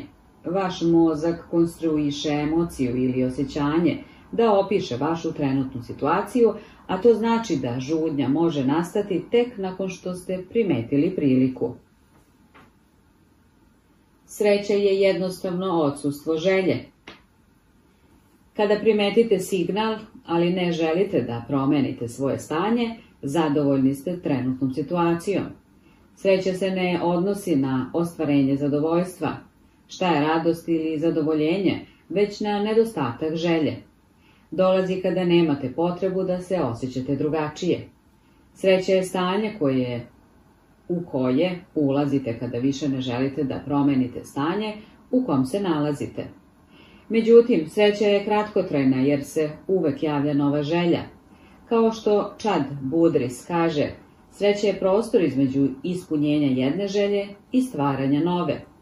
Slično tome, patnja je prostor između žudnje za promenom stanja i njegovog postizanja. Mi jurimo za idejom, užitka. Tražimo sliku zadovoljstva koju generišemo u našim umovima. Dok nešto radimo, ne znamo kako će biti kada se dostigne ta slika ili čak i ako da li će nas zadovoljiti. Osjećaj zadovoljstva dolazi samo kasnije. To je austrijski neurolog Viktor Frankl mislio kada je rekao da se sreća ne može slediti, ona mora uslediti. Želja se ganja, zadovoljstvo proizilazi iz akcije. Mir se dešava kada ne pretvarate svoja zapažanja u probleme. Prvi korak u bilo kom ponašanju je posmatranje. Primetite signal, neku informaciju, događaj. Ako ne želite da delujete po onome što posmatrate, onda ste u miru. Žudnja je kada sve želite da popravite. Posmatranje bez žudnje je spoznaja da ne morate ništa da popravljate. Vaše želje ne beže. Ne žudite za promenom stanja. Vaš um vam ne stvara problem za rešavanje. Vi jednostavno posmatrate i postojite. Sa dovoljno velikim zašto možete prevazići bilo koje kako. Friedrich Nietzsche, nemački filozof i pesnik, napisao je slavni citat. Onaj koji ima zašto da živi, može da podnese bilo koje kako da živi. Ova fraza sadrži važnu istinu o ljudskom ponašanju. Ako je vaša motivacija i želja dovoljno velika, to jest vaše zašto se ponašate kako se ponašate, preduzet ćete akciju čak i kada je to prilično teško. Velika želja može da pokrene veliku akciju, uprkos značajnom otporu. Biti znatiželjan je bolje nego biti pametan. Biti motivisan i znatiželjan je više od toga da ste pametni, jer vas vode ka akciji. Biti pametan nikada neće doneti rezultate samo po sebi, jer vas neće naterati da delujete. Želja, a ne inteligencija, podstiče ponašanje. Kao što je Naval Ravikant rekao, trik da se nešto uradi je da se najpre stvori želja za tim. Emocije upravljaju ponašanje. Svaka odluka je emocionalna odluka na nekom nivou. Kakvi god da su vaši logički razlozi za akciju, osjećate se primoranim da na njih reagujete zbog emocija. U stvari, ljudi sa oštećenjem emocionalnih centara u mozgu Mogu navesti mnoge razloge za poduzimanje akcije, ali još uvek neće delovati jer nemaju emocije koje će ih pokrenuti. Zbog toga žudnja dolazi pre odgovora. Osjećaj je na prvom mestu, a onda dolazi ponašanje. Možemo biti racionalni i logični tek nakon što smo bili emocionalni. Primarni modus mozga je da se osjeća, sekundarni je da misli. Naš prvi odgovor, brz, nesvestan deo mozga, je optimizovan za osjećaj i očekivanje. Naš drugi odgovor, spori, svesni deo mozga, je onaj deo koji misli. Psiholozi ovo nazivaju sistem 1, osjećanja i brzi sudovi, nasuprot sistemu 2, racionalna analiza. Prvo dolazi osjećaj, sistem 1, Racionalnost se upliče kasnije, sistem 2. Ovo odlično funkcioniše kada su dva poravnana, ali rezultira nelogičnim i emocionalnim razmišljanjem kada to nije slučaj. Vaš odgovor teži da prati vaše emocije. Naše misli i postupci su ukorenjeni u onome što smatramo privlačnim, ne nužno u onome što je logično. Dve osobe mogu da primete isti skup činjenica i reaguju vrlo različito, jer te činjenice propuštaju kroz drugačije emotivne filtere. Ovo je jedan od razloga zašto je obraćanje emocijama obično mnogo moćnije nego razumu. Ako tema nekoga dotakne emotivno, teško da će se zainteresovati za podatke. Zato emocije mogu da budu velika pretnja mudrom donošenju odluka. Drugim rečima, većina ljudi veruje da je razumni odgovor onaj koji im donosi korist, onaj koji zadovoljava njihove želje. Pristupiti situaciji iz neutralnijeg, emocionalnog položaja omogućava vam da bazirate svoj odgovor na podacima, a ne na emocijama. Patnja podstiče napredak. Izvor svih patnji je želja za promenom stanja. Ovo je također izvor svog napretka. Želja da promenite svoje stanje je ono što vas pokreće da poduzmete akciju. Ta želja da ima više podstiče čovečanstvo da traži poboljšanja, razvija nove tehnologije i dopire do višeg nivoa. Sa žudnjom smo nezadovoljni, ali motivisani. Bez žudnje zadovoljni smo, ali nemamo ambicije. Vaše delovanje otkriva koliko mnogo nešto želite. Ako govorite da vam je nešto prioritet, ali nikada ne delujete u tom pravcu, onda to zaista ne želite. Vreme je da iskreno razgovarate sa sobom. Vaše akcije otkrivaju vaše istinske motivacije. Nagrada je na drugoj strani žrtve. Odgovor žrtvovanje energije uvek prethodi nagradi, prikupljanje resursa. Dobar rezultat dolazi samo nakon teškog trčanja. Nagrada dolazi samo nakon što se potroši energija. Samokontrola je teška jer nije zadovoljavajuća. Nagrada je rezultat koji zadovoljava vašu žudnju. Čini samokontrolu neefikasnom, jer ih inhibiranje naših želja obično ne rešava. Odupiranje iskušenju ne zadovoljava vašu žudnju, jednostavno je ignoriše. Stvara se prostor da prođe žudnja. Samokontrola zahteva od vas da oslobodite želje, a ne da ih zadovoljite. Naše očekivanja određuju naše zadovoljstvo. Jaz između naših žudnji i naših nagrada određuje koliko smo zadovoljni nakon akcije. Ako je neusklađenost između očekivanja i rezultata pozitivna, iznenađenje i oduševljenje, onda je veća verovatnoća da ćemo ponoviti ponašanje u budućnosti. Ako je neusklađenost negativna, razočarenje i frustracija, onda je manja verovatnoća da ćemo to učiniti. Na primjer, ako očekujete da dobijete 10 dolara i dobijete 100 dolara, osjećate se sjajno. Ako očekujete da ćete dobiti 100 dolara i dobijete 10 dolara, osjećate se razočarani. Vaše očekivanje menja vaše zadovoljstvo. U prosjeku, iskustvo koje doživite nakon velikih očekivanja je razočaranje. Prosječno iskustvo koje nastupa nakon niskih očekivanja je užitak. Kada su naklonost i želje približno iste, osjećate se zadovoljnim. Zadovoljstvo jednako naklonost, povlaka želja. To je mudrost iza Senekine poznate izreke. Siromašni smo ne kada imamo premalo, već kada tražimo previše. Ako ono što želite premašuje ono što volite, uvek ćete biti nezadovoljni. Stalno dodajete više tereta problemu nego rešenju. Sreća je relativna. Kada sam prvi put počeo da delim svoje tekstove javno, trebalo mi je tri meseca da dobijem hiljadu pretplatnika. Kada sam došao do tog broja, rekao sam roditeljima i devojci. Proslavili smo. Bio sam uzbuđen i motivisan. Nekoliko godina kasnije shvatio sam da se svakoga dana prijavljuje hiljadu ljudi.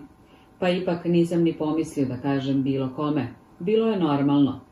Dobijao sam rezultate 90 puta brže nego ranije, ali sam imao manje zadovoljstva.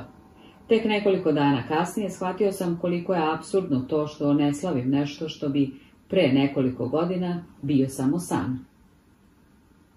Bol neuspeha je u korelaciji sa visinom očekivanja.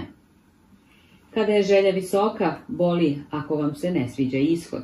Ako ne uspete da postignete nešto što želite, boli više od neuspeha u nečemu o čemu niste mnogo razmišljali. Zato ljudi kažu, ne želim da se previše nadam. Osjećanja dolaze pre i posle ponašanja. Pre nego što se nešto uradi, postoji osjećaj koji vas motiviše da delujete. Žudnja. Nakon delovanja postoji osjećaj koji vas uči da ponovite akciju u budućnosti. Nagradu. Signal, žudnja, osjećaj. Odgovor, nagrada, osjećaj. Kako se osjećamo, utiče na to kako se ponašamo i kako delamo utiče na to kako se osjećamo. Želja inicira, zadovoljstvo održava. Želja i dopadanje su dva pokretača ponašanja. Ako to nije poželjno, nemate razloga da to učinite. Želja i žudnja su ono što inicira ponašanje, ali ako nije prijatno, nemate razloga da ga ponavljate. Zadovoljstvo i zadovoljenje su ono što održava ponašanje. Osjećaj motivacije vas tera da delujete. Osjećaj uspešnosti vas tera da ponovite. Nada opada sa iskustvom i zamenjuje se prihvatanjem. Prvi put kada se pojavi prilika postoji nada u ono što bi moglo biti. Vaše očekivanje, žudnja, zasniva se isključivo na obećanju. Drugi put vaše očekivanje je utemeljeno u stvarnosti. Počinjete da shvatate kako proces funkcioniše i vaša nada se postepeno menja preciznijim predviđanjem i prihvatanjem verovatnog ishoda. To je jedan od razloga zbog kog se neprestano hvatamo za najnovije programe bogaćenja ili mršavljenja. Novi planovi nude nadu jer mi nemamo iskustva koja bi opravdala naša očekivanja. Nove strategije izgledaju privlačnije od starih jer mogu imati neograničenu nadu. Kao što je Aristotel primetio, mladi se lako prevare zato što se brzo nadaju. Može se to može revidirati na mladi se lako prevare zato što se samo nadaju. Na početku nada je sve što imate.